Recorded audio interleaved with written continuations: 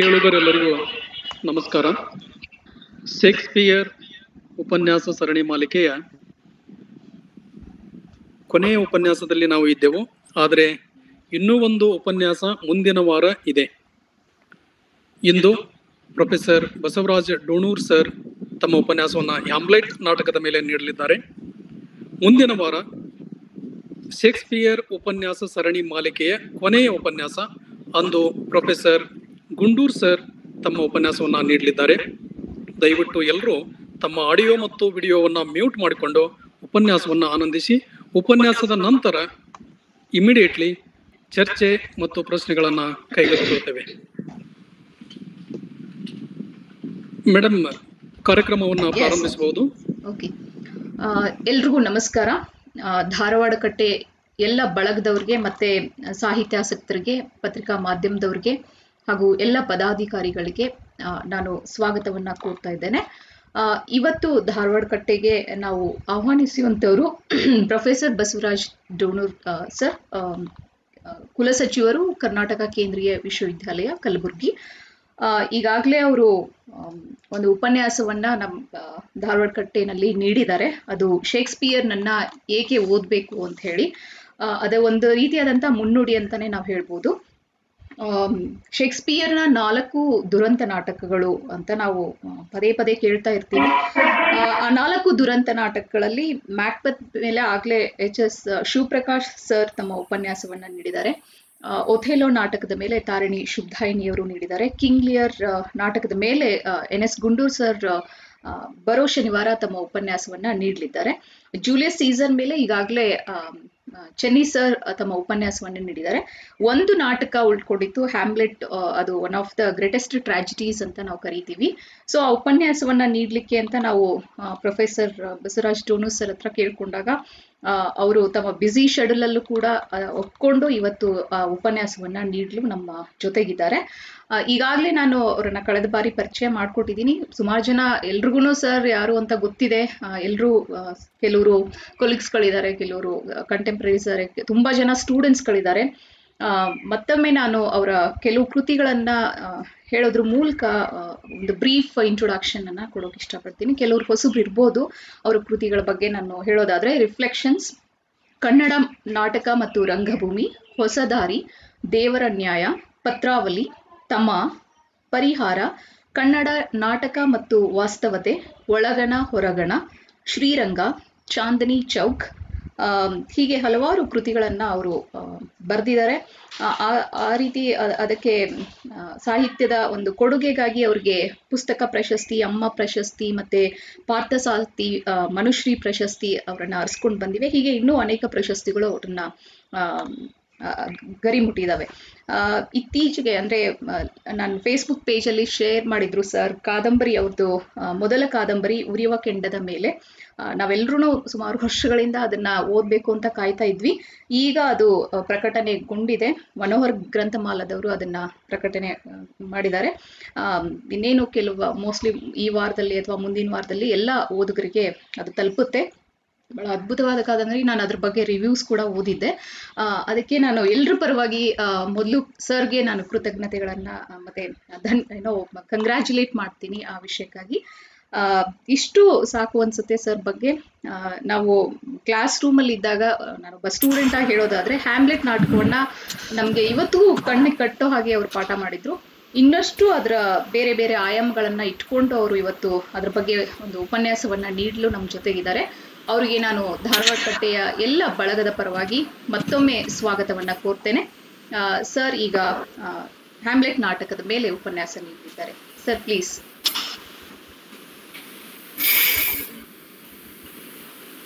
ಎಲ್ಲರಿಗೂ ನಮಸ್ಕಾರ.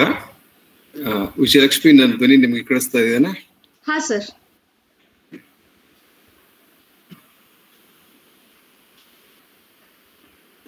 ಧಾರವಾಡ ಕಟ್ಟೆಯ ಎಲ್ಲ ಪದಾಧಿಕಾರಿಗಳೇ.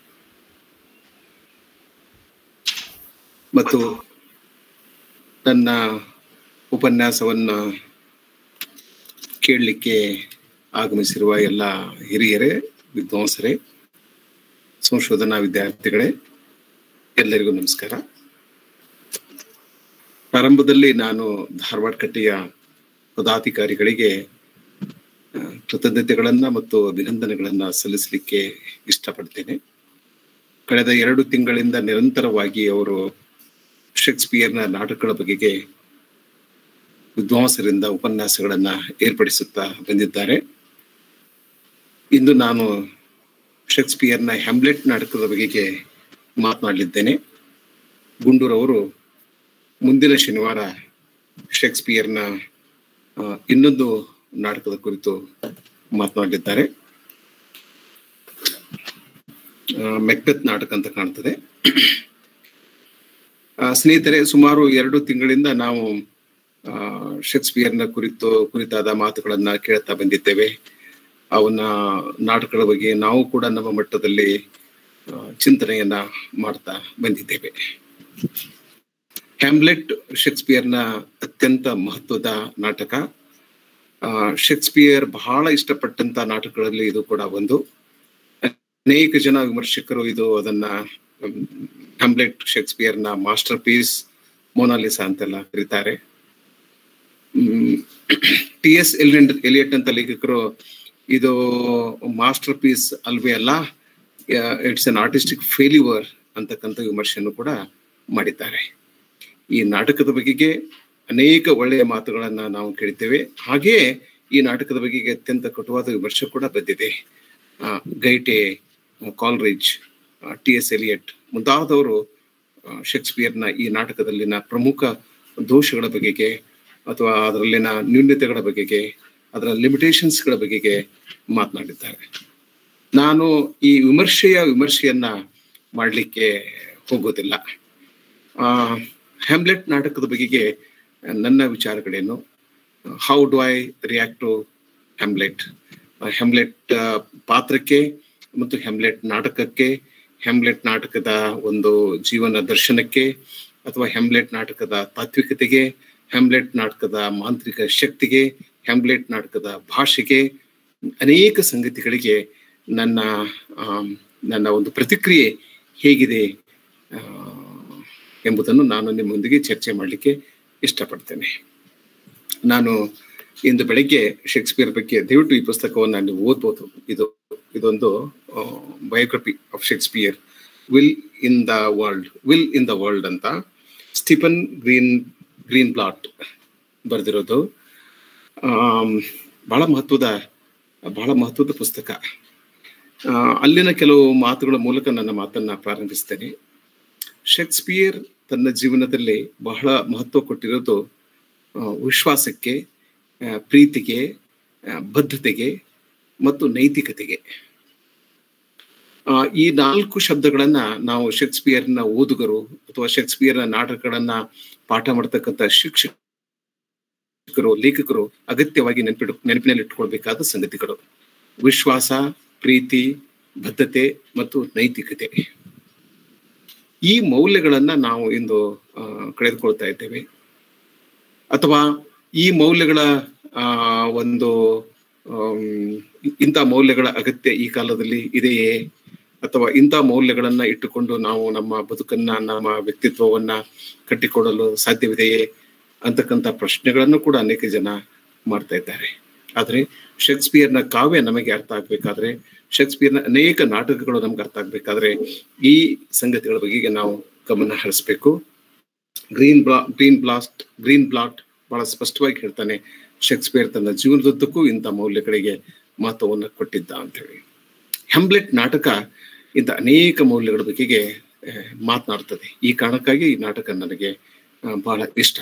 ನಾನು ಆಗಲೇ ಒಂದು ಮಾತು ಹೇಳಿದೆ. ಈ ವಿಮರ್ಶೆಯ, ವಿಮರ್ಶೆಯನ್ನ ವಿಮರ್ಶೆಯನ್ನ ನಾನು ಮಾಡಲಾರೆ.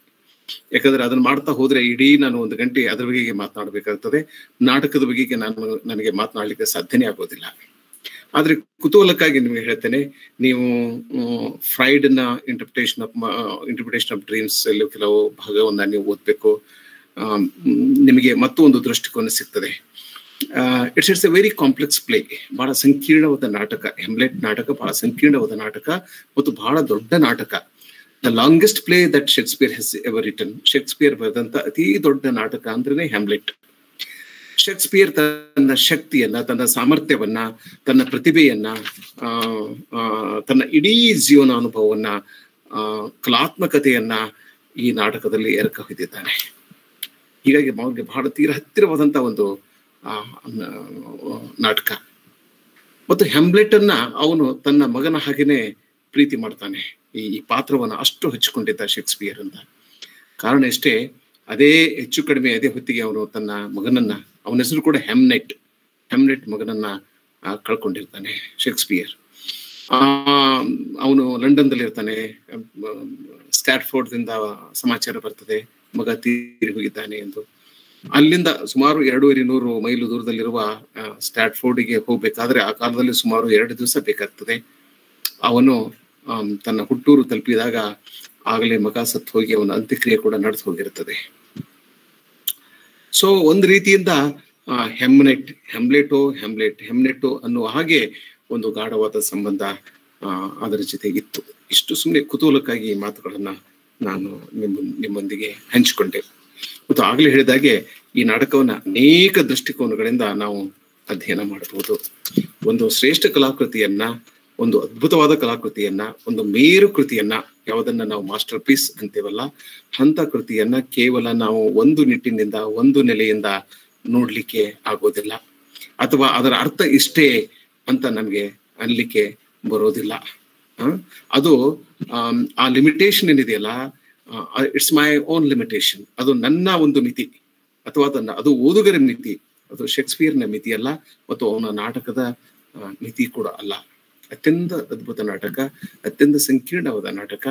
ಹೀಗಾಗಿ ಅನೇಕ ರೀತಿಯ ಇಂಟರ್ಪ್ರಿಟೇಷನ್ಸ್ಗಳಿಗೆ ಇಲ್ಲಿ ಅವಕಾಶ ಇದೆ. ಅವಕಾಶ ಇದೆ. ಈ ನಾಟಕವನ್ನ ಓದ್ತಾ ಓದ್ತಾನೆ ಅನೇಕ ಜನ ಪ್ರಾಧ್ಯಾಪಕರು ಬೆಳೆದಿದ್ದಾರೆ ಲೇಖಕರು ಬೆಳೆದಿದ್ದಾರೆ ಪ್ರಪಂಚದ ಹೆಚ್ಚು ಕಡಿಮೆ ಎಲ್ಲಾ ಲೇಖಕರ ಮೇಲೆ ಪ್ರಭಾವ ಬೀರಿದ ಏಕೈಕ ಲೇಖಕ ಅಂದ್ರೆ ಶೇಕ್ಸ್ಪಿಯರ್. ಪ್ರತಿಯೊಬ್ಬ ವಿಮರ್ಶಕ, ಪ್ರತಿಯೊಬ್ಬ ಚಿಂತಕ, ಪ್ರತಿಯೊಬ್ಬ ಲೇಖಕ ಶೇಕ್ಸ್ಪಿಯರ್ನಿಗೆ ನುಡಿ ನಮನ ಸಲ್ಲಿಸಿದ್ದಾನೆ ಮತ್ತು ಅವನ ಗಾಢವಾದ ಪ್ರಭಾವದಲ್ಲೂ ಕೂಡ ಅವನು ಬಂದಿದ್ದಾನೆ. ಸೊ ಹೀಗಾಗಿ ನಾನು ವಿಮರ್ಶೆಯನ್ನ ಬದಿಗಿಡ್ತೇನೆ. ಅದು ಹೆಸ್ಲಿಟಿನ ವಿಮರ್ಶೆ ಆಗಿರಬಹುದು ಗೈಟಿನ ವಿಮರ್ಶೆ ಆಗಿರಬಹುದು ಅಥವಾ ಯಾರು, ಕಾಲ್ರಿಜಿನ ವಿಮರ್ಶೆ ಆಗಿರ್ಬೋದು ಟಿ ಎಸ್ ಎಲಿಟ್ ವರ್ಷ ಆಗಿರ್ಬೋದು ಅಥವಾ ಎ ಸಿ ಬ್ರ್ಯಾಡ್ಲಿ ಆಗಿರ್ಬೋದು ಅಥವಾ ಗ್ರೀನ್ ಬಾಲ್ಟ್ ಆಗಿರ್ಬೋದು, ಯಾರೇ ಆಗಿರ್ಬೋದು. ಅದು ನಾವೇನು ಇವತ್ತು ಕರಿತೀವಲ್ಲ? ಮಾಡರ್ನಿಸ್ಟ್ ಪೋಸ್ಟ್ ಮಾಡರ್ನಿಸ್ಟ್ ಸ್ಟ್ರಕ್ಚರಲಿಸ್ಟ್ ಆಮೇಲೆ ಪೋಸ್ಟ್ ಕಲೋನಿಯಲ್ ರೈಟರ್ಸ್ ಅಥವಾ ಮಾರ್ಕ್ಸಿಸ್ಟ್ ರೈಟರ್ಸ್ ಕ್ರಿಟಿಕ್ಸ್ ಎಲ್ಲರೂ ಶೇಕ್ಸ್ಪಿಯರ್ನ ನಾಟಕ ಕಡೆಗೆ ತಮ್ಮದೇ ಆದ ರೀತಿಯಲ್ಲಿ ಒಂದು ಪ್ರತಿಕ್ರಿಯೆ ನೀಡ್ತಾ ಬಂದಿದ್ದಾರೆ ಬಂದಿದ್ದಾರೆ, ಪ್ರಶ್ನಿಸುತ್ತಾ ಬಂದಿದ್ದಾರೆ ಅವನನ್ನ ಹೊಗಳ್ತಾ ಬಂದಿದ್ದಾರೆ. ಹಾಗೆ ಅವನನ್ನ ಅವನ ಅನೇಕ ವಿಚಾರಗಳನ್ನ ಅವರು ಪ್ರಶ್ನಿಸುತ್ತಾ ಕೂಡ ಬಂದಿದ್ದಾರೆ. ಎಸ್ಪೆಷಲಿ ಈ ಪೋಸ್ಟ್ ಕೊಲೋನಿಯಲ್ ಕ್ರಿಟಿಕ್ಸ್ಗಳು ಈ ಫೆಮಿನಿಸ್ಟ್ ಕ್ರಿಟಿಕ್ಸ್ಗಳು ಅವನನ್ನ, ಅವನ ಪ್ರಶ್ನೆಯನ್ನ ಮಾಡಿದ್ದಾರೆ. ನಾನು ಈ ಪ್ರಶ್ನೆಗಳನ್ನು ಕೂಡ ಇಲ್ಲಿ ಚರ್ಚಿಸ್, ಚರ್ಚಿಸಲಿಕ್ಕೆ ಇಷ್ಟಪಡೋದಿಲ್ಲ. ನನ್ನ ಮಾತಿನ ಕೊನೆಗೆ ನಿಮ್ಮ ಪ್ರಶ್ನೆಗಳೇನಾದಿದ್ರೆ ಆ ಸಂದರ್ಭದಲ್ಲಿ ಈ ವಿಮರ್ಶೆ ಬಗೆಗೆ ಗಮನ ಹರಿಸಬಹುದು ಅಂತ ಅನಿಸ್ತದೆ. ಇಲ್ಲಿ ಆ, ನಾನು ಈ ನಾಟಕವನ್ನ ಸುಮಾರು ನಾಲ್ಕು ಪ್ರಮುಖ ನೆಲೆಗಳಿಂದ ಈ ನಾಟಕವನ್ನ ಅಧ್ಯಯನ ಮಾಡಬೇಕು ಅಂತ ನಾನು ಅಂದ್ಕೊಂಡಿದ್ದೆ. ಅದೆಲ್ಲ ಸಾಧ್ಯ ಇಲ್ಲ ಅಂತ ನನಗೆ ಅನಿಸ್ತದೆ. ನಾನು ಪ್ರಮುಖವಾಗಿ ಎರಡು ನೆಲೆಗಳಿಂದ ಈ ನಾಟಕವನ್ನ ಹೇಗೆ ಪ್ರವೇಶ ಮಾಡಬಹುದು ಮತ್ತು ಹೀಗೆ ಅಧ್ಯಯನ ಮಾಡಬಹುದು ಎಂಬುದರ ಕುರಿತು ಇಂದು ಚರ್ಚಿಸುತ್ತೇನೆ. ಮೊದಲನೇದು ಇದು ಪ್ರತೀಕಾರದ ನಾಟಕ ಇಟ್ಸ್ ಎ ರಿವೆಂಜ್ ಪ್ಲೇ ಅಂತ ಕರಿತೀವಿ ನಾವು. ಎರಡನೇದು ಇದು the effects of the of a mother's guilt upon her son ಅಂದ್ರೆ ಮಗನ ಮೇಲಾಗುವ ತಾಯಿಯ ಅಪರಾಧದ ಪರಿಣಾಮ. ಈ ಎರಡು ನೆಲೆಗಳಿಂದ ನಾನು ಈ ನಾಟಕವನ್ನ ಈ ದಿನ ಚರ್ಚೆ ಮಾಡ್ತೇನೆ. ಸಮಯ ಉಳಿದರೆ ಈ ನಾಟಕದ ತಾತ್ವಿಕತೆಯ ಬಗೆಗೆ ಮತ್ತು ಈ ನಾಟಕವನ್ನು ಹೇಗೆ ಒಂದು ಮನಃಶಾಸ್ತ್ರೀಯ ನೆಲೆಯಿಂದ ಅಧ್ಯಯನ ಮಾಡಬಹುದು ಅನ್ನೋದ್ರ ಬಗ್ಗೆ ಕೂಡ ಕೆಲವು ಮಾತುಗಳನ್ನ ನಾನು ಆಡ್ತೇನೆ. ಮೊದಲನೇದಾಗಿ ಇದು ಹೇಗೆ ಇದು ಒಂದು ಪ್ರತೀಕಾರದ ನಾಟಕ ರಿವೆಂಜ್ ಪ್ಲೇ ಈ ನಾಟಕದಲ್ಲಿ ಮೂರು ಜನ ಮಕ್ಕಳಿದ್ದಾರೆ. ಮೂರು ಜನ ಗಂಡು, ಗಂಡಸು, ಗಂಡ್- ಗಂಡು ಮಕ್ಕಳಿದ್ದಾರೆ. ಕುರ್ತಕೋಟಿಯವರು ನನಗೆ ಪದೇ ಪದೇ ಒಂದು ಮಾತನ್ನ ಹೇಳ್ತಾ ಇದ್ರು. Hamlet is his father son ಅಂತ. ಹೇಳ್ತಾರದು ಅವ ಅವ ಅಪ್ಪನ ಮಗ, ಅವ ಅಪ್ಪನ ಮಗ ಅವ ತಾಯಿ ಮಗ, ನಾವು ಅಂತಿರ್ತೇವೆ. ಕನ್ನಡದಲ್ಲಿ ಒಂದು ಸಿನಿಮಾ ಇದೆ, ರಾಜ್ಕುಮಾರ್ ತಾಯಿಗೆ ತಕ್ಕ ಮಗ ಅಂತ? ಆಮೇಲೆ ಯಾರೋ ಒಂದು ತಂದೆಗೆ ತಕ್ಕ ಮಗ ಅಂತ ಒಂದು ಸಿನಿಮಾ ಮಾಡಿದ್ರು. ಸೊ ಅಂದ್ರೆ ತಂದೆಯನ್ನು ಪ್ರೀತಿಸುವ ಮಗ? ಅಥವಾ ತಾಯಿಯನ್ನು ಪ್ರೀತಿಸುವ ಮಗ, ಇರ್ಲಿಕ್ಕೆ ಸಾಧ್ಯ ಇದೆ. ಹಾಗೆ ತಂದೆಯನ್ನು ಪ್ರೀತಿಸುವ ಮಗಳು, ತಾಯಿಯನ್ನು ಪ್ರೀತಿಸುವ ಮಗಳು ಶೇಕ್ಸ್ಪಿಯರ್ ತಂದೆಯನ್ನ ಪ್ರೀತಿಸುವ ಮಗ. ಅಂದ್ರೆ ಇಲ್ಲಿ ಮೂರು ಜನ ತಂದೆಯನ್ನು ಪ್ರೀತಿಸುವ ಈ ನಾಟಕದಲ್ಲಿ ಮೂರು ಜನ ತಂದೆಯ, ತಂದೆ, ಅಪ್ಪಂದಿರನ್ನ ಪ್ರೀತಿ ಮಾಡತಕ್ಕಂತ ಮಕ್ಕಳಿದ್ದಾರೆ. ಒಂದು ಯಂಗ್ ಫೋರ್ಟೀನ್ ಬ್ರಾಸ್, ಅವನು ನಾರ್ವೇದವನು. ಅವನ ತಂದೆಯ ಕೊಲೆ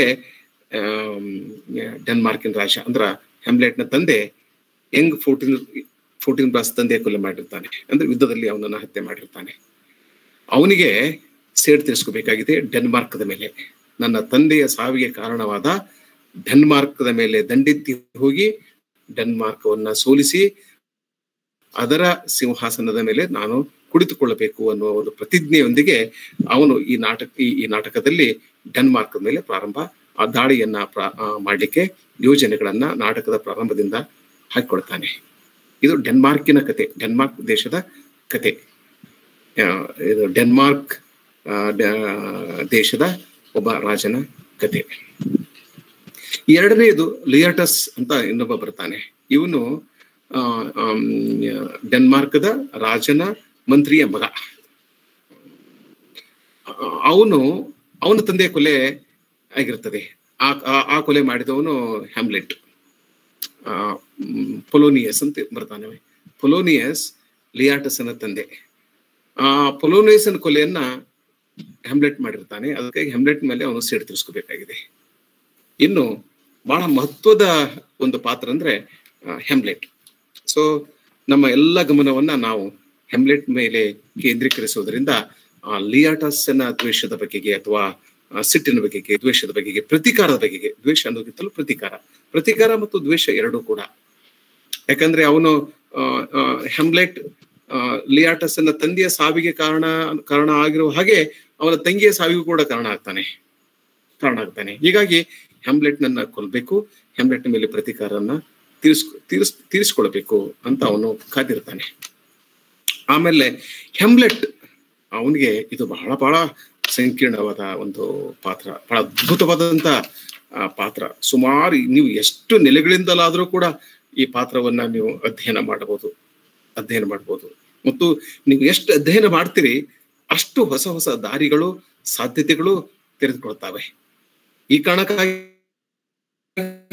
ಇದನ್ನ ನಾವು ಮಾಸ್ಟರ್ ಪೀಸ್ ಅನ್ನೋದು, ಮೊನಲಿಸಾ ಅನ್ನೋದು ಕ್ಲಾಸಿಕ್ ಅನ್ನೋದು, ಮತ್ತು ಅತ್ಯಂತ ಸಂಕೀರ್ಣವಾದ ಪಾತ್ರ ಮತ್ತು ನಾಟಕ ಅಂತ ಕರೆಯೋದು ಇವನಿಗೆ ತನ್ನ ತಂದೆಯ ಸಾವಿಗೆ ಕಾರಣನಾದ ತನ್ನ ಚಿಕ್ಕಪ್ಪನ ಮೇಲೆ ಸೇಡ್ ತೆಸ್ಕೊಳ್ಬೇಕಾಗಿದೆ ಹೀಗಾಗಿ, ಯಂಗ್ ಫೋರ್ಟೀನ್ ಬ್ರಾಸ್ ಮತ್ತು ಲಿಯಾಟಸ್ ಹ್ಯಾಮ್ಲೆಟ್ ಈ ಮೂರು ಜನ ಮಕ್ಕಳು ಸೇಡಿಗಾಗಿ ಕಾದಿರ್ತಾರೆ ಪ್ರತಿಕಾರಕ್ಕಾಗಿ ಕಾದಿರ್ತಾರೆ ಕಾದಿರ್ತಾರೆ they are waiting for an opportunity to wreak vengeance on their enemies ತಮ್ಮ ವೈರಿಗಳ ಮೇಲೆ ಸೇಡನ್ನ ತೀರಿಸಿಕೊಳ್ಳಲಿಕ್ಕೆ ದಾಳಿ ಮಾಡಲಿಕ್ಕೆ ಕಾದು ಕೂತಿರ್ತಾರೆ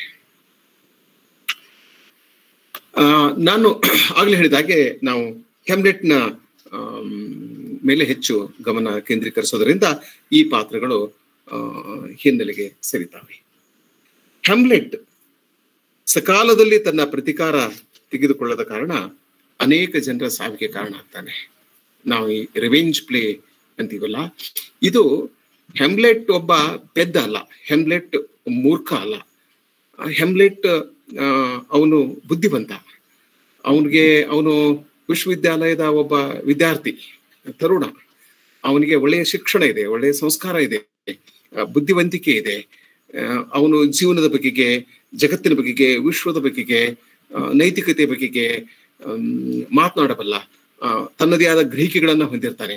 ಹೀಗಾಗಿ ಸಡನ್ ಆಗಿ ತನ್ನ ತಂದೆಯ ಸಾವಿಗೆ ಕಾರಣದ ತನ್ನ ಚಿಕ್ಕ ಚಿಕ್ಕಪ್ಪನನ್ನ ಕೊಂದು ಹಾಕ್ಲಿಕ್ಕೆ ಅವನು ಇಷ್ಟಪಡೋದಿಲ್ಲ.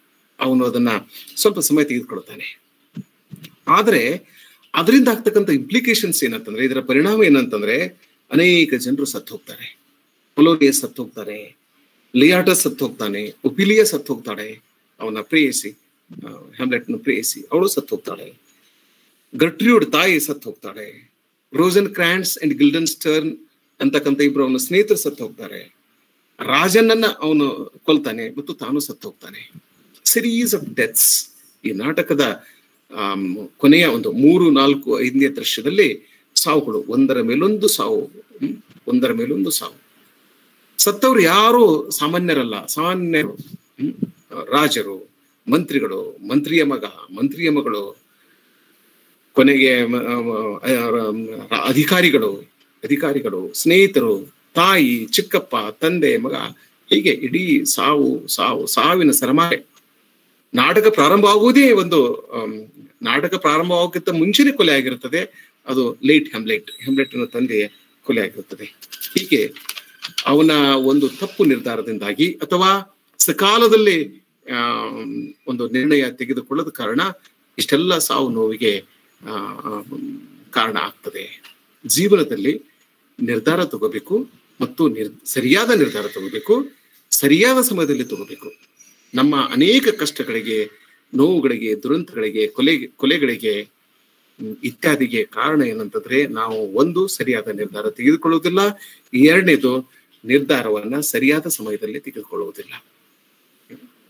ಆ, ಹೊತ್ತು ಹೊತ್ತು ಮೀರಿದ ಮೇಲೆ, ಬಸವಣ್ಣ ಹೇಳ್ತಾನಲ್ಲ, ಹೊತ್ತು ಹೊತ್ತು ಹೊತ್ತು ಹೊತ್ತು ಹೋದ ಮೇಲೆ ಏನು ಮಾಡ್ಲಿಕ್ಕೆ ಸಾಧ್ಯ ಇಲ್ಲ? ಹೊತ್ತು ಹೋಗ್ಲಿಕ್ಕೆ ಬಿಡಬಾರ್ದು. ಫೋರ್ಟೀನ್ ಬ್ರಾಸ್ ನೂರಾರು ಮೈಲ ದಾರಿಯನ್ನ ಪ್ರಯಾಣ ಮಾಡಿ ಬಂದು ಡೆನ್ಮಾರ್ಕಿನ ಮೇಲೆ ದಾಳಿ ಮಾಡಿ ತನ್ನ ತಂದೆಯ ಸಾವಿಗೆ ಪ್ರತೀಕಾರವನ್ನ ತಿರ್ಸ್ಕೊಡ್ತಾನೆ ಕೊನೆಗೆ ನಾಟಕದ ಕೊನೆಗೆ. ಆದ್ರೆ ಹೆಮ್ಲೆಟ್ನಿಗೆ ತನ್ನ ತಂದೆಯ ಸಾವಿಗೆ ಕಾರಣನಾದ ಆ, ಚಿಕ್ಕಪ್ಪನ ಮೇಲೆ ಪ್ರತಿಕಾರ ತೀರಿಸಿಕೊಳ್ಳಲು ಅವನು ಸಮಯ ತೆಗೆದುಕೊಡ್ತಾನೆ ಬಟ್ ಲಿಯಾಟಸ್ ಸಮಯ ತೆಗೆದುಕೊಳ್ಳೋದಿಲ್ಲ. ಅವನಿಗೆ ಯಾವಾಗ ಅವನಿಗೆ ಗೊತ್ತಾಗ್ತತಿ? ಹ್ಯಾಮ್ಲೆಟ್ ನನ್ನ ತಂದೆಯ ಸಾವಿಗೆ ಕಾರಣ ಅಂತ ಅವನು ಗೊತ್ತಾಗ್ತತಿ. ಅವಾಗ ಅವನು ನಿರ್ಧಾರ ಮಾಡಿಬಿಡ್ತಾನ, ಇವನು ಕೊಲ್ಬೇಕು ಅಂತೇಳಿ ಆದ್ರೆ ಹೆಮ್ಲೆಟ್ ವಿಷಯದಲ್ಲಿ ಹಾಗಾಗೋದಿಲ್ಲ. ಯಾಕೆಂದ್ರೆ ಅವನು ಅದನ್ನ ಒಂದು ತಾತ್ವಿಕ ಪ್ರಶ್ನೆಯನ್ನಾಗಿ ಮಾಡಿಕೊಡ್ತಾನೆ. It becomes a philosophical question ಹೀಗಾಗಿ ಇಡೀ ನಾಟಕದ ಉದ್ದಕ್ಕೂ ಕೊಲ್ಬೇಕು, ಕೊಲ್ಬಾರ್ದು. To be or not to be that is the question ಏನ್ ನನ್ನ ನನ್ನ ಅಂಕಲ್ ನನ್ನ ಚಿಕ್ಕಪ್ಪರನ್ನ ಕೊಂದು ಹಾಕ್ಬೇಕು, ಅಥವಾ ನಾನೇ ಸತ್ತು ಹೋಗ್ಬೇಕು? ಯಾಕಂದ್ರೆ ಅವನಿಗೆ ಈ ಈ ವಾಸ್ತವವನ್ನ ಸ್ವೀಕಾರ ಮಾಡ್ಲಿಕ್ಕೆ ಹೆಮ್ಲೆಟ್ಗೆ ಸಾಧ್ಯ ಆಗೋದಿಲ್ಲ. Is too young to to to understand the realities ವಾಸ್ತವ ಗೊತ್ತಾಗ್ತದೆ, ಸ್ವೀಕಾರ ಮಾಡ್ಲಿಕ್ಕೆ ಆಗೋದಿಲ್ಲ. ಯಾಕೆ ಆಗೋದಿಲ್ಲ ಅಂತಂದ್ರೆ, ಅವನ ಮನಸ್ಸು ತನ್ನ ತಾಯಿ ತನ್ನ ತಂದೆಯನ್ನ ಪ್ರೀತಿ ಮಾಡಿದ. ತನ್ನ ತಂದೆಯನ್ನ ಅಪಾರವಾಗಿ ಪ್ರೀತಿ ಮಾಡಿದ ತನ್ನ ತಾಯಿ ಅವನ ಅವನು ಸತ್ತು ಹೋದ ಒಂದೇ ಒಂದು ತಿಂಗಳ ತಿಂಗಳ ಅವಧಿಯ ಒಳಗೆ ಮತ್ತೆ ಮರು ಮದುವೆ ಮಾಡಿಕೊಳ್ಳಲ್ಲ. ಅದನ್ನ ಹೇಗೆ ಸ್ವೀಕಾರ ಮಾಡೋದು? Is not ready to accept the fact that is mother mother has remarried her husband's brother in a span of one month time ಆಕೆಗೆ ಅವನು ಪ್ರಶ್ನೆ ಮಾಡ್ತಾನೆ. ಏನು ನಿಂದು? ನಿನ್ನ ಪ್ರೀತಿಗೆ ಏನು ಬೆಲೆ ಇದೆ? ನಾನು ಪ್ರಾರಂಭದಲ್ಲಿ ಏನು ಹೇಳಿದೆ? ಶೇಕ್ಸ್ಪಿಯರ್ನಿಗೆ ಫೇತ್ ಅನ್ನೋದು ಬಹಳ ಮುಖ್ಯ ಆಗಿತ್ತು. ನಂಬಿಕೆ. ಮದುವೆ ಆಗ್ತಿರ್ಬೇಕಾದ್ರೆ ನೀನು ಒಂದು ಒಂದು ಚರ್ಚ್ನಲ್ಲಿ ಪ್ರತಿಜ್ಞೆ ಮಾಡಿರ್ತೀಯ? ನಾನು ನಾನು ಗಂಡನ ಜೊತೆ ಅವ ಅವನ ನನ್ನ ನಾನು, ನನ್ನ ಗಂಡನ ಜೊತೆ ನಾನು ಬದುಕ್ತೇನೆ, ಅವನ ಯೋಗಕ್ಷೇಮವನ್ನು ನೋಡ್ತೇನೆ ಅವನನ್ನ ಪ್ರೀತಿ ಮಾಡ್ತೇನೆ. ಎಲ್ಲಿ? ಅವನು ಪ್ರಶ್ನೆ ಕೇಳ್ತಾನೆ, ಎಲ್ಲಿ ಹೋಯ್ತು ನಿನ್ನ ಆ ಒಂದು ಪ್ರತಿಜ್ಞೆ? ಆ ವಿಶ್ವಾಸ, ಆ ಪ್ರೀತಿ, ಆ ಒಂದು ಬದ್ಧತೆ. ಹೇಗೆ ನೀನು ನನ್ನ, ನೀನು ನೀನು ನನ್ನ ತಂದೆಯನ್ನ ಕೊಂದ ವ್ಯಕ್ತಿಯೊಂದಿಗೆ ನೀನು ಮರುಮದುವೆ ಮಾಡಿಕೊಂಡೆ? ಹೀಗಾಗಿ ಅವನ ಹ್ಯಾಮ್ಲೆಟ್ನ ಸಮಸ್ಯೆ ಏನಿದೆಯಲ್ಲ, ಸಮಸ್ಯೆ ಸಂಕೀರ್ಣತೆ ಅದು ಬಹಳ ಅದ್ಭುತವಾದದ್ದು. ಬಹಳ ಅದ್ಭುತವಾದದ್ದು. ನೀವು ಅದನ್ನ ಮನಃಶಾಸ್ತ್ರೀಯ ನೆಲೆಯಿಂದ ನೋಡಬೇಕು. ಅದನ್ನ ತಾತ್ವಿಕ ನೆಲೆಯಿಂದ ನೋಡಬೇಕು, ಆಧ್ಯಾತ್ಮಿಕ ನೆಲೆಯಿಂದ ನೋಡಬೇಕು, ಸಾಮಾಜಿಕ ನೆಲೆಯಿಂದ ನೋಡಬೇಕು, ಸಾಂಸ್ಕೃತಿಕ ನೆಲೆಯಿಂದ ನೋಡಬೇಕು, ಅನೇಕ ನೆಲೆಗಳಿಂದ ಆ ಈ ಪಾತ್ರವನ್ನ ನೋಡ್ಬೇಕಾಗ್ತದೆ. ಈ ಎರಡೂ ಪಾತ್ರಗಳಿಗೆ ಹೋಲಿಸಿದರೆ ಹೆಮ್ಲೆಟ್ನ ಪ್ರತಿಕಾರ ಆ ಬಹಳ ಪರಿಣಾಮಕಾರಿ ಆಗಿಲ್ಲ ಅಂತ ಅನಿಸ್ತದೆ. ಯಾಕಂದ್ರೆ ಪ್ರತಿಕಾರ ತೀರಿಸಿಕೊಳ್ಳಲು ವಿಳಂಬ ಮಾಡುವುದು ಎಲಿಜಬೆತ್ ಕಾಲದ ಪ್ರತಿ ಪ್ರತಿಕಾರ ನಾಟಕಗಳಲ್ಲಿ ತುಂಬಾ ಸಹಜ. It is a phenomenon, Elizabeth ರಾಣಿಯ ಕಾಲದಲ್ಲಿ ಬಂದಂತ ಅನೇಕ ನಾಟಕಗಳಲ್ಲಿ ನಾಯಕರು ಪ್ರತಿಕಾರ ತೀರಿಸಿಕೊಳ್ಳುವ ಸಂದರ್ಭ ಬಂದಾಗಲೆಲ್ಲ ಅದನ್ನ ಮುಂದೂಡ್ತಾ ಹೋಗ್ತಾರೆ ಮುಂದೂಡ್ತಾ ಹೋಗ್ತಾರೆ, ಪೋಸ್ಟ್ಪೋನ್ ಮಾಡ್ತಾ ಹೋಗ್ತಾರೆ. ಆದರೆ ಹೆಮ್ಲೆಟ್ ನಾಟಕದ ವಿಶೇಷತೆ ಏನಂದ್ರೆ ಈ ವಿಳಂಬವನ್ನ, ಅಂದ್ರೆ ಈ ಡಿಲೇ ಅನ್ನೋದೇನಿದೆಯಲ್ಲ, ಈ ಡಿಲೇಯನ್ನ ಶೇಕ್ಸ್ಪಿಯರ್ ಹೇಗೆ ಬೆಳೆಸ್ಕೊಡ್ತಾನೆ ಸಾಹಿತ್ಯದ ವಿದ್ಯಾರ್ಥಿಗಳು, ಶೇಕ್ಸ್ಪಿಯರ್ನ ವಿದ್ಯಾರ್ಥಿಗಳು ಅಗತ್ಯವಾಗಿ ಇದನ್ನ ಅರ್ಥ ಮಾಡ್ಕೋಬೇಕು ಈ postponement ಅನ್ನೋದೇನದಲ್ಲ it is it is a technical requirement in a play ಈ ನಾಟಕದ ಒಂದು ತಾಂತ್ರಿಕ ಅಗತ್ಯ ಕೂಡ ಅದು. ಯಾಕೆಂದ್ರೆ ಅದಕ್ಕೆ ಸಮಯ ಸಿಗ್ತದೆ ನಾಟಕರ್ನಿಗೆ ಸಮಯ ಸಿಗ್ತದೆ. ಆ ವಿಳಂಬವನ್ನ ಶೇಕ್ಸ್ಪಿಯರ್ ಹೆಮ್ಲೆಟ್ ಪಾತ್ರದ ಭಾವನಾತ್ಮಕ ಮತ್ತು ಮನಃಶಾಸ್ತ್ರೀಯ ಸಂಕೀರ್ಣತೆಯನ್ನ ಕಟ್ಕೊಳ್ಳಿಕ್ಕೆ ಬಳಸ್ತಾನೆ. He uses this to build the emotional and psychological complexity of the character of Hamlet ಇದು ತುಂಬಾ ಮಹತ್ವದ ಒಂದು ವಿಷಯ. ಯಾಕಂದ್ರೆ ನಾಟಕದ ಮೊದಲನೇ ಸೀನದಲ್ಲಿ ಎರ- ಎರಡನೇ ಎರಡನೇ, ಮೊದಲನೆಯ ಅಂಕದ ಎರಡನೇ ಸೀನಿನಲ್ಲಿ ಅವನಿಗೆ ಗೊತ್ತಾಗ್ತದೆ. ಮೂರನೇ ಸೀನಿನಲ್ಲಿ ಅವನಿಗೆ ಗೊತ್ತಾಗ್ತದೆ. ತನ್ನ ತಂದೆಯ ಸಾವಿಗೆ ಕಾರಣ, ತನ್ನ ಚಿಕ್ಕಪ್ಪ ಅಂತ. ಅಲ್ಲಿ ಕೊಂದು ಹಾಕ್ಬಿಟ್ರೆ ನಾಟಕ ಮುಂದುವರಿಯುವುದು ಹೇಗೆ? ಹೀಗಾಗಿ ಆ ನಾಟಕ, ಆ ಪೋಸ್ಟ್ಪೋನ್ ಮಾಡೋದೇನಿದೆಯಲ್ಲ, ಮುಂದೆ ಹಾಕೋದೇನಿದೆಯಲ್ಲ ಅದು ಆ ನಾಟಕದ ವಸ್ತುವಿನ ಅಗತ್ಯ, ಆ ಪ್ಲಾಟದ ಅಗತ್ಯ ಅಂತ ನಾವು ತಿಳ್ಕೋಬೇಕು. ಮತ್ತು ಈ ಭಾವನಾತ್ಮಕ ಮತ್ತು ಮನಃಶಾಸ್ತ್ರೀಯ ಸಂಕೀರ್ಣತೆಯ ಸ್ವರೂಪವನ್ನ ನಾವು ತಿಳಿದುಕೊಳ್ಳಬೇಕು. ಅದರ ಪ್ರಯತ್ನ ಒಂದು ಹತ್ತು ಹದಿನೈದು ನಿಮಿಷದಲ್ಲಿ ನನ್ನ ಗ್ರಹಿಕೆ ಬಂದದ್ದನ್ನ ನಾನು. ಈ ನಾಟಕದ ಸಂದರ್ಭದಲ್ಲಿ ಹೇಳಲಿಕ್ಕೆ ಇಷ್ಟಪಡ್ತೇನೆ. ಮೊದಲನೇ ದೃಶ್ಯದಲ್ಲಿದೆ ಅವರ ತಂದೆಯ ಭೂತ ತಂದೆಯ ಪ್ರೇತ ಕಾಣಿಸಿಕೊಂಡಿತ್ತು ಅಂತ ಗೆಳೆಯರು ಹೆಮ್ಲೆಟ್ನಿಗೆ ಹೇಳ್ತಾರೆ. We saw your father's apparition ಅಂತಾರೆ ಅವರು. ಮಧ್ಯರಾತ್ರಿ, ರಾತ್ರಿ ಹನ್ನೆರಡು ಗಂಟೆ ಆದ್ಮೇಲೆ ಮಧ್ಯರಾತ್ರಿಯಲ್ಲಿ ಮತ್ತು ಗೋಡೆ, ಮಧ್ಯರಾತ್ರಿಯಲ್ಲಿ ಕೋಟೆ ಗೋಡೆಯ ಮೇಲೆ ನಾವು ಕಾವಲು ಕಾಯ್ತಿರ್ಬೇಕಾದ್ರೆ ನಿಮ್ಮ ತಂದೆಯ ಪ್ರೇತವನ್ನ ನಾವು ನೋಡಿದೀವಿ. ಇದು ಹ್ಯಾಮ್ಲೆಟ್ನ ಈ ಭಾವನೆಗಳ ಮೇಲೆ ಅಥವಾ ಭಾವನಾತ್ಮಕವಾಗಿ ಅವನು ದೊಡ್ಡ ಆಘಾತವನ್ನು ಅನುಭವಿಸ್ತಾನೆ. ಆಮೇಲೆ ಅವ್ರಿಗೆ ಸ್ನೇಹಿತರು ಹೇಳ್ತಾನೆ, ದಯವಿಟ್ಟು ಯಾರಿಗೂ ನೀವು ವಿಷಯನ ಹೇಳಬೇಡಿ. ನನ್ನ ತಂದೆ ಪ್ರೇತ ಆಗಿದ್ದಾನೆ ಅಥವಾ ನನ್ನ ತಂದೆಯ ಪ್ರೇತ ನಿಮಗೆ ಕಂಡಿದೆ ಅಂತ ನೀವು ಯಾರಿಗೂ ಹೇಳಬೇಡ್ರಿ. ಜನರಿಗೆ ಗೊತ್ತಾಗ್ಬಾರ್ದು ಅಂತ ಹೇಳ್ತಾನೆ ಎರಡನೇದೇನ್ ಹೇಳ್ತಾನೆ ಅಂತಂದ್ರೆ, ಯಾಕೆ ತಂದೆಯ ಆತ್ಮಕ್ಕೆ ಶಾಂತಿ ಇಲ್ಲ? ನೋಡಿ, ಇದು ಒಂದು ತಾತ್ವಿಕ ಪ್ರಶ್ನೆ. ತಂದೆಯ ಆತ್ಮ ಸತ್ತ ಮೇಲೆ ಸತ್ತ ಮೇಲೆ ಆ ಸತ್ತ ವ್ಯಕ್ತಿಯ ಆತ್ಮಕ್ಕೆ ಶಾಂತಿ ಸಿಗ್ಬೇಕು. ಅವನು ಸಮಾಧಿಯಲ್ಲಿ ಅದು ಬಿದ್ಕೊಂಡಿರ್ಬೇಕು, ಅಥವಾ ಎಲ್ಲೋ ಒಂದ್ ಕಡೆ ಇರಬೇಕು. ಅದು ನಮ್ಮ ನಮ್ಮ ಗ್ರಹಿಕೆ ಮೇಲೆ ಇರ್ತದೆ.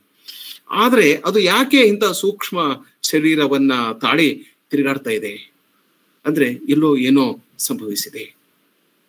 ಅವನು ಡಿಸ್ಟರ್ಬ್ ಆಗಿಬಿಡ್ತಾನೆ. ಅಯ್ಯೋ, ನನ್ನ ತಂದೆಯ ಪ್ರೇತ ಇದೆ. ನನ್ನ ತಂದೆಯ ಪ್ರೇತ ತಿರುಗಾಡ್ತಾ ಇದೆ. ಅದಕ್ಕೆ ಶಾಂತಿ ಇಲ್ಲ. ಅದರ ಆತ್ಮಕ್ಕೆ ಶಾಂತಿ ಇಲ್ಲ. ಅಂದ್ರೆ ಏನನ್ನು ಹೇಳಬೇಕಾಗಿದೆ. ಅಥವಾ ಆ ಬದುಕಿದ್ದಾಗ ತನ್ನ ತಂದೆಗೆ ಏನೋ ಒಂದು ಆಘಾತ ಆಗಿರಬೇಕು, ಮೋಸ ಆಗಿರಬೇಕು, ವಂಚನೆ ಆಗಿರಬೇಕು. ಈ ಮೋಸ, ವಂಚನೆ ಈ ನಾಟಕದ ಕೇಂದ್ರ ಸಮಸ್ಯೆ. ಯಾಕಂದ್ರೆ ಇಲ್ಲಿ ತಮ್ಮನೇ ಅಣ್ಣನಿಗೆ ಮೋಸ ಮಾಡಿರ್ತಾನೆ? ಆಮೇಲೆ ಹೆಂಡತಿ ಗಂಡನಿಗೆ ಮೋಸ ಮಾಡಿರ್ತಾಳೆ ಯಾವಾಗ ಅಣ್ಣ ತಮ್ಮ ಅಣ್ಣನಿಗೆ ಮೋಸ ಮಾಡೋದಾದ್ರೆ, ಹೆಂಡತಿ ಗಂಡನಿಗೆ ಮೋಸ ಮಾಡೋದಾದ್ರೆ, ಅರ್ಥ ಎಲ್ಲಿ ಉಳಿತದೆ? ಒಂದು ಒಂದು ಒಂದು ಒಂದು ದೃಶ್ಯದಲ್ಲಿ ಹ್ಯಾಮ್ಲೆಟ್ ತನ್ನ ಕೈಯಲ್ಲಿ ಒಂದು ಪುಸ್ತಕ ಹಿಡಿದು ಓತ ಆ ಶತ ಶಬ ಆ ಕಡೆ ಈ ಕಡೆ ತಿರುಗಾಡ್ತಾ ಇರ್ತಾನೆ. ಪೊಲೋನಿಸ್ ಬಂದು ಕೇಳ್ತಾನೆ, ಏನ್ ಓದ್ತಿದ್ ಏನ್ ಓದ್ತಾ ಇದ್ದೀರಿ? ಅಂತ ಕೇಳಿದಾಗ, words words words words words. ಐದು ಸಲ ಒಂದೇ ಪದವನ್ನು ಬಳಸ್ತಾನೆ ಅವನು. ಯಾಕಂದ್ರೆ ವರ್ಡ್ಸ್ಗೆ ಮೀನಿಂಗ್ ಬರಬೇಕು ಅಂತಂದ್ರೆ ಅದು ಯಾವಾಗಲೂ ಭಾಷೆ ಭಾಷೆ ಮನುಷ್ಯನ ನೈತಿಕತೆಯನ್ನ ಅನುಸರಿಸ್ತಿರ್ತದೆ. ಮನುಷ್ಯನ ನೈತಿಕತೆಯನ್ನ ಅಥವಾ ಮನುಷ್ಯನ ಒಂದು ಇಂಟಿಗ್ರಿಟಿಯನ್ನ ಭಾಷೆ ಅನುಸರಿಸುತ್ತದೆ it imitates the integrity of the speaker ನನ್ನ ಒಳಗಡೆನೆ ಒಂದು ನೈತಿಕ ಎಚ್ಚರ ಇರದೇ ಇದ್ರೆ, ನೈತಿಕತೆ ಇರದೇ ಇದ್ರೆ ಅಥವಾ ನನ್ನೊಳಗಡೆ ಒಂದು ದೊಡ್ಡ ಮಟ್ಟದ ಇಂಟಿಗ್ರಿಟಿ ಇರದೇ ಇದ್ರೆ ನನ್ನ ಮಾತಿನಲ್ಲಿ ಅದು ಕಾಣಿಸಿಕೊಳ್ಳಿಕ್ಕೆ ಸಾಧ್ಯ ಆಗೋದಿಲ್ಲ. ಅದಕ್ಕೆ ಅವಾಗ ನಾನು ಮಾತಾಡೋದು ಬರೀ ಪದಗಳು, ಬರೀ ಶಬ್ದಗಳು. ಅಲ್ಲಿ ಹೂರಣ ಇರೋದಿಲ್ಲ, ಅರ್ಥ ಇರೋದಿಲ್ಲ. ಅವು ಅವು ಅವು ಮಾತುಗಳಲ್ಲ, ಅವು ಅವು ಸತ್ತ ಪದಗಳು. ದೇ ಆರ್ ಡೆಡ್ ವರ್ಡ್ಸ್ ಅಂತ ಹೇಳ್ತಾರೆ. ಸೊ, ಏನಾಗಿದೆ ಅಂತಂದ್ರೆ ಎಲ್ಲೋ ಹೆಚ್ಚು ಕಡಿಮೆ ಆಗಿದೆ ಅಂತ ಅವನಿಗೆ ಅನಿಸ್ತದೆ ಆಮೇಲೆ ಅವನ ತಂದೆಯ ಪ್ರೇತ ಹೇಗೆ ಕಾಣಿಸ್ಕೊಂಡಿರ್ತದೆ ಅಂತಂದ್ರೆ ಶಸ್ತ್ರಾಸ್ತ್ರ ಸಮೇತವಾಗಿ ಅವನು ಸತ್ತಾಗ ಅವನ ಮೈ ಮೇಲೆ ಏನು ಉಡುಪು ಇರ್ತೈತಲ್ಲ, ಅದೇ ಉಡುಪು ಅವನ ಮೈ ಮೇಲೆ ಇರ್ತೈತಿ. ಆ ರಾಜವೇಷದಲ್ಲಿ ಮತ್ತು ಶಸ್ತ್ರಾಸ್ತ್ರ ಸಮೇತವಾಗಿ ಅದು ಕಾಣಿಸಿಕೊಂಡಿರ್ತದೆ. ಯಾಕೆ? Why my father's ghost in arms ಅವಾಗ ಅವನು ಈ ಮಾತನ್ನು ಹೇಳ್ತಾನೆ ಹೆಮ್ಲೆಟ್ ಈ ಮಾತನ್ನು ಹೇಳ್ತಾನೆ my father spirit in arms. ನನ್ನ ತಂದೆಯ ಪ್ರೇತ ಶಸ್ತ್ರದಲ್ಲಿ ಕಾಣಿಸಿಕೊಂಡಿದೆ. My father's spirit in arms all is not well all is not well ಎಲ್ಲವೂ ಚೆನ್ನಾಗಿಲ್ಲ. I doubt some foul play would the night were come till till then sit till then sit still my soul foul deeds will rise though all the earth overwhelm them to men's eyes ಬಹಳ ಅದ್ಭುತವಾದಂತ ಸಾಲು. ಈ ನಾಟಕದ ಹೆಚ್ಚು ಕಡಿಮೆ ಎಲ್ಲ ಸಾಲುಗಳು ಕೂಡ ಹಾಗೆ ಇದಾವೆ. ಅಲ್ಲಿ ಅಲ್ಲಿ ತತ್ವಶಾಸ್ತ್ರ ಇದೆ, ಅಲ್ಲಿ ಧರ್ಮ ಇದೆ, ಅಲ್ಲಿ ದೇವರು ಇದ್ದಾನೆ, ಅಲ್ಲಿ ಮೋಸ ಇದೆ, ವಂಚನೆ ಇದೆ, ತಿರಸ್ಕಾರ ಇದೆ, ಪ್ರೀತಿ ಇದೆ, ಎಲ್ಲವೂ ಆ ನಾಟಕದಲ್ಲಿ ತುಂಬಿದೆ. ಸೊ ಅವನು ಹೇಳ್ತಾನೆ, ನನ್ನ ತಂದೆಯ ಪ್ರೇತ ಶಸ್ತ್ರದಲ್ಲಿ ಕಾಣಿಸಿಕೊಂಡಿದೆ, ಎಲ್ಲವೂ ಚೆನ್ನಾಗಿಲ್ಲ. ದುರ್ಘಟನೆ ಸಂಭವಿಸಿದೆ ಎಂದು ನನಗೆ ಅನುಮಾನವಿದೆ. ರಾತ್ರಿ ಆದರೂ ಆಗಲಿ, ಅಲ್ಲಿ ಅವರಿಗೆ ಸುಮ್ಮನೆ ಕುಳಿತರು, ಓ ಆತ್ಮವೇ, ದುಷ್ಟ ಕೃತ್ಯಗಳು ಎದ್ದೇಳುವವು. ಇಡೀ ಭೂಮಿಯೇ ಅವುಗಳನ್ನು ಮುಚ್ಚಿಟ್ಟರೂ ಅವು ಮನುಷ್ಯರ ಕಣ್ಣಿಗೆ ಗೋಚರಿಸವು, ಗೋಚರಿಸುವು. ತನ್ನ ಆತ್ಮ ಕೇಳ್ತಾನೆ ಅವನು. ಸೈಲೆಂಟ್ ಆಗಿ ಕೂತಿರು. ಸಂಜೆ ಆಗ್ಲಿ ರಾತ್ರಿ ಆದ್ರೂ ಆಗ್ಲಿ, ಎಲ್ಲ ಕಣ್ಣಿಗೆ ಕಾಣುತ್ತದೆ ಏನೇನ್ ನಡೆದು ಹೋಗಿದೆ ಅದು ಕಣ್ಣಿಗೆ ಕಾಣುತ್ತದೆ. ಯಾಕಂದ್ರೆ ನನ್ನ ತಂದೆ ಪ್ರೇತ ಆಗಿದ್ದಾನೆ ಶಸ್ತ್ರದಲ್ಲಿ ಕಾಣಿಸಿಕೊಂಡಿದ್ದಾನೆ ಅಂತಂದ್ರೆ something is rotten in the state of Denmark ಆಗ ಹೊರೇಶಿಯೋ ಮಾರ್ಸಿಲಸ್ ಅವನ ಸ್ನೇಹಿತರು ಹೇಳ್ತಾರೆ, ಅವಾಗ ನಾನು ನಾಳೆ ಬರ್ತೇನೆ ಮರುದಿವಸ ಅವನು ಕೋಟೆಗೆ ಬರ್ತಾನೆ, ರಾತ್ರಿ ಹನ್ನೆರಡು ಗಂಟೆಗೆ ಭೂತ ಪ್ರೇತ ಕಾಣಿಸ್ಕೊಡ್ತದೆ ಅವಾಗ ಅದು ಅವನಿಗೆ ಕೈ ಮಾಡಿ ಕರೀತದೆ. ಇವನು ಹೆಮ್ಲೆಟ್ ಅದರ ಬೆನ್ನತ್ತಿ ಹೋಗ್ಬೇಕಂತಾನೆ ಆದ್ರೆ ಅವನ ಸ್ನೇಹಿತರು ಬೇಡ ಹೋಗ್ಬೇಡ ಅಂತಾರೆ. ಆಗ ಹೆಮ್ಲೆಟ್ ಹೇಳ್ತಾನೆ ಅದು ನನ್ನ ತಂದೆಯ ಪ್ರೇತ. ಅದು ಕರದಲ್ಲಿಗೆ ನಾನು ಹೋಗ್ತೇನೆ. ಅದು ನನ್ನನ್ನ ನರಕದ ಬಾಯಲ್ಲಿ ತುರುಕಿದರೂ ಕೂಡ ಅಥವಾ ಆಳವಾದ ಸಮುದ್ರದಲ್ಲಿ ನನ್ನನ್ನು ನೂಕಿದರೂ ಕೂಡ ನಾನು ಅದರ ಬೆನ್ನತ್ತಿ ಅದರ ಮಾತನ್ನ ಕೇಳ್ತೇನೆ ಅಂತ ಹೇಳಿ ಅವನು ಅದರ ಜೊತೆ ಅದರ ಬೆನ್ನಿಂದ ಹೋಗ್ತಾನೆ ಅದು ನನ್ನ ಆ, ಮಾತನಾಡಿಸ್ತಾನೆ. ಮಾತಾಡಿಸಿದಾಗ ಅವಾಗ ಆ ಪ್ರೇತ ಯಾರ ಜೊತೆ ಮಾತಾಡೋದಿಲ್ಲ ಅದು? ಅವನ ಸ್ನೇಹಿತರ ಜೊತೆ ಮಾತಾಡೋದಿಲ್ಲ. ಅವನನ್ನ ಒಂಟಿಯಾಗಿ ಕರೆದುಕೊಂಡು ಹೋಗಿ, ದೂರದಲ್ಲಿ ಕರೆದುಕೊಂಡು ಹೋಗಿ, ಆ, ಒಂದು ಅರಣ್ಯದಲ್ಲಿ ಅವನನ್ನ ನಿಲ್ಲಿಸಿ ಅವನಿಗೆ ಹೇಳ್ತದೆ, ನಾನು ನಿನ್ನ ತಂದೆಯ ಪ್ರೇತ ಪ್ರೇತ ಅಂತ ಹೇಳಿ I am thy father spirit I am thy father spirit ಅಂತ ಹೇಳಿ ಒಂದು ಒಂದು ದೊಡ್ಡ ಡೈಲಾಗ್ ಇದೆ. ಎಲ್ಲ ಕಥೆಯನ್ನ ನರೇಟ್ ಮಾಡ್ತದೆ. ನಾನು ನನ್ನ ಸಾವು ಬಹಳ ಸಹಜವಾದಂತಹ ಸಾವು ಅಲ್ಲ. ಅದು ದೊಡ್ಡ ಮೋಸ ಮತ್ತು ವಂಚನೆ. ನಾನು ನಾನು ಮಲಗಿದಾಗ ನಿನ್ನ ಚಿಕ್ಕಪ್ಪ, ನನ್ನ ತಮ್ಮ, ನನ್ನ ಕಿವಿಯಲ್ಲಿ ಎಂಬ್ಲಾಕ್ ಅಂದ್ರೆ ಅದೊಂದು ವಿಷ, ವಿಷಯನ್ನ, ವಿಷವನ್ನ ನನ್ನ ಕಿವಿಯಲ್ಲಿ ಹಾಕಿ ನನ್ನ ಗಾರ್ಡನ್ದಲ್ಲಿ ನನ್ನ ಗಾರ್ಡನ್ದಲ್ಲಿ ಮಲಗಿದಾಗ ನನ್ನ ಕಿವಿಯಲ್ಲಿ ವಿಷ ಹಾಕಿ ನನ್ನನ್ನು ಕೊಂದು ಹಾಕಿದ. ನಿನ್ನ ಅಂಕಲ್ ಅವನು ಕಲ್ಪಿಟ್ ಅವನನ್ನು ನನ್ನನ್ನು ಕೊಂದು ಹಾಕಿ ನನ್ನ ಕಿರೀಟವನ್ನು ಧರಿಸಿದ್ದಾನೆ ಮತ್ತು ನನ್ನ ರಾಣಿಯ, ನನ್ನ ರಾಣಿಯನ್ನ ಕಸಿದುಕೊಂಡಿದ್ದಾನೆ. ಅವನು ನನ್ನ ಹಾಸಿಗೆಯನ್ನು ಹೊಲಸು ಮಾಡಿದ್ದಾನೆ. ಇದೆ ಇದೆ ಶಬ್ದ ಬರ್ತದೆ. ನಾಟಕದುದ್ದಕ್ಕೂ ಈ ಇದೇನದಲ್ಲ ಅಡಲ್ಟ್ರಿ ಅಂದ್ರೆ ಇದು ಈ ಸೆಕ್ಸಿಗೆ ಸಂಬಂಧಪಟ್ಟಂತ ಅಥವಾ ಮೋಸ, ವಂಚನೆಗೆ ಸಂಬಂಧಪಟ್ಟಂತ ಈ ಮಾತುಗಳು ಬರ್ತವೆ. ನೋಡಿ, ಅವನು ಮೂರು ಪಾಪಗಳನ್ನ ಅಥವಾ ಮೂರು ಅಪರಾಧಗಳನ್ನ ಮಾಡಿದ್ದಾನೆ. ಒಂದು ಸಿಂಹಾಸನದ ಮೇಲಿನ ರಾಜನನ್ನ ಕೊಂದಿದ್ದಾನೆ. ರಾಜ ಸ್ವತಃ ತನ್ನ ಸ್ವಂತ ಅಣ್ಣ. ಎರಡನೇದು ಅವನ ಕಿರೀಟವನ್ನ ಧರಿಸಿದ್ದಾನೆ ಅವನ ಅವನ ಸಿಂಹಾಸನವನ್ನ ಕಸಿದುಕೊಂಡಿದ್ದಾನೆ ರಾಜನಾಗಿ ಮೆರೆಯುತ್ತಿದ್ದಾನೆ. ಮೂರನೇದು ಅವನ ಹೆಂಡತಿಯನ್ನ ಅವನು ತನ್ನ ಪಟ್ಟದರಸಿಯನ್ನಾಗಿ ಮಾಡಿಕೊಂಡು ಅವಳೊಂದಿಗೆ ಸಂಸಾರವನ್ನ ನಡೆಸ್ತಾ ಇದ್ದಾನೆ. ಅದಕ್ಕೆ ಅವನು ಹೇಳ್ತಾನೆ, ನೀನು, ಪ್ರೇತ ಹೇಳ್ತದೆ, ನೀನು ಪ್ರತಿಕಾರ ತೆಗೆದುಕೊಳ್ಳಬೇಕು. Revenge his foul and most unnatural murder ಪ್ರೇತ ಹೇಳ್ತದೆ. ರಿವೆಂಜ್ ಪ್ರತಿಕಾರ ತೀರಿಸ್ಕೊ ನೀನು. ಸೇಡು ತೀರಿಸ್ಕೊಳ್ಬೇಕು. ಯಾಕೆ ಸೇಡು ತೀರಿಸ್ಕೊಳ್ಬೇಕು ಅಂತಂದ್ರೆ, ಅವನು ಈ ಒಂದು ಹತ್ಯೆಯನ್ನು ಮಾಡಿದ್ದಾನೆ. ನಿನ್ನ ತಂದೆಯನ್ನು ಹತ್ಯೆ ಮಾಡಿದ್ದಾನೆ. ಯಾವ ರೀತಿಯ ಆ ಒಂದು ಮರ್ಡರ್ ಅಂತಂದ್ರೆ unnatural the most unnatural murder ಅತ್ಯಂತ ಅಸ್ವಾಭಾವಿಕವಾದಂತ ಕೊಲೆ. ಯಾಕಂದ್ರೆ ತಮ್ಮನಿಂದಲೇ ಅಣ್ಣ ಹತ್ಯೆ ಆಗೋದು. ಆ? ಈ ಕೆಟ್ಟ ಕೊಲೆಗೆ, ಈ ಅಸ್ವಾಭಾವಿಕ ಕೊಲೆಗೆ ಅನ್ಯಾಚುರಲ್ ಕೊಲೆಗೆ ಕೊಲೆಗೆ ನೀನು ಸೇಡನ್ನು ತೀರಿಸ್ಕೊಳ್ಬೇಕು ಅಂತ ಹೇಳಿದಾಗ ಹ್ಯಾಮ್ಲೆಟ್ನಿಗೆ ಒಂದರ ಮೇಲೊಂದು ಶಾಕ್ ಮೊದಲನೇದು, ತಾಯಿಯ ಒಂದು ಮರು ಮದುವೆ ಈಗ ತಂದೆ ಹೇಳ್ತಾನೆ, ತಂದೆ ಪ್ರೇತ ಹೇಳ್ತದೆ, ಇಲ್ಲ, ನಿನ್ನ ಅಣ್ಣ, ನಿನ್ನ ಚಿಕ್ಕಪ್ಪನನ್ನ ಕೊಂದವನು ಅಂದಾಗ haste be to know it that I with wings as swift as meditation or the thoughts of love my may sweep to my revenge ಅಂತ ಹೇಳ್ತಾನೆ.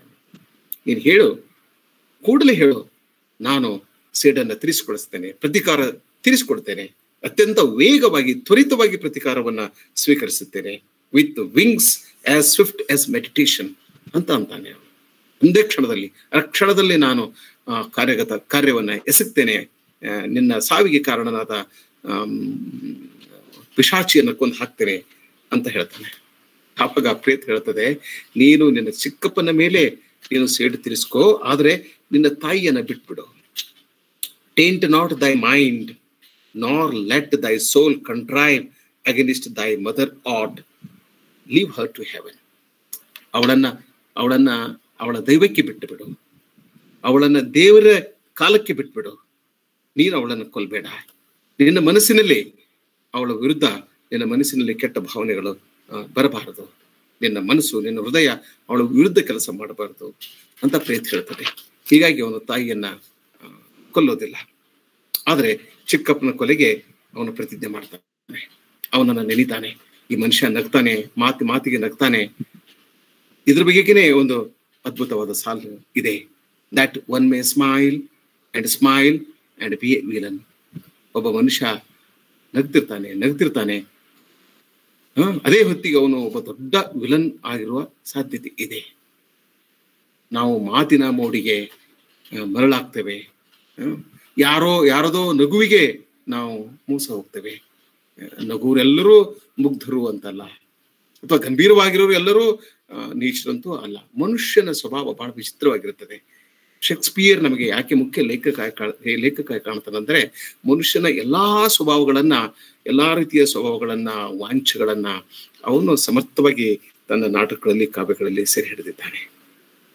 ಮತ್ತೆ ಹೇಳ್ತಾನೆ there is never a villain dwelling in all Denmark but he is an arrant knave ಅಂತ ಕರೀತಾನೆ.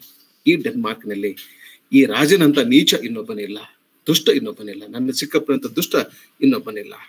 ಅದಕ್ಕಾಗಿ ನಾನು ಸೇಡನ್ನ ತೀರಿಸ್ಕೋಬೇಕು ಅಂತ ಅವನು ನಿರ್ಧಾರವನ್ನ ಮಾಡ್ತಾನೆ. ಆಗ ಈ ಹುರೇಶಿಯೋ ಅವನ ಸ್ನೇಹಿತ, ಬಾಲ್ಯದ ಸ್ನೇಹಿತ, ಅವನು ತತ್ವಜ್ಞಾನಿ, ಮೂಲಭೂತ ತತ್ವಜ್ಞಾನಿ. ಅವನಿಗೆ ಈ ಪ್ರೇತಗಳಲ್ಲಿ ನಂಬಿಕೆ ಇರೋದಿಲ್ಲ. ಆಗ ಹ್ಯಾಮ್ಲೆಟ್ ಹೇಳ್ತಾನೆ ಅವನಿಗೆ, ಹೊರಶಿಯೋ, ನೀನು ಒಬ್ಬ ತತ್ವಜ್ಞಾನಿ, ನನಗೆ ಗೊತ್ತಿದೆ. ಆದ್ರೆ ನಿನ್ನ ತತ್ವಜ್ಞಾನಕ್ಕೆ ಗೊತ್ತಿರದ ಅನೇಕ ಸಂಗತಿಗಳು ಈ ಜಗತ್ತಿನಲ್ಲಿವೆ. There are things in heaven and earth ಈ ಆಕಾಶದಲ್ಲಿ ಮತ್ತು ಭೂಮಿಯ ಮೇಲೆ ಅನೇಕ ಸಂಗತಿಗಳಿವೆ ನನ್ನ ಗೆಳೆಯ ಋಷಿಯೋ ಆಕಾಶದಲ್ಲಿ ಮತ್ತು ಭೂಮಿಯ ಮೇಲೆ ನಿನಗೆ ಗೊತ್ತಾಗದ ಅನೇಕ ಸಂಗತಿಗಳಿವೆ. There are things in heaven and earth Horatio then are dreamt in your philosophy ಅಂತ ಹೇಳ್ತಾನೆ ಅವನು. ಆಮೇಲೆ ಅವನಿಗೆ ಇದು ಇದೆಲ್ಲ ಶುರು ಆಗ್ತದೆ. ಪ್ರತಿಕಾರ ತೀರಿಸ್ಕೋಬೇಕು, ತಗೋಬೇಕು, ತಗೋಬಾರ್ದು ಅಂತ ಅವಾಗ ಅವನಂತಾನೆ ಯಾಕೆ ನಾನು ನನ್ನ ಇಡೀ ಜೀವನವನ್ನ ಇದರಲ್ಲಿ ಇದರಲ್ಲಿ ವ್ಯಯ ಮಾಡಬೇಕು?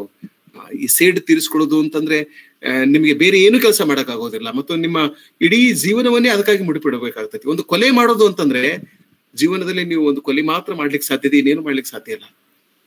ಒಂದು ಸಲ ಕೊಲೆ ಮಾಡಿದ ಮೇಲೆ ನೀವು ಸಾಮಾನ್ಯವಾದ ಜೀವನವನ್ನ ಸಾಗಿಸ್ಲಿಕ್ಕೆ ಸಾಧ್ಯನೇ ಇಲ್ಲ. Unless you are a professional killer ಅದಕ್ಕಾಗಿಯೇ ಅವನು ಒಪಿಲಿಯನ ಒಪಿಲಿಯನ ಪ್ರೀತಿಯನ್ನ ಅವನು ತಡೆ ಹಾಕ್ತಾನೆ ಹುಚ್ಚನಂತೆ ನಟಿಸ್ತಾನೆ. ಅವಳಿಗೆ ಹುಚ್ಚು ಹಿಡಿದು ಆತ್ಮಹತ್ಯೆ ಮಾಡ್ಕೊಂಡು ಸತ್ತು ಹೋಗ್ಬಿಡ್ತಾಳೆ. ಗೆಳೆಯರನ್ನ ನಂಬೋದಿಲ್ಲ. ಇಬ್ಬರು ಗೆಳೆಯರು ಹ್ಯಾಬ್ಲೆಟ್ ಕಾರಣಕ್ಕಾಗಿ ಸತ್ತು ಹೋಗ್ಬಿಡ್ತಾರೆ. ತಾಯಿ ಸತ್ತು ಹೋಗ್ತಾಳೆ. ಆ ಸೇಡು ಅನ್ನೋದೇನಿದೆಯಲ್ಲ ಕೇವಲ ಸೇಡು ಮನಸ್ಸಿನ, ಮನಸ್ಸನ್ನು ತುಂಬಿಕೊಂಡಿರ್ತದೆ, ಆತ್ಮವನ್ನು ತುಂಬಿಕೊಂಡಿರ್ತದೆ, ಹೃದಯವನ್ನು ತುಂಬಿಕೊಂಡಿರ್ತದೆ, ಅಲ್ಲಿ ಬೇರೆ ಯಾವುದಕ್ಕೂ ಕೆಲಸ ಇರೋದಿಲ್ಲ. ಪ್ರೀತಿ ಹಾಗಲ್ಲ. ಪ್ರೀತಿಯನ್ನು ಹಂಚ್ಕೊಳ್ಬಹುದು, ಪ್ರೀತಿಯನ್ನು ಹಂಚ್ಕೋಬಹುದು ಕರುಣೆಯನ್ನು ಹಂಚ್ಕೋಬಹುದು ಪ್ರೀತಿಯನ್ನು ಹಂಚ್ಕೋಬಹುದು ತಿರಸ್ಕಾರ, ದ್ವೇಷ, ಮತ್ಸರ ಈರ್ಷೆ ಇವುಗಳನ್ನು ಹಂಚ್ಕೊಳ್ಳಿಕ್ಕೆ ಆಗೋದಿಲ್ಲ. ಅದು ವ್ಯಕ್ತಿಯನ್ನು ಸರ್ವನಾಶ ಮಾಡ್ತದೆ. ಅದಕ್ಕೆ ಹೇಳ್ತಾನೆ the time is out of joint occurs curse despite was that ever I was born to sit it right ನಾನು ಇದನ್ನು ಸರಿಪಡಿಸ್ಲಿಕ್ಕೆ ಅಂತ ಹುಟ್ಟಿದನೇನೋ ಅಂತ ಒಂದು ಪ್ರಶ್ನೆಯನ್ನು ಮಾಡ್ತಾನೆ, ಮತ್ತೆ ಅವನು ತನ್ನ ಗುರಿಯಿಂದ ವಿಮುಖನಾಗೋದಿಲ್ಲ. ಆಮೇಲೆ ಅವನು, ಇಲ್ಲ, ನಾನು ಕುಚ್ಚಿನಂತೆ ನಡೆಸಬೇಕು.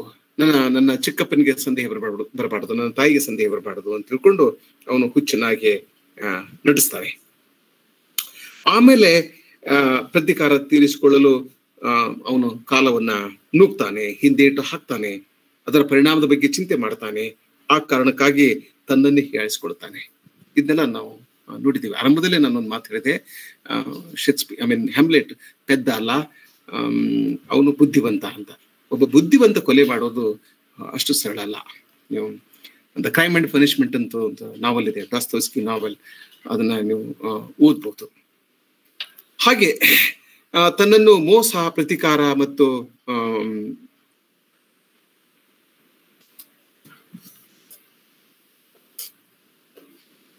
ಮುಂದೆ ಅವನು, ಅವನಿಗೆ ಹ್ಯಾಮ್ಲೆಟ್ಗೆ ಅನ್ನಿಸ್ತದೆ. ಇಲ್ಲ ನಾನು ಯಾವ ಕಾರಣಕ್ಕೂ ಯಾವ ಕಾರಣಕ್ಕೂ ಪ್ರತಿಕಾರ ತೀರಿಸಿಕೊಳ್ಳದೆ ಇರಲಿಕ್ಕೆ ಸಾಧ್ಯ ಇಲ್ಲ. ಈಗ ಯಾಕೆ ನಾನು ಅವನ, ನನ್ನ ಚಿಕ್ಕಪ್ಪನನ್ನ ಕುಂದು ಹಾಕಬಾರ್ದು ಅಂತ ಅಂದ್ಕೋತಾನೆ. ಅಲ್ಲಿ to be or not to be that is the question ಪ್ರಾಯಶಃ ಈ ಒಂದು ಸಾಲಿನ ಬಗ್ಗೆ ಎಷ್ಟು ಸಂಪುಟಗಳು ಬಂದಿವೆಯೋ ನನಗೆ ಗೊತ್ತಿಲ್ಲ. To be or not to be that is the question Hamlet ನಮಗೆ ಸಮಕಾಲೀನ ಪಾತ್ರವಾಗಿ ಕಾಡ್ಲಿಕ್ಕೆ ಕಾರಣ ಇಂಥ ಇಂಥ ಸಾಲುಗಳು. ಇವತ್ತ ಇಡೀ ಆಧುನಿಕ ಮನುಷ್ಯನ ಒಂದು ದುರಂತ ಅಥವಾ ವ್ಯಂಗ್ಯ ಸಮಸ್ಯೆ ಅಂತಂದ್ರೆ ಇದೆ. To be or not to be ಇದನ್ನ ಬಹಳ ನಾನು ವಿಸ್ತಾರ ವಿಸ್ತಾರ ಮಾಡ್ಲಿಕ್ಕೆ ಹೋಗೋದಿಲ್ಲ. To be or not to be that is the question whether it is nobler in the mind to suffer the slings and arrows of outrageous fortune or to take arms against a sea of troubles and I I and by opposing end them ಏನ್ ಮಾಡ್ಲಿ ನಾನು ಅಂತ? ನಾನು ನನ್ನ ಮನಸ್ಸಿನಲ್ಲಿ ಈ ಸೇಡಿನ ಭಾವನೆಯನ್ನ, ಈ ಹಿಂಸೆ, ಈ ಈ ಒಂದು ನೋವನ್ನ, ಈ ಸಂಕಟವನ್ನ ನನ್ನ ಮನಸ್ಸಿನಲ್ಲಿ ಇಟ್ಟುಕೊಂಡು ಸತ್ತು ಹೋಗ್ಬೇಕನೋ, ಅಥವಾ ನಾನು ಶಸ್ತ್ರವನ್ನ ಕೈಯಲ್ಲಿ ಹಿಡಿದು ಹೋರಾಡಿ ಇದನ್ನ ಅಂತ್ಯಗೊಳಿಸಬೇಕು. ಒಂದು ನನ್ನ ಸಾವು, ಇಲ್ಲ ಆತನ ಸಾವು. ಅಂತಕ್ಕಂಥ ಮಾತನ್ನ ಅವನು ಹೇಳ್ತಾನೆ. ಆಮೇಲೆ ಅವನಿಗೆ ಪದೇ ಪದೇ ಚಿಕ್ಕಪ್ಪನನ್ನ ಕೊಲ್ತಕ್ಕಂಥ ಅವಕಾಶ ಬರ್ತದೆ. ಒಂದ್ಸಲ ಅವನನ್ನ ಕೊಲ್ಬೇಕು ಅಂತ ಹೋಗ್ತಾನೆ, ಅವನು ಪ್ರಾರ್ಥನೆ ಸಲ್ಲಿಸ್ತಾ ಇರ್ತಾನೆ. ಪ್ರಾರ್ಥನೆ ಸಲ್ಲಿಸುವವನ್ನ ಹೇಗೆ ಕೊಲ್ಬೇಕು? ಅವನು ವಿಲನ್. ನನ್ನ ಚಿಕ್ಕಪ್ಪ ವಿಲನ್. ಅವನು ನನ್ನ ತಂದೆಯನ್ನು ಕೊಂದಿದ್ದಾನೆ. ನನ್ನ ತಾಯಿಯನ್ನ ಮದುವೆ ಆಗಿದ್ದಾನೆ ಅವನು ಪ್ರಾರ್ಥನೆ ಮಾಡ್ತಿರ್ಬೇಕಾದ್ರೆ ನಾನು ಕೊಂದ್ರೆ ಅವನು ಸ್ವರ್ಗಕ್ಕೆ ಹೋಗ್ತಾನೆ. ಇದು ಯಾವ ಲೆಕ್ಕ? Now might I do it part now he is praying and now I will do it and so he goes to heaven and so am I revenged that would be scanned. A villain kills my father, and for that I, his sole son, do the same villain sent to heaven? ಪ್ರಶ್ನೆ ಮಾಡ್ತಾನೆ ಅವನು ಒಬ್ಬ villain ನನ್ನ ತಂದೆಯನ್ನು ಕೊಂದಿದ್ದಾನೆ ಪಾಪಿ ಹ್ಮ್ ಅಪರಾಧಿ ಇಂಥ ಪಾಪಿಯನ್ನ, ಇಂಥ ಅಪರಾಧಿಯನ್ನ ಅವನು ಪ್ರಾರ್ಥನೆ ಮಾಡುವ ಕಾಲದಲ್ಲಿ ಕೊಂದು ಅವನನ್ನ ನಾನು ಸ್ವರ್ಗಕ್ಕೆ ಇಳಿಸಬೇಕೆ? ಇಲ್ಲ, ಕಳಿಸ್ಬಾರ್ದು ಅಂತ ಅಂದ್ಕೋತಾನೆ. ಹೀಗೆ ಅವನು ನಾಟಕದುದ್ದಕ್ಕೂ ಅದನ್ನ ಪೋಸ್ಟ್ ಪೋನ್ ಮಾಡ್ತಾ ಅದನ್ನ ಮುಂದೂಡ್ತಾ ಹೋಗ್ತಾನೆ. ತನ್ನ ನಿರ್ಣಯವನ್ನ ಮುಂದೂಡ್ತಾ ಹೋಗ್ತಾನೆ. ನಾಟಕದ ಕೊನೆಗೆ ಅವನು ಸೆಡನ್ನ ತೀರ್ಸ್ಕೊಳ್ತಾನೆ. ತನ್ನ ಚಿಕ್ಕಪ್ಪನನ್ನ ಕೊಂದು ಹಾಕ್ತಾನೆ ಬಟ್ ಅದಕ್ಕೂ ಮೊದಲು ಅವನು ಲಿಯಾಟಸನ್ನ ಲಿಯಾಟಸ್ ಸತ್ತು ಹೋಗ್ತಾನೆ ಆಮೇಲೆ ಉಪಿಲಿಯ ಸತ್ತು ಹೋಗ್ತಾಳೆ ತನ್ನ ತಾಯಿ ವಿಷ ಕುಡಿದು ಸತ್ತು ಹೋಗ್ತಾಳೆ ಹೀಗೆ ಅನೇಕ ಜನರನ್ನ ಕಳೆದುಕೊಳ್ತಾನೆ. ಹೀಗೆ ಈ ಒಂದು ಪ್ರತಿಕಾರದ ನೆಲೆಯಿಂದ ಈ ನಾಟಕವನ್ನು ನೋಡಬಹುದು ಇದು ಮಧ್ಯದ್ದು ಈಗಾಗಲೇ ಸಾಕಷ್ಟು ಸಮಯ ಆಗಿದೆ. ಇನ್ನೊಂದು ಹತ್ತು, ಹದಿನೈದು ನಿಮಿಷ ನಾನು ಇದನ್ನ ಇನ್ನೊಂದು ನೆಲೆಯಿಂದ, ಅಂದ್ರೆ ತಾಯಿ ಮಗನ ಸಂಬಂಧದ ಸ್ವರೂಪದ ಬಗ್ಗೆ ಒಂದು ಹತ್ತು ನಿಮಿಷ ಮಾತಾಡಿ ನಾನು ಮಾತುಗಳನ್ನು ಮುಗಿಸ್ತೇನೆ. ಆಮೇಲೆ ಮತ್ತೆ ನಾವು ಚರ್ಚೆ ಮಾಡೋಣ. ನಾನು ಆಗ್ಲೇ ಹೇಳಿದಾಗಿ ಇದು ಬಹಳ ದೊಡ್ಡ ನಾಟಕ, ಬಹಳ ಸಂಕೀರ್ಣ ನಾಟಕ. ನಾಟಕದ ಪ್ರಾರಂಭದಲ್ಲಿ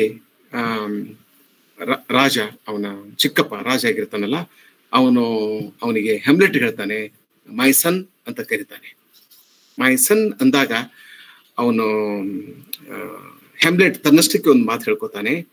A little more than kin and less then kind ಅಂತಾನೆ. ಬಹಳ ಬಹಳ ಪ್ರಸಿದ್ಧವಾದಂತ ಒಂದು ವಾಕ್ಯ. A little more then kin and less then kind ಎಂದು ಸ್ವಗತದಲ್ಲಿ ಅವನು ಹೇಳ್ತಾನೆ. ಅಂದ್ರೆ ತನ್ನ ತಾಯಿಯೊಂದಿಗಿನ ತನ್ನ ಚಿಕ್ಕಪ್ಪನ ಸಂಬಂಧ ಸೋದರ ಸಂಬಂಧಕ್ಕಿಂತ ಭಿನ್ನವಾದುದು ಎನ್ನುವುದು ಅವನ ಮಾತಿನ ಅರ್ಥ.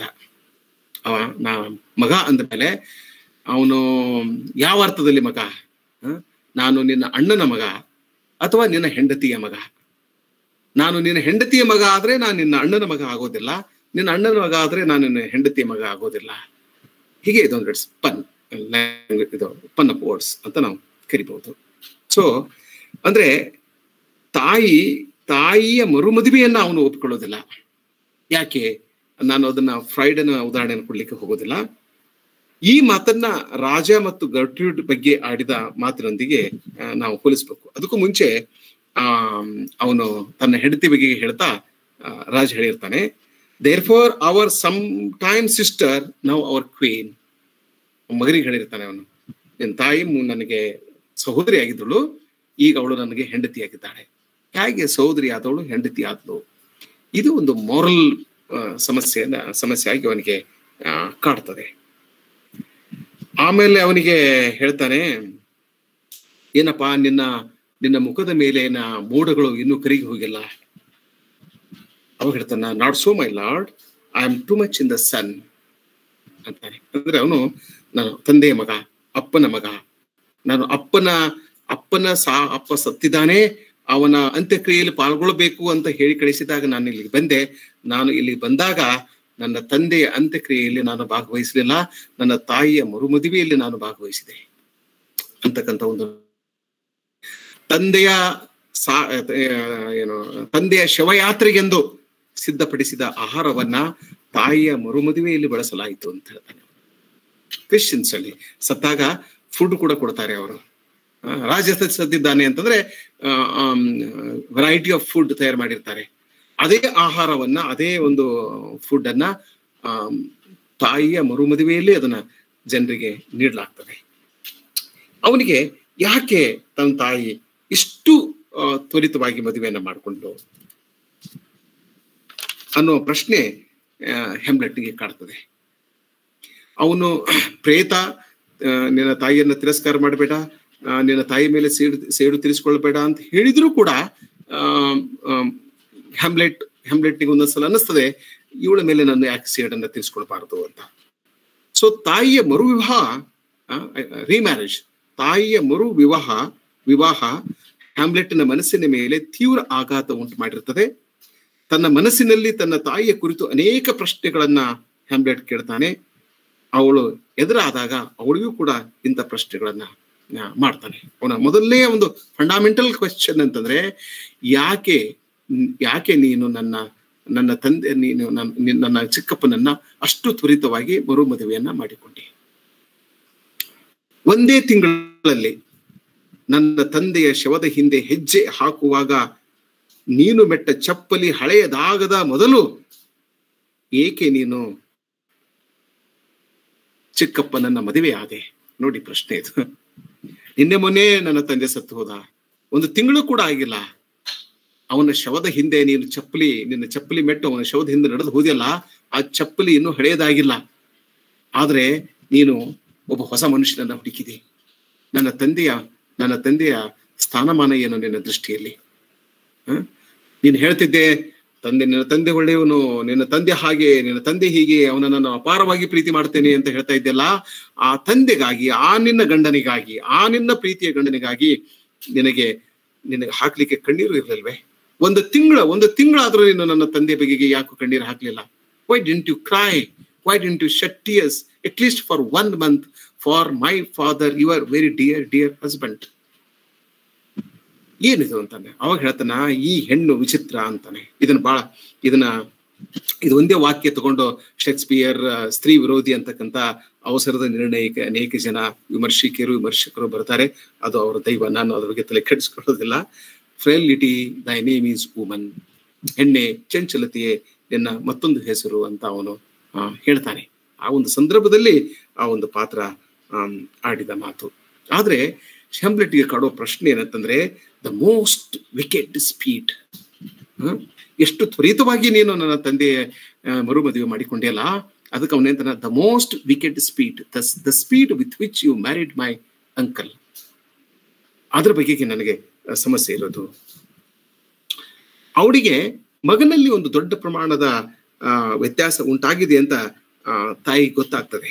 ಆದ್ರೆ ಆಕೆಗೆ ಕಾರಣ ಸ್ಪಷ್ಟವಾಗಿ ಗೊತ್ತಾಗೋದಿಲ್ಲ. ಆಕೆ ಏನ್ ತಿಳ್ಕೊತಾಳೆ ಪ್ರಾಯಶಃ ತಂದೆಯ ಸಾವು ಮತ್ತು ನನ್ನ ಒಂದು ಓವರ್ ಹೆಸ್ಟಿ ಮ್ಯಾರೇಜ್.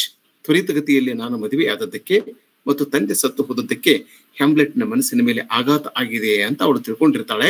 ಆದರೆ ಹೆಮ್ಲೆಟ್ನ ಮೇಲೆ ದೊಡ್ಡ ಆಘಾತ ಆಗಿರೋದು ತಂದೆ ಹತ್ಯೆ, ಗಂಡನ ಹತ್ಯೆ ಅನ್ನೋದು ಆಕಿಗೆ ಆಕಿಗೆ ಗೊತ್ತಿರೋದಿಲ್ಲ. ಆಗ ಅವನು ತಾಯಿಯೊಂದಿಗೆ ನಾಡದುದ್ದಕ್ಕೂ ತಾಯಿಯೊಂದಿಗೆ ಅವನು ವಾದ ಹಾಕ್ತಾನೆ, ಅವಳ ಜೊತೆ ಜಗಳ ತೆಗಿತಾನೆ, ಅವಳಿಗೆ ಬೈತಾನೆ. ಒಂದು ಸಂದರ್ಭದಲ್ಲಿ ಹೇಳ್ತಾನೆ ಅವನು, ನಾನು ನಿನ್ನ ಮೇಲೆ ಸೇಡು ತೀರಿಸಿಕೊಳ್ಬಹುದು ಆದರೆ ನನ್ನ ತಂದೆಯ ಪ್ರೇತಕ್ಕೆ ವಚನ ಕೊಟ್ಟಿದ್ದೇನೆ. ನನ್ನ ತಂದೆಯ ಪ್ರೇತಕ್ಕೆ ನಾನು ಭಾಷೆಯನ್ನು ಕೊಟ್ಟಿದ್ದೇನೆ. ನಾನು ನಿನ್ನನ್ನು ಕೊಲ್ಲುವುದಿಲ್ಲ ಅಂತ ಹೇಳಿ ಹೀಗಾಗಿ ನನ್ನ, ನಾನು ನಿನ್ನನ್ನು ಕೊಲ್ಲುವುದಿಲ್ಲ. ಒಂದು ಕಡೆ ಹೇಳ್ತಾನೆ ಅವನು, ಮೃದುವಾಗಿರು. ತನ್ನ ಮನಸ್ಸಿಗೆ ಹೇಳ್ತಾನೆ, ಮೃದುವಾಗಿರು. ನನ್ನ ತಾಯಿಗೆ, ಓ ಹೃದಯವೇ, ನಿನ್ನ ಸ್ವಭಾವ ಕಳೆದುಕೊಳ್ಳದಿರು. ನೆರೋನ ಆತ್ಮ ಈ ಬಿಗಿಯಾದ ಎದೆಯಲ್ಲಿ ಪ್ರವೇಶಿಸಲು ಅವಕಾಶ ನೀಡಬೇಡ. ನಾನು ಕ್ರೂರ ಆಗಬಹುದು. ಅಸ್ವಾಭಾವಿಕನಾಗಲಾರೆ. I can be cruel but I can't be unnatural ಅಂತ ನಾನು ಕ್ರೂರಿ ಆಗ್ತೇನೆ ಅವಳ ದೃಷ್ಟಿಯಲ್ಲಿ. ಕಠಿಣ ಬಹಳ ಕಾಠಿಣ್ಯದಿಂದ ನಾನು ನಡೆದುಕೊಳ್ತೇನೆ, ಕಠಿಣವಾಗಿ ನಡೆದುಕೊಳ್ತೇನೆ, ಆದರೆ ಅವಳನ್ನ ಕೊಲೆ ಮಾಡೋದಿಲ್ಲ, ನಾನು ಅನ್ಯಾಚುರಲ್ ಆಗಿ ಆಗೋದಿಲ್ಲ. I shall speak daggers to her ನಾನು ಆಡುವ ಮಾತುಗಳು, ಅವು ಮಾತುಗಳಲ್ಲ, ಅವು ಕಠಾರಿಗಳು. ಅವಳು ಹೇಳ್ತಾಳೆ Hamlet why do you speak daggers to me ನೀನು ಆಡುವ ಮಾತುಗಳಿದಾವಲ್ಲ ಅವು ಮಾತುಗಳಲ್ಲ ಅವು ಕಠಾರಿ, ಅವು ಆಯುಧಗಳು, ಹರಿತವಾದ ಆಯುಧಗಳು, ಅವು ನನಗೆ ಚುಚ್ಚುತ್ತವೆ, ನನ್ನ ಎದೆಗೆ ಗಾಯ ಮಾಡ್ತವೆ. ನೀನು ಹಾಗೆ ಮಾತಾಡಬೇಡ ಅಂತ ಹೇಳಿದ್ರು ಕೂಡ ಅವನು ಮಾತಾಡ್ತಾನೆ. ಮಾತಾಡಿ ಹೇಳ್ತಾನೆ, ಅವನು but I shall speak daggers to her but use none ನಾನು ಅವಳ ವಿರುದ್ಧ ಕಠಾರಿಯ ಹಾಗೆ ಮಾತನಾಡ್ತಾನೆ. ಕಠಾರಿ ಅಂತ ಪದಗಳನ್ನ ನಾನು ಬಳಸ್ತೇನೆ, ಆದರೆ ಕಠಾರಿಯನ್ನ ಆಯುಧವನ್ನ ಹಿಡಿದು, ಶಸ್ತ್ರವನ್ನ ಹಿಡಿದು ಅವಳನ್ನ ಕೊಲ್ಲಲಾರೆ, ಕೊಲ್ಲುವುದಿಲ್ಲ ಅಂತ ಹೇಳ್ತಾನೆ. My tongue and my soul in this be hypocrites ನನ್ನ ಆತ್ಮ, ನನ್ನ ನನ್ನ ನಾಲಿಗೆ ಮತ್ತು ನನ್ನ ಆತ್ಮ ಎರಡು ಕಪಟಿಗಳಾದರೂ ಕೂಡ ನಾನು ನನ್ನ ತಾಯಿಯನ್ನ ಕೊಲ್ಲೋದಿಲ್ಲ ಅಂತ ಹೇಳ್ತಾನೆ. ಮುಂದೆ ಅವನು ಪೊಲೋನಿಯನ್ ಪೊಲೋ ಪೊಲೋನಿಯಸ್ ಅನ್ನ ಕೊಂದು ಹಾಕಿದಾಗ ತಾಯಿ ಅಂತಾಳೆ. ತಾಯಿ ಜೊತೆ ಮಾತಾಡ್ತಾ ಇರ್ತಾನೆ. ಅವನು ಒಂದು ಪರದೆ ಹಿಂದೆ ನಿಂತ್ಕೊಂಡು ಅವ್ರ ಮಾತುಗಳನ್ನ ಕೇಳ್ತಾನೆ. ಅವಾಗ ಅದು ಅದರ ಸುಳಿವು ಸಿಕ್ಕು ಹೆಮ್ಲೆಟ್ ತನ್ನ ಆಯುಧದಿಂದ ಆ ಪರದೆಗೆ ಇಚ್ಛಿಸ್ತಾನೆ ಹಿಂದೆ ಅವಿತುಕೊಂಡಿರುವ ಪೊಲೋನಿಯಸ್ ಸತ್ ಹೋಗ್ತಾನೆ. ಅವಾಗ ತಾಯಿ ಹೇಳ್ತಾಳೆ what a rash and bloody deed is this ಅವಾಗ ಹೆಮ್ಲೆಟ್ ಅಂತಕ್ಕಂಥ ಮಾತು ನೋಡಿ, ಎಷ್ಟು ವ್ಯಂಗ್ಯ ಇದೆ. ಎ ಬ್ಲಡ್ಡಿ ಡೀಡ್ ಹೌದು. ಹೌದು, ಇದು bloody deed almost as bad good mother as kill a king and marry with his brother ನಾನು ಕೊಲೆ ಮಾಡಿದ್ದೇನೆ, ನಾನು ಹತ್ಯೆ ಮಾಡಿದ್ದೇನೆ. ಈ ಕೊಲೆ, ಈ ಹತ್ಯೆ ಗಂಡನನ್ನ ಕೊಂದು, ರಾಜನನ್ನ ಕೊಂದು, ಅವನ ತಮ್ಮನನ್ನ ಮದುವೆಯಾಗುವಷ್ಟು ಕ್ರೂರ ಇದು ಅಲ್ಲ. ಅಷ್ಟು ನೀಚ ಕೃತ್ಯ ಇದು ಅಲ್ಲ. ಅಷ್ಟು ನೀಚ ಹತ್ಯೆ ಇದಲ್ಲ. ಅಂದಾಗ ಆಕೆ ಕೇಳ್ತಾಳೆ ಆಸ್ ಕಿಲ್ ಎ ಕಿಂಗ್ ರಾಜನನ್ನ ನಾನು ಕೊಂದೆ?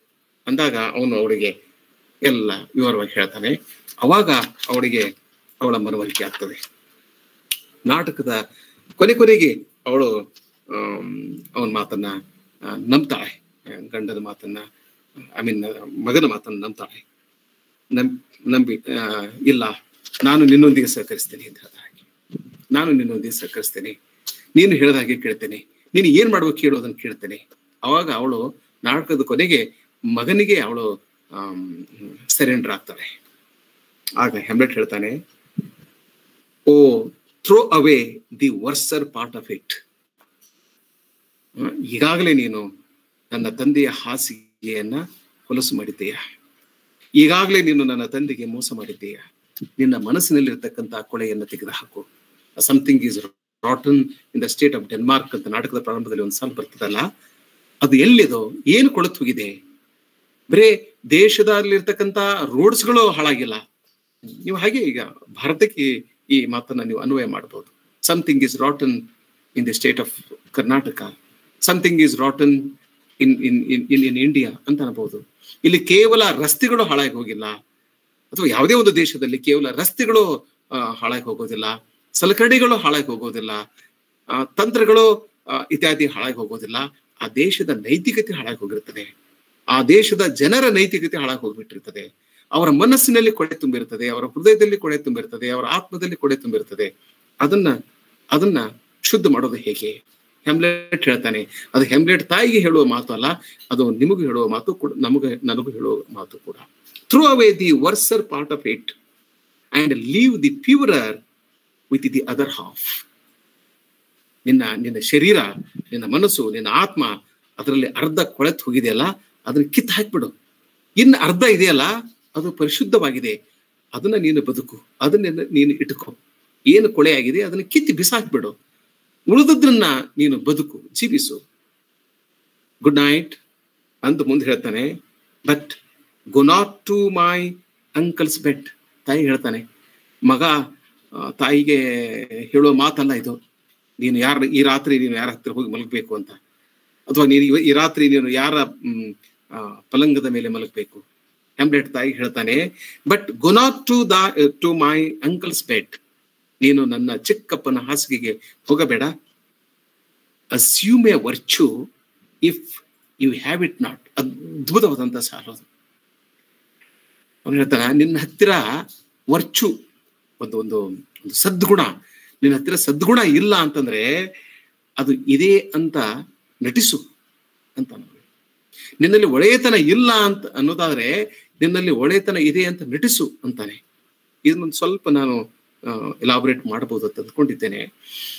ಕೆಲವು ಸಲ, ಕೆಲವು ಕೆಲವು ಸಲ ಅನೇಕ ಸಲ ನಟಿಸುವುದರಿಂದ ಕೂಡ ನಮ್ಮ ಸ್ವಭಾವದಲ್ಲಿ ಬದಲಾವಣೆ ಆಗ್ಲಿಕ್ಕೆ ಸಾಧ್ಯ ಇದೆ. ನಾನು ಒಳ್ಳೆಯವನಾಗಿರ್ಲಿಕ್ಕಿಲ್ಲ, ನಾನು ಒಳ್ಳೆಯವನು ನಾನು ಒಳ್ಳೆಯವನು ನಾನು ಒಳ್ಳೆಯವನು ಅಂತ ನಾನು ಹೇಳ್ತಾ ಹೋದ್ರೆ ನಾನು ಒಳ್ಳೆಯವನಾಗುವ ಸಂಭವ ಸಾಧ್ಯತೆ ಇದೆ ಅಂತ ನನಗನ್ನಿಸ್ತದೆ. ಹಾಗೆ ನಾನು ದುಷ್ಟ, ನೀಚ ದುಷ್ಟ, ನೀಚ ಅಂದ್ಕೊಳ್, ಅಂದ್ಕೊಳ್ಳೋದಾದ್ರೆ ದುಷ್ಟ, ದುಷ್ಟನೂ, ನೀಚನೂ ಆಗುವ ಸಾಧ್ಯತೆ ಸಂಭಾವ್ಯತೆ ಇದೆ ಅಂತ ಅನಿಸ್ತದೆ ಅದಕ್ಕೆ ಹ್ಯಾಮ್ಲೆಟ್ ಹೇಳ್ತಾನೆ ಅಸ್ಯೂಮ್ ವರ್ಚು ಸದ್ಗುಣ ನಿನ್ನಲ್ಲಿ ಇಲ್ಲ ಅಂತಂದ್ರೆ ಇದೆ ಅಂತ ಕಲ್ಪಿಸ್ಕೋ. If you have it not ನಿನ್ನಲ್ಲಿ ಇರ್ಲಿಲ್ಲ ಅಂದ್ರೆ ಇದೆ ಅಂತ ನೀನು ಮಾಡ್ ಅಂದ್ಕೋ ಅಂತಾನೆ ಆವಾಗ, ತಾಯಿ ಹೇಳ್ತಕ್ಕಂತ ಮಾತು ಮಗನಿಗೆ ನಿನಗೆ ಆಶ್ವಾಸನೆ ನೀಡುತ್ತೇನೆ. I assure you. ಏನಂದ್ರೆ, ಉಸಿರಿನಿಂದ ಶಬ್ದಗಳು ಬಂದಿದ್ದರೆ, ಉಸಿರು ಜೀವನದಿಂದ ಬಂದಿದ್ದರೆ, ಇದು ನಾನು ಅನುವಾದ ಮಾಡಿರೋದು. ಬಹಳ ತ್ವರಿ ಕ್ವಿಕ್ ಆಗಿ ಮಾಡಿದ್ದೇನೆ ಇದನ್ನ. ನಿನಗೆ ಆಶ್ವಾಸನೆ ಆಶ್ವಾಸನೆ ನೀಡುತ್ತೇನೆ. ಉಸಿರಿನಿಂದ ಶಬ್ದಗಳು ಬಂದಿದ್ದರೆ, ಉಸಿರು ಜೀವನದಿಂದ ಬಂದಿದ್ದರೆ, ನೀನು ನನಗೆ ಹೇಳಿದ್ದನ್ನು ಬಿಟ್ಟು, ಬಿಟ್ಟರೆ ನನಗೆ ಉಸಿರಾಡಲು ಯಾವ ಜೀವನವೂ ಇಲ್ಲ. ಶೇಕ್ಸ್ಪಿಯರ್ನ be thou assured if words be made of breath and breath of life if I I have no life to breathe what thou hast said to me ಮಗನಿಗೆ ಹೇಳ್ತಾಳೆ ನಿನ್ ಬಿಟ್ರೆ ನನಗೆ ನನಗೆ ನನಗೆ ಗತಿ ಇಲ್ಲ. ನೀನು ಹೇಳಿದ್ದನ್ನೇ ಮಾಡ್ತೇನೆ, ನೀನು ಹೇಳ್ದಾಗೆ ಕೇಳ್ತೇನೆ, ಅಂತ ಆಕೆ ಹೇಳ್ತಾಳೆ ಕೊನೆಗೆ, ನಾಟಕದ ಕೊನೆಗೆ ಒಂದು ದ್ವಂದ್ವ ದ್ವಂದ್ವ ಯುದ್ಧ ನಡೀತದೆ. ಏನು?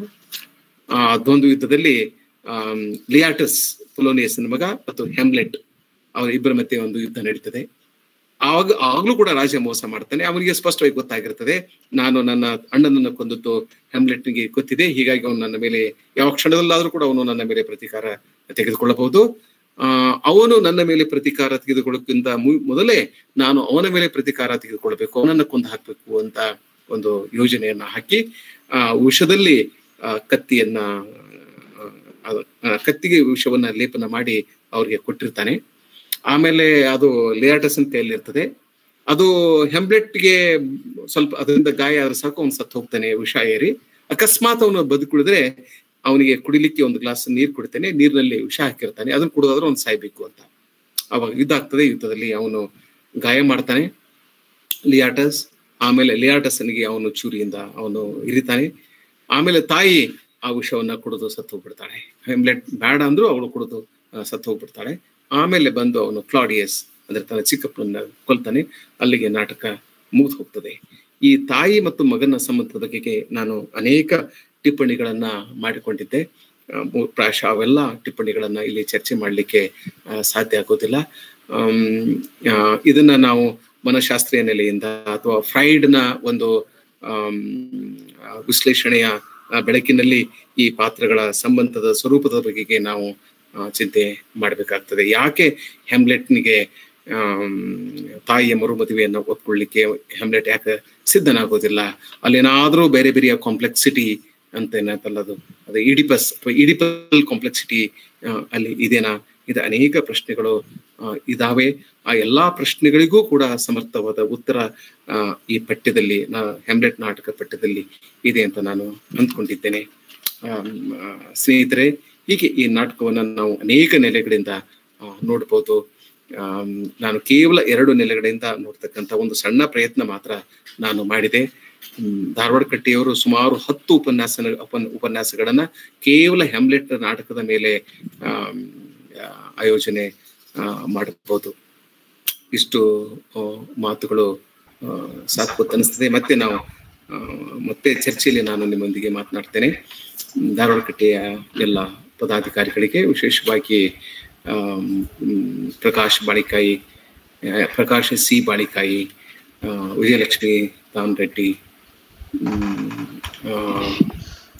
ಮತ್ತು ನಮ್ಮ ದೇವು ಏನಪ್ಪ ಹೆಸರು? ಪತ್ತಾರ್ ಅವರ ದೇವ್ ಪತ್ತಾರ್ ಅವ್ರ ಮಗ, ನನ್ನ ಇನ್ನೊಬ್ಬ ವಿದ್ಯಾರ್ಥಿನಿ ಐದು ಜನ ಸೇ, ಸೇರಿಕೊಂಡು ಧಾರವಾಡ ಕಟ್ಟೆಯ ಕಾರ್ಯಕ್ರಮಗಳನ್ನು ಬಹಳ ಸಮರ್ಥವಾಗಿ ಆಯೋಜನೆ ಮಾಡಿಕೊಂಡು ಹೊಂಟಿದ್ದಾರೆ. ಅವರಿಗೆ ನಾನು ಅಭಿನಂದನೆಗಳನ್ನು ಮತ್ತು ಕೃತಜ್ಞತೆಗಳನ್ನು ಸಲ್ಲಿಸ್ತೇನೆ. ನನ್ನ ಮಾತುಗಳನ್ನು ಕೇಳಿದ ಎಲ್ಲ ಹಿರಿಯರಿಗೆ, ಸ್ನೇಹಿತರಿಗೆ ನಾನು ನನ್ನ ಕೃತಜ್ಞತೆಗಳನ್ನು ಸಲ್ಲಿಸಿ ನನ್ನ ಮಾತುಗಳನ್ನು ಮುಗಿಸ್ತೇನೆ. ನಮಸ್ಕಾರ.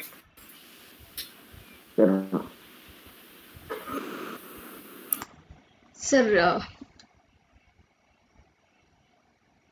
ಧನ್ಯವಾದಗಳು ಸರ್. ಈವರೆಗೂ almost more then sixty minutes sir Hamlet ನಾಟಕದ ಮೇಲೆ ಎರಡು ಅವ್ರು ಹೇಳಿದ ಹಾಗೆ ನೆಲೆಗಳನ್ನು ಇಟ್ಕೊಂಡು ಅದನ್ನು ನಮ್ಮ ಮುಂದೆ ತರೋ ಪ್ರಯತ್ನ ಮಾಡಿದ್ರು. ಅವರಿಗೆ ನಾನು ಧಾರವಾಡ ಕಟ್ಟೆಯ ಬಳಗದ ಪರವಾಗಿ ಕೃತಜ್ಞತೆಗಳನ್ನು ಸಲ್ಲಿಸ್ತೇನೆ.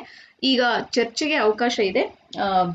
ಯಾರಾದ್ರೂ ಪ್ರಶ್ನೆಗಳನ್ನ ಕೇಳೋ ಹಾಗಿದ್ರೆ ನೇರವಾಗಿ ಕೇಳ್ಬೋದು. ಇಲ್ಲ ಅಂದ್ರೆ ಒಂದ್ ಎರಡ್ ಮೂರು ಪ್ರಶ್ನೆಗಳು ಈ ಚಾಟ್ ಬಾಕ್ಸ್ ಅಲ್ಲಿ ಇದೆ ಅದನ್ನ ನಾನು ಕೈಗೆತ್ಕೊಳ್ತೀನಿ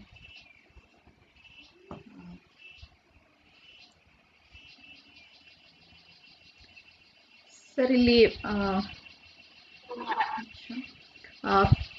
ಸಿ ಬಿ ಕೊಹಿನೂರ್ ಅಂತನ್ನೋರು ಒಂದು ಪ್ರಶ್ನೆ ಹಾಕಿದ್ದಾರೆ. ಸರ್, ಈ ನಾಟಕದಲ್ಲಿ ಕಿಂಗ್ ಹ್ಯಾಮ್ಲೆಟ್ನ ಆತ್ಮ ಬಂದು ಪ್ರಿನ್ಸ್ ಹ್ಯಾಮ್ಲೆಟ್ಗೆ ನಾನು ಸತ್ತಿಲ್ಲ ಬದಲಾಗಿ ಸಾಯಿಸಲ್ಪಟ್ಟಿರುವೆ. ತನ್ನ ಕೊಲೆಗೆ ಪ್ರತಿಕಾರ ತೆಗೆದುಕೊಳ್ಳಲು ಹೇಳುತ್ತಾನೆ. ಇಲ್ಲಿ ನನ್ನ ಪ್ರಶ್ನೆ ಏನಂದ್ರೆ, ಸತ್ತ ತಂದೆಯ ಆತ್ಮ ಮತ್ತೆ ಮರಳಿ ಬಂದು ತನ್ನ ಕೊಲೆಗೆ ಪ್ರತಿಕಾರ ತೀರಿಸಿಕೊಳ್ಳಲು ಹೇಳೋದಾದ್ರೆ, ಆ ಆತ್ಮಕ್ಕೆ ಏಕೆ ಇದು ಸಾಧ್ಯ ಅಸಾಧ್ಯ ಕೆಲಸ? ಸತ್ತ ವ್ಯಕ್ತಿಯ ಆತ್ಮ ಮತ್ತೆ ಎದ್ದು ಬರೋದಾದ್ರೆ, ಅವನಲ್ಲಿ ಸಾಯಿಸುವ ಶಕ್ತಿ ಇದ್ದೇ ಇರುತ್ತದೆ ಎಂದು ಸುಲಭವಾಗಿ ಗುರುತಿಸಬಹುದಲ್ವಾ ಸರ್ ಅಂತ ಪ್ರಶ್ನೆ ಇದೆ. ಕೊಹಿನೂರ್ ನನ್ನ ನನ್ನ ವಿದ್ಯಾರ್ಥಿ. ಕರ್ನಾಟಕ ಕಾಲೇಜಿನಲ್ಲಿ ನನ್ನ ವಿದ್ಯಾರ್ಥಿ ಮತ್ತು ಕರ್ನಾಟಕ ಕೇಂದ್ರೀಯ ವಿಶ್ವವಿದ್ಯಾಲಯದಲ್ಲೂ ಕೂಡ ನನ್ನ ವಿದ್ಯಾರ್ಥಿ, ಪ್ರೀತಿಯ ವಿದ್ಯಾರ್ಥಿ, ಕವಿ.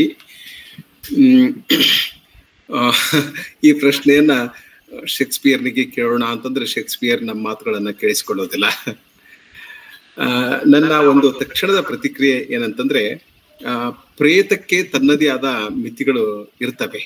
ಉದಾಹರಣೆಗೆ ಅದು ಎಲ್ಲ ಕಡೆ ಹೋಗೋದಿಲ್ಲ. ಮತ್ತು ರಾತ್ರಿ, ಮಧ್ಯರಾತ್ರಿ ಮಾತ್ರ, ಮಧ್ಯರಾತ್ರಿಯಲ್ಲಿ ಮಾತ್ರ ಅದು ತನ್ನ ಸಮಾಧಿಯನ್ನು ಬಿಟ್ಟು ಹೊರಗಡೆ ಬರ್ತದೆ. ಮತ್ತು ಅದು ಸ್ಥೂಲ, ಸೂಕ್ಷ್ಮವಾದ ಶರೀರವನ್ನು ಧರಿಸಿರ್ತದೆ. ಹೀಗಾಗಿ ಅದು ತಾನೇ ಪ್ರತಿ, ಪ್ರತಿಕಾರ ತೆಗೆದುಕೊಳ್ಳಿಕ್ಕೆ ಸಾಧ್ಯ ಆಗೋದಿಲ್ಲ. ಯಾಕಂದ್ರೆ ಅದು ಒಂದು ಆಕೃತಿಯಾಗಿ ಕಾಣ್ತದೆ, ಕಾಣ್ತಾ ಇರ್ತದೆ. ಅದರ ಒಳಗಡೆ ಸಬ್ಸ್ಟೆನ್ಸ್ ಇರೋದಿಲ್ಲ. ಅದು ಒಂದು ಆಕೃತಿ ನಾನು ಹೇಳಿದ ಹಾಗೆ. ತಂದೆಯ ರೂಪದಲ್ಲಿ ಅದು ಕಾಣ್ತಾ ಇರ್ತದೆ, ಆದರೆ ತಂದೆಯ ಇಡೀ ಶರೀರ ಅದರಲ್ಲಿ ಇರೋದಿಲ್ಲ. ಹೀಗಾಗಿ ಈ ಸೂಕ್ಷ್ಮವಾದ ಶರೀರದಲ್ಲಿ ಕಾಣಿ ಶರೀರದಲ್ಲಿ ಮಾತ್ರ ಅದು ಕಾಣಿಸಿಕೊಳ್ಳುವುದರಿಂದ ಪ್ರಾಯಶಃ ಅದಕ್ಕೆ ಕೊಲೆ ಮಾಡ್ಲಿಕ್ಕೆ ಆಗೋದಿಲ್ಲ ಹೀಗಾಗಿ ಅದು ಏಜೆಂಟ್ ಅನ್ನು ಹುಡುಕ್ತದೆ. ಏಜೆಂಟ್ ಅನ್ನು ಹುಡುಕ್ತದೆ. ಹ್ಮ್. ಅಲ್ಲಿ ಅದು ಮಗ ಆಗ್ಬೋದು ಅಥವಾ ಸಹೋದರ ಆಗ್ಬೋದು ಈಗ ಅಣ್ಣನ ಸಾವಿನ, ಅಣ್ಣನನ್ನ ಅಣ್ಣನ ಕೊಲೆ ಆದ್ರ ಅಣ್ಣ, ಅದು ಪ್ರೇತ ಆಗಿ ಬಂದು ತಮ್ಮರಿಗೆ ಹೇಳ್ತದೆ ಅಂತ ನಾವು ಕೇಳ್ತೀವಿ. ಹಳ್ಳಿಗಳಲ್ಲಿ ಇದೆಲ್ಲ ಇದ್ದದ್ದೇ. ಅವರ ಅಣ್ಣ, ಅಣ್ಣನ ಕೊಲೆ ಮಾಡಿದ್ರು ದೆವ್ವಾಗಿ ಬಂದು ತಮ್ಮನಿಗೆ ಎಲ್ಲ ಅದು ಕೇಳ್ಕೊಂಡಿದೆ ಅಂತ ತಮ್ಮ ಕೊಲೆ ಮಾಡ್ತಾನೆ ವೈರಿಗಳನ್ನ ಅಂತ ಹೀಗೆಲ್ಲ ಹೇಳ್ತಾ ಇರ್ತಾರೆ ಇರ್ತಾರೆ. ಸೊ ಹೀಗಾಗಿ ಇದೇ ಕಾರಣ ನನಗನ್ನಿಸ್ತದೆ.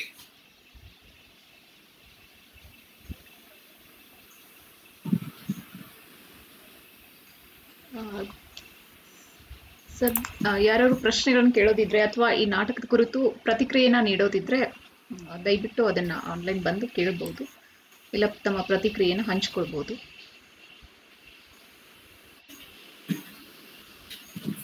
ಸರ್ ನಮಸ್ಕಾರ ಸರ್ ನಾನು ಪ್ರಕಾಶ್ ಅಂತ ಹೇಳಿ. ಸರ್ ಹಾ ನಮಸ್ತೆ. ಸರ್ ಸರ್ ನನಗೆ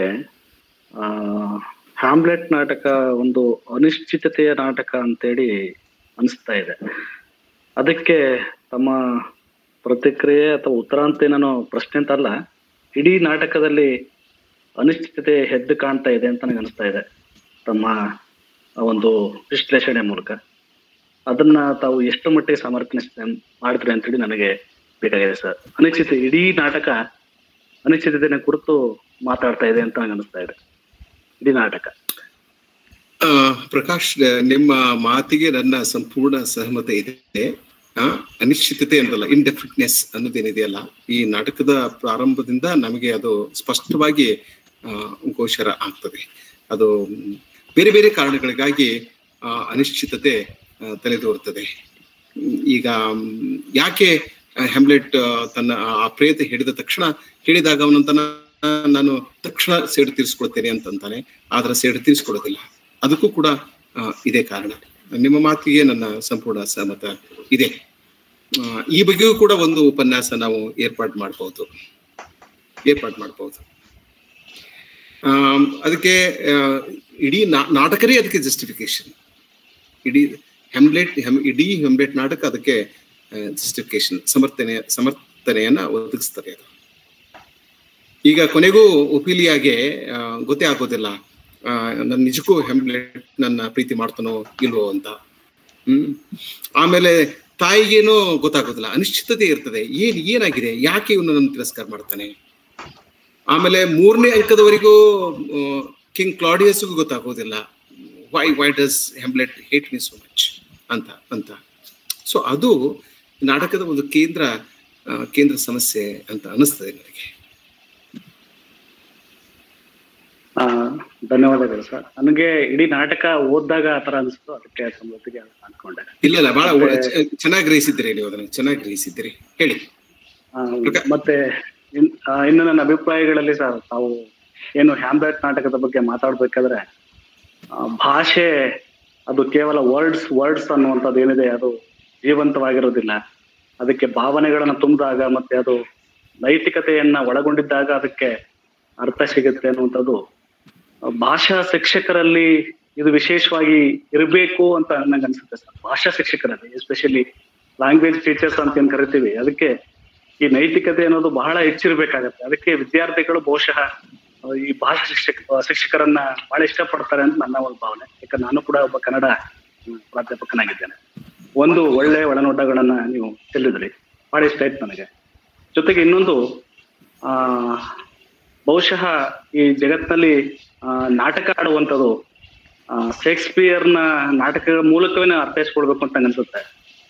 ನಾನು ಒಳ್ಳೆಯವನು ನಾನು ಒಳ್ಳೆಯವನು ಅಂತ ಹೇಳುವಂಥದ್ದು, ನಾನು ಒಳ್ಳೆಯವನು ಅಂತೇಳಿನೇ ಪ್ರತಿಬಿಂಬಿಸ್ಕೊಂಡು ಒಳಗಡೆ ಬೇರೆಯವ್ರ ಬಗ್ಗೆ ಈರ್ಷೆಗಳು ಹಸು ಅಸೂಯೆ ಮತ್ಸರ ಎಲ್ಲ ಇದ್ರೂ ಕೂಡ ಅವ್ರ ಬಗ್ಗೆ ಒಳ್ಳೆ ಭಾವನೆಗಳನ್ನ ತಳೆಯೋದ್ರ ಮೂಲಕ ನಾನು ಒಳ್ಳೆಯವನು ಅಂತ ಪ್ರತಿಬಿಂಬಿಸುವಂಥದ್ದು ಇದೆಯಲ್ಲ, ಅದು ಒಳ್ಳೆ ಒಳನೋಟ ಅಂತ ನನಗೆ ತುಂಬಾ ಒಂದು ವಿಶೇಷ ಚಿಂತನೆಗೆ ಅವಕಾಶ ಕೊಡ್ತು ತಮ್ಮ ಮಾತುಗಳಲ್ಲಿ.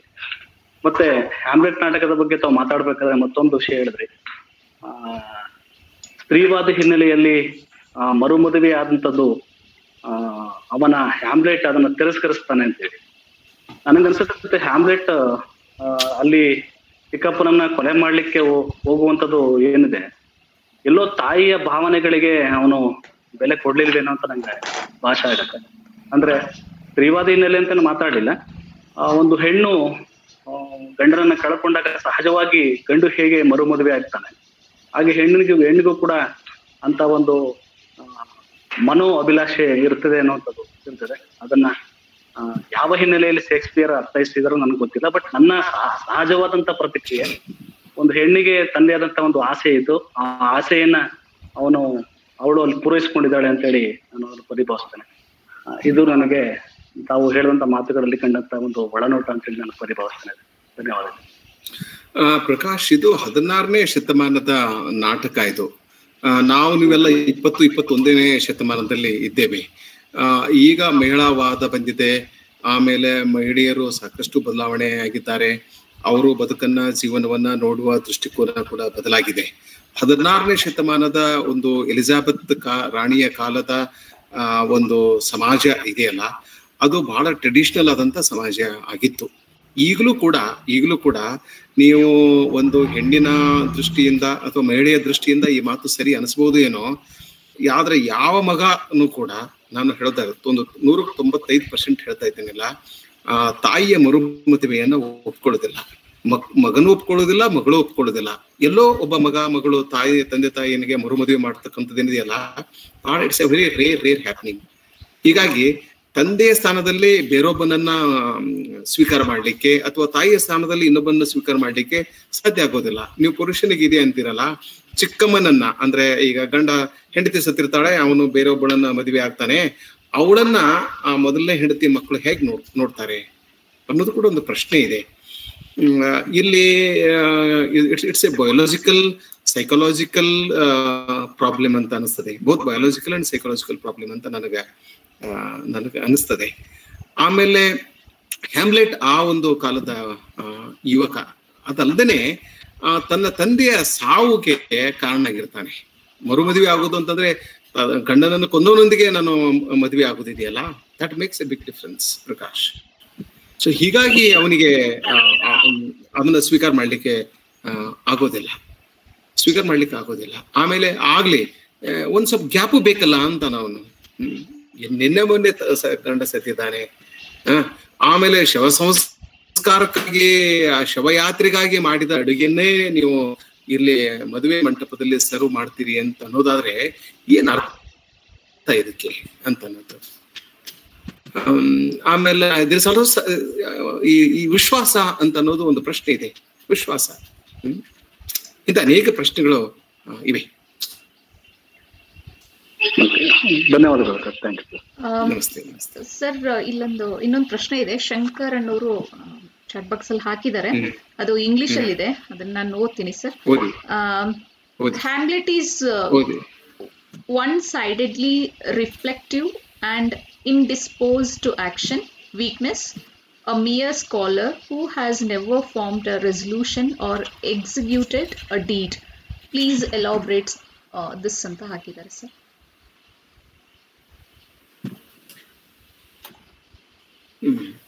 ಹೆಚ್ಚು ಕಡಿಮೆ ಇದನ್ನ ನಾನು ನನ್ನ ಭಾಷಣದ ಉದ್ದಕ್ಕೂ ಆ, ಆ, ನಾನು ಅದನ್ನ ಅದನ್ನೇ ಹೇಳಿದೆ ಅಂದ್ರೆ ಈ ಪ್ರತೀಕಾರ ತೆಗೆದುಕೊಳ್ಳಲಿಕ್ಕೆ ಯಾಕೆ ಅವನು ಹಿಂಜರಿತಾನೆ ಆಮೇಲೆ ಯಾಕೆ ಅಷ್ಟು ಸಮಯವನ್ನ ತೆಗೆದುಕೊಡ್ತಾನೆ ಯಾಷ್ಟು ಅಷ್ಟು ಯಾಕೆ ಅಷ್ಟು ದೀರ್ಘವಾಗಿ ವಿಚಾರ ಮಾಡ್ತಾನೆ ಅಂತ ನಾನು ಆಗ್ಲೇ ಅನೇಕ ಮಾತುಗಳನ್ನ ಹೇಳಿದೆ ಯಾಕೆಂತಂದ್ರೆ ಅವನು ಹೆಮ್ಲೆಟ್ ಒಬ್ಬ ಮೂರ್ಖ ಅಲ್ಲ, ಅವನು ಅವನು ಪೆದ್ದ ಆಗಿರೋದಿಲ್ಲ, ಅವನು ವಿಚಾರವಂತ, ಬುದ್ಧಿವಂತ, ವಿಚಾರ ಮಾಡ್ತಾನೆ ಅನ್ನೋದು ಒಂದು.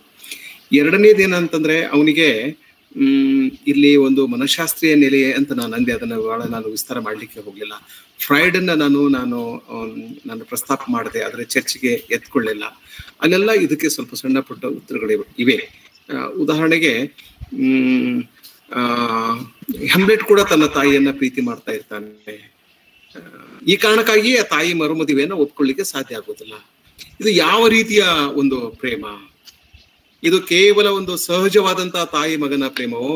ಅಥವಾ ಇದಕ್ಕೇನಾದ್ರೂ ಒಂದು ಸೆಕ್ಷುವಲ್ ಎಂಗಲ್ ಅದಕ್ಕಿದೇನೋ ಇಂಥ ಪ್ರಶ್ನೆಗಳು ಕೂಡ ಅಲ್ಲಿ ಅಲ್ಲಿ ಬರ್ತವೆ. ನಿಮಗೆ ಗಿರೀಶ್ ಕಾರ್ನಾಡ್ರ ತುಗ್ಲಕ್ ನಾಟಕದಲ್ಲಿ ತುಗ್ಲಕ್ ಮತ್ತು ಅವನ ಸ್ಟೆಪ್ ಮದರ್ ರಿಲೇಷನ್ ಬರ್ತದೆ ಅಲ್ಲಿ. ಕನ್ನಡದ ಯಾವ ವಿಮರ್ಶಕರು ಇದರ ಬಗೆಗೆ ಬರೆದದ್ದು ನನಗೆ ಗೊತ್ತಿಲ್ಲ. ಕುರ್ತಕೋಟಿ ಅವರು ಚರ್ಚೆಯಲ್ಲಿ ಮಾತ್ರ ಪ್ರಸ್ತಾಪ ಮಾಡಿದ್ರು. ಏನಂತಂದ್ರೆ ಹೆಮ್ ಇವ್ರಿಗೆ ತುಗ್ಲಕ್ಕನಿಗೆ ತುಗ್ಲಕ್ಕನಿಗೆ, Tughlaq seems to have an affair with his step ಮಾತ್ರ ಅಂತ ಅದರಲ್ಲಿ ಅದರಲ್ಲಿ ಹಾಗೆ ಒಂದು ಚರ್ಚೆ ಬರ್ತದೆ. ಅವಾಗಾಕಿ ಅವನ ಪೊಲಿಟಿಕಲ್ ಅಡ್ವೈಸ್ ಇರ್ತಾನೆ ನಜೀಮ್ ಅಂತ ಹೇಳಿ ಆ ನಾಟಕದಲ್ಲಿ ಬಹಳ ಅದ್ಭುತವಾದ ನಾಟಕ ನಿಮಗೆ. ಇದು, ತುಗ್ಲಕ್. ಆ ನಜೀಬನಿಗೆ ಮೇಲೆ ತುಗಲಕ್ಕನಿಗೆ ಬಹಳ ಗಾಢವಾದಂತ ವಿಶ್ವಾಸ, ಪ್ರೀತಿ ಇರ್ತದೆ. ಅವನನ್ನ ಕೊಲಿಸ್ಬಿಡ್ತಾಳೆ ಆಕಿ. ಚಿಕ್ಕಮ್ಮ ಕೊಲಿಸ್ಬಿಡ್ತಾಳೆ ಕೊನೆಗೆ ಆ ಚಿಕ್ಕಮ್ಮ ಕೊಲಿಸಿದಾಳೆ ಅನ್ನೋದು ಗೊತ್ತಾದಾಗ ಅವಳನ್ನ ರಸ್ತೆ ಮೇಲೆ ನಿಲ್ಲಿಸಿ, ಕಲ್ಲಿನಿಂದ ಹೊಡಿಸಿ, ಚಿತ್ರಹಿಂಸೆಯನ್ನು ನೀಡಿ ಸಾಯಿಸ್ತಾನೆ ತುಗ್ಲಕ್ ಆ ಇಡೀ ಕಾಂಪ್ಲೆಕ್ಸಿಟಿಯನ್ನು ಅರ್ಥ ಮಾಡ್ಕೋಬೇಕಾಗ್ತದೆ. ಸೊ ಈ ಇಲ್ಲೂ ಕೂಡ ಅಂತ ಒಂದು ಸ್ವಲ್ಪ ಸೂಕ್ಷ್ಮವಾದ ಈ- ಇದಾವೆ. ನನಗೆ ಯಾಕೋ ಈ ರೀತಿಯ ಓದುವಿಕೆಯಲ್ಲಿ ನನಗೆ ವಿಶ್ವಾಸ ಇಲ್ಲ. ಹ್ಮ್. ಅದನ್ನ ಈಗ ಒಬ್ಬ ತಾಯಿ ಮಗನ ಸಂಬಂಧ ಅಥವಾ ತಂದೆ ಮಗಳ ಸಂಬಂಧ ಹೆಣ್ಮಕ್ಳು ತಂದೆಯನ್ನು ಜಾಸ್ತಿ ಪ್ರೀತಿ ಮಾಡ್ತಾರೆ ಗಂಡ್ಮಕ್ಳು ತಾಯಿನ ಪ್ರೀತಿ ಪ್ರೀತಿ ಮಾಡ್ತಾರೆ ಯಾರು ಅಲ್ಲೆಲ್ಲೋ ಒಂದು ಸೆಕ್ಷುವಲ್ ಅದು ಇದು ಏನೋ ಹೇಳ್ತಾ ಇರ್ತಾರಲ್ಲ ಇದೊಂದು ಮೆಂಟಲಿ ರಿಟಾರ್ಡೆಡ್ ಜನರು ಮಾಡ್ತಕ್ಕಂಥ ಒಂದು ಇದು ಅನ್ನಿಸ್ತದೆ. ಹ್ಮ್. ನಾವೆಲ್ಲರೂ ನಾವೆಲ್ಲರೂ ಮಕ್ಕಳೇ ಇದ್ದೇವೆ ಅಲ್ಲ? ನಾವು ತಂಗಿಗೆ ಅಣ್ಣ ಆಗಿದ್ದೇವೆ, ಅಕ್ಕನಿಗೆ ತಮ್ಮ ಆಗಿದ್ದೇವೆ, ತಾಯಿಗೆ ಮಗನಾಗಿದ್ದೇವೆ. ಎಲ್ಲಾ ಸಂಬಂಧಗಳನ್ನ, ಇಡೀ ಮನುಷ್ಯ ಸಂಬಂಧಗಳನ್ನ ನಾವು ಒಂದು, ಆ, ಈ ಲೈಂಗಿಕ ದೃಷ್ಟಿಕೋನದಿಂದ ಸೆಕ್ಷುವಲ್ ಓರಿಯಂಟೇಶನ್ ಇಟ್ಕೊಂಡು ನೋಡೋದು ಸರಿಯಾದ ಕ್ರಿಯೆ ಅಲ್ಲ. ಹೀಗಾಗಿ ನಾನು ಅದನ್ನು ಹೆಚ್ಚು ಎಲಾಬ್ರೇಟ್ ಮಾಡ್ಲಿಕ್ಕೆ ಹೋಗ್ಲಿಲ್ಲ. ತಾತ್ವಿಕತೆಗೆ ಬೇರೆ ಬೇರೆ ಆಯಾಮಗಳಿಗೆ ನಾನು ಒತ್ತು ಕೊಟ್ಟೆ. ಹಾ. ವಿಜಯಲಕ್ಷ್ಮಿ ಮತ್ತೆ ಪ್ರಶ್ನೆಗಳಿದಾವ ಥ್ಯಾಂಕ್ ಯು ಸರ್ ಇಲ್ಲಿ ವಿನಯ್ ನಾಡಿಗೆ. ನಾನು ಸರ್. ಸರ್. ನಮಸ್ತೆ. ಸರ್ ಹಾ ನಮಸ್ತೆ. ಹೇಳಿ ಯಾರು? ಹಾ ಸರ್ ನಾವು ಇಂಡಿಯಿಂದ ಬಂಡಗರ್ ಸರ್ ಅಂತ ಹೇಳಿ ಸರ್. ನಿಮ್ಮ. ಸ್ಟೂಡೆಂಟ್ ಅವರ ಹಸ್ಬೆಂಡ್ ಸರ್ ನಾನು ಮಾತಾಡೋದು ಬಂಡಗರ್ ಸರ್ ಅಂತ ಹೇಳಿ ಇದ್ದೀನಿ. ಹೌದಾ? ಯಾರು ಯಾರು ಯಾರು ವಿದ್ಯಾರ್ಥಿನಿ? ಸರ್ ಚಿದಂಬರ್ ಬಂಡಗರ್ ಅಂತ ಹೇಳಿ ನನ್ನ ವಿದ್ಯಾರ್ಥಿನಿ ಯಾರು? ನಿಮ್ಮ ಮಿಸಸ್ ಹೆಸರೇನು? Doctor Rajashree Marnoor assistant professor government degree college Indi sir ಸರಿ ಮಾತಾಡಿ. ಸರ್ ಈಗ ಪ್ರಿನ್ಸ್ ಹ್ಯಾಮ್ಲೆಟ್ಗೆ ಅವರ ತಂದೆಯ ಪ್ರೇತ ಬರುವುದು ಒಂದು ಮೆಟಾಫರ್ ಆಗಿ ಬಂದು ಕೇವಲ ರೂಮರ್ಸ್ಗಳು ಅಥವಾ ಅನ್ಕಾನ್ಸಿಯಸ್ ಮೈಂಡ್ ಅಲ್ಲಿ ಕೇಳಿದಂತ ವಿಚಾರಗಳು ಆ ಸೇಡನ್ನ ತೀರಿಸಿಕೊಳ್ಳಕ್ಕೆ ಮೋಟಿವ್ ಆಗಿ ಹಾಗೂ ಆ ಕೊಲೆಗೆ ಒಂದು ಸಮರ್ಥನೆಯಾಗಿ ಆ, ಚಿತ್ರಿಸಿದಾರ ಅಂತೇಳಿ. ಆಕ್ಚುಲಿ ಗೋಸ್ಟ್ ಬರದೇ ಇರ್ಬೋದು. ಅಂದ್ರೆ ನಮಗೆ ಅದೊಂದು ಮೋಟಿವ್ ಆಗಿ ಗೋಸ್ಟ್ ಆಗಿರ್ಲಿ ಅಥವಾ ಗಾಡ್ ಬರೋದಾಗ್ಲಿ, ಒಂದು ಮೋಟಿವ್ ಆಗಿ ಅಥವಾ ನಾವು ಮಾಡುವ ಕೃತ್ಯಗಳಿಗೆ ಒಂದು ಕನ್ಫರ್ಮೇಶನ್ ಆಗಿ ಹಾಗೇನೋ ಚಿತ್ರಿಸಿ ಮೆಟಾಫರ್ ಆಗಿ ಬಂದಿದೆಯಾ ಅಂತೇಳಿ ಒಂದು ಅಭಿಪ್ರಾಯ ಸರ್, ನಿಮ್ಮಿಂದ ಕೇಳ್ಬೇಕಂತ ಹೇಳಿ but this is very exciting reading ಬಹಳ ಖುಷಿ ಆಯ್ತು ನನಗೆ ನಿಮ್ಮ ಮಾತನ್ನ ಕೇಳಿ. ಇದು ನನಗೆ ಹೊಳದೇ ಇರಲಿಲ್ಲ. ನನಗೆ ಹೊಳದೇ ಇರಲಿಲ್ಲ. I am really excited to listen to you Chidambar Chidambar ಅಲ್ಲ ನಿಮ್ಮ ಹೆಸರು? ಸರ್ ಅವರು ಕಟ್ಟಿ ಸರ್ ಆ. ಸ್ಟೂಡೆಂಟ್ ಕೂಡ. ಹೌದು ಸರ್ ಹ್ಮ್ ಹ್ಮ್. ಇರ್ಲಿ ಇದಕ್ಕೆ ನನ್ನ ವಿದ್ಯಾರ್ಥಿ. ಓ ನಾವು ನಮ್ಮ ಗುರುಗಳು. ಹ್ಮ್ ನಾವೆಲ್ಲ ಒಬ್ಬ ಒಬ್ಬ ಗುರುವಿನ ಶಿಷ್ಯರು. ಆಗ್ಲಿ. ಇದಕ್ಕೆ ನನ್ನ ಪ್ರತಿಕ್ರಿಯೆ ಏನು ನನ್ನ ಪ್ರತಿಕ್ರಿಯೆ ಏನು ಅಂತಂದ್ರೆ ಇದು ಕೇವಲ ಮೆಟಫರ್ ಅಲ್ಲ. ಆ ರೀತಿಯಾಗಿ ನೀವು ಅದನ್ನ ಅರ್ಥ ಮಾಡ್ಕೊಳ್ಬಹುದು ಅದಕ್ಕೆ ಯಾವ ತೊಂದರೆ ಇಲ್ಲ. ಆ ಯಾರು ನಿಮ್ಮನ್ನ ತಡೆಯೋದಿಲ್ಲ. ಆ ರೀತಿ ಅರ್ಥ ನೀವು ಮಾಡ್ಕೊಳ್ಬಹುದು ಅಥವಾ but it's an exciting interpretation hmm. ಆದ್ರೆ ನಾಟಕವನ್ನ ನಾಟಕದ ಸಂದರ್ಭದಲ್ಲಿ ಅದು ಒಂದು ಮೆಟಫರ್ ಅಲ್ಲ. ಅದೊಂದು ಪಾತ್ರನೇ. ಅದು ಪಾತ್ರನೇ ಆ, ಅದು ಪಾತ್ರ ಆಗಿನೇ ರಂಗಭೂಮಿ ಮೇಲೆ ಬರ್ತದೆ. ಅದು ಒಂದು ಸಲ ಬರೋದಿಲ್ಲ, ಅನೇಕ ಸಲ ಬರ್ತದೆ. ಆಮೇಲೆ ಅದು ಕೇವಲ ತಾಯಿಗೆ ಕಾಣಿಸ್ಕೊಳ್ಳೋದಿಲ್ಲ ಸತ್ಯ, ಆದ್ರೆ ಸ್ನೇಹಿತರಿಗೆ ಕಾಣಿಸ್ಕೊಳ್ತದೆ ಅದು. ಹೆಮ್ಲೆಟ್ಗೆ ಕಾಣಿಸ್ಕೊಳ್ತದೆ ಮತ್ತು ಸ್ನೇಹಿತರಿಗೂ ಕೂಡ ಆತನ ಸ್ನೇಹಿತರಿಗೂ ಕೂಡ ಕಾಣಿಸ್ಕೊಳ್ತದೆ. ಆದ್ರೆ, ಆ, ಅವರಿಂದ ಕೇಳಿರುವ ಕೇಳಿರುವ ಮಾತು, ಇವರಿಂದ ಕೇಳಿರುವ ಮಾತು, ಅಥವಾ ತಾನೇ ಊಹೆ ಮಾಡಿರೋದು ಇವೆಲ್ಲವುಗಳು ಒಟ್ಟುಗೂಡಿಸಿ ಒಂದು ಒಂದು ಮೆಟಫರ್ ಆಗಿ ಅದು ಕಾಣಿಸ್ಕೊಳ್ತದೆ ಅಂತ ಅನ್ನುವ ಒಂದು ವಿಚಾರ ಇದೆಯಲ್ಲ ಅದು ಬಹಳ ಅದ್ಭುತವಾದ ವಿಚಾರ. ನಿಮಗೆ ನಾನು ಕೃತಜ್ಞತೆಗಳನ್ನ ತಿಳಿಸ್ಬೇಕು. Thank you sir thank you very much sir ನಮಸ್ತೆ ಸರ್ ನಾನು ರಾಜೇಶ್ವರಿ ಓ ನಮಸ್ತೆ ಮೇಡಮ್ ಸರ್ ನಮಸ್ತೆ ಸರ್ ಬಹಳ ಚೆನ್ನಾಗಿ ಹ್ಯಾಮ್ಲೆಟ್ ನಾಟಕವನ್ನು ಪ್ರಸ್ತುತಪಡಿಸಿದ್ದೀರಿ ಸರ್ ವಿವಿಧ ನೆಲೆಗಳಲ್ಲಿ. ಸರ್ ನಂದೊಂದು ಅನಿಸಿಕೆ. ಹ್ಯಾಮ್ಲೆಟ್ ನಾಟಕ ಒಂದು ಪುರುಷ ಪ್ರಧಾನ ವ್ಯವಸ್ಥೆಯನ್ನ ಒಂದು ಪೋಷಿಸುವ ನಾಟಕವಾಗಿ ನನಗೆ ಕಂಡು ಬಂದ ಬೇರೆ ಬೇರೆ ಅದರಲ್ಲಿ ಅವನ ಶೈಲಿ ಇರ್ಬೋದು ಅಥವಾ ಮಾತುಗಳು ಇರ್ಬೋದು, ಅದೆಲ್ಲವೂ ಕೂಡ ನಾವು ಒಪ್ಪಿಕೊಳ್ಳುವಂತಹ ಅಂಶಗಳಿದ್ರೂ ಕೂಡ ಒಂದು ನೆಲೆಯಲ್ಲಿ ಇವತ್ತಿನ ಓದಿನ ನೆಲೆಯಲ್ಲಿ ನಾವು ಅದನ್ನ ಗುರುತಿಸುವಾಗ ಆ ನೆಲೆಯಲ್ಲಿ ಗುರುತಿಸಬಹುದಾ ಅಂತ. ಯಾಕೆಂದ್ರೆ ಕಾಂಪ್ಲೆಕ್ಸ್ ಕಾಂಪ್ಲೆಕ್ಸ್ನ ಬಗ್ಗೆ ನೀವೇನು ಹೇಳಿದ್ರಿ? ಅದಕ್ಕಿಂತಲೂ ನನಗೆ ಒಂದು ಪುರುಷನ ಅಹಂ ಇದಕ್ಕೆ ಕಾರಣ ಇರಬಹುದು ಅನ್ನುವಂಥದ್ದು. ಯಾಕೆಂದ್ರೆ ಒಂದು ಕಾಲದ ಸಂಸ್ಕೃತಿಯನ್ನ ಅದು ಬಿಂಬಿಸುವ, ಅರ್ಥೈಸುವ ಒಂದು ಒಳ್ಳೆಯ ನಾಟಕವಾಗಿ ಕಂಡು ಬರುವಂತಹದ್ದು ನಿಜ. ಆದ್ರೆ ಆ ಕಾಲದಲ್ಲಿ ಬೇರೆ ಬೇರೆ ಸಮುದಾಯಗಳಲ್ಲಿ ಇವನ್ ಟ್ರೈಬ್ಸ್ ಅಲ್ಲಿ ಇರಬಹುದು ಎಲ್ಲ ಕೆಲವು ಸಮುದಾಯಗಳಲ್ಲಿ ಅಂತಹ ಮರುಮದುವೆಯ ಪರಿಕಲ್ಪನೆ ಕೂಡ ಇತ್ತು. ಮತ್ತು ಇನ್ನೊಂದು ನೆಲೆ ಅಂತ ಹೇಳಿದ್ರೆ ಹೆಣ್ಣಿನ ಒಂದು ಅಸ್ತಿತ್ವವನ್ನ ಅಥವಾ ಆಕೆಯ ಒಂದು ವ್ಯಕ್ತಿತ್ವವನ್ನ ತಿರಸ್ಕರಿಸುವಂತಹ, ಅಥವಾ ಒಂದು ಹೆಣ್ಣಿಗೆ ಅಸ್ತಿತ್ವವೇ ಇಲ್ಲ, ಅದು ಗಂಡನ ಅಥವಾ ಮಗನ ಅಸ್ತಿತ್ವದ ಮೂಲಕ ಅವಳನ್ನ ಗುರುತಿಸುವಂತಹ ಅಥವಾ ಅವರ ಅಂಕೆಯಲ್ಲಿ ಇರಿಸುವಂತಹ ಪ್ರಯತ್ನದ ನೆಲೆ ಏನಿದೆ, ಅದು ಕೂಡ ಇಲ್ಲಿ ಬಿಂಬಿತ ಆಗ್ತದೆ. ಆ ನೆಲೆಯಲ್ಲಿ ಒಂದು ಪುರುಷ ಪ್ರಧಾನ ವ್ಯವಸ್ಥೆಯನ್ನ ಪೋಷಿಸುವ ನಾಟಕವಾಗಿ ನನಗೆ ಕಂಡು ಬಂತು ಅನ್ನುವಂಥದ್ದು. ನಾನು ಅದನ್ನು ನೋಡುವ ನಮಸ್ತೆ. ನಾನು ನಿಮ್ಮಿಂದ ನಿಮ್ಮ ಮಾತಿಗೆ ನನ್ನ ಒಂದು ಸಣ್ಣ ಸಹಮತ ಇದೆ. ಅನೇಕ ಜನ ಈ ಫೆಮಿನಿಸ್ಟಿಕ್ ರೀಡಿಂಗ್ಸ್ ಏನ್ ಮಾಡ್ತಾರಲ್ಲ ಅವರೆಲ್ಲರೂ ಹೆಚ್ಚು ಕಡಿಮೆ ಈ ಅಭಿಪ್ರಾಯವನ್ನೇ ವ್ಯಕ್ತಪಡಿಸಿದ್ದಾರೆ. ಆದ್ರೆ ಈ ನಾಟಕದ ಸಂದರ್ಭದಲ್ಲಿ ನಾನು ಒಂದು ಮಾತನ್ನ ನಿಮಗೆ ಹೇಳಲಿಕ್ಕೆ ಇಷ್ಟಪಡ್ತೇನೆ. ಅದೇನಂದ್ರೆ, ಆ, ಮರು ಮದುವೆಗೆ ನಾಟಕಕಾರ ಅಡ್ಡಿ ಅಡ್ಡಿಪಡಿಸೋದಿಲ್ಲ. ಯಾವ ಪಾತ್ರವೂ ಕೂಡ ಅಡ್ಡಿಪಡಿಸೋದಿಲ್ಲ. ಅಷ್ಟರ ಮಟ್ಟಿಗೆ ಹೆಣ್ಣಿನ ಸ್ವಾತಂತ್ರ್ಯವನ್ನ ಈ ನಾಟಕ ಎತ್ತಿ ಹಿಡಿತದೆ. ಆ, ಅವಳು ಗರ್ಟ್ರಿಯೂಡ್ ಕ್ಲಾಡಿಯಸ್ ಅನ್ನ ಮದ್ವೆ ಆಗ್ತಾಳೆ. ತನ್ನ ಗಂಡನ ತಮ್ಮನನ್ನ ಮದುವೆ, ಮದ್ವೆ ಆಗ್ತಾಳೆ. ಹೆಮ್ಲೆಟ್ ಆ, ತಾಯಿಯ ಮರುಮದುವೆಯನ್ನ ಒಪ್ಪಿಕೊಳ್ಳೋದಿಲ್ಲ. ಅಲ್ಲಿ ಸ್ವಲ್ಪ ಪುರುಷ ಕೇಂದ್ರಿತ ಒಂದು ಚಿಂತನೆ ಇದೆ ಅಂತ ನಾವು ಅಂದ್ಕೋಬಹುದು.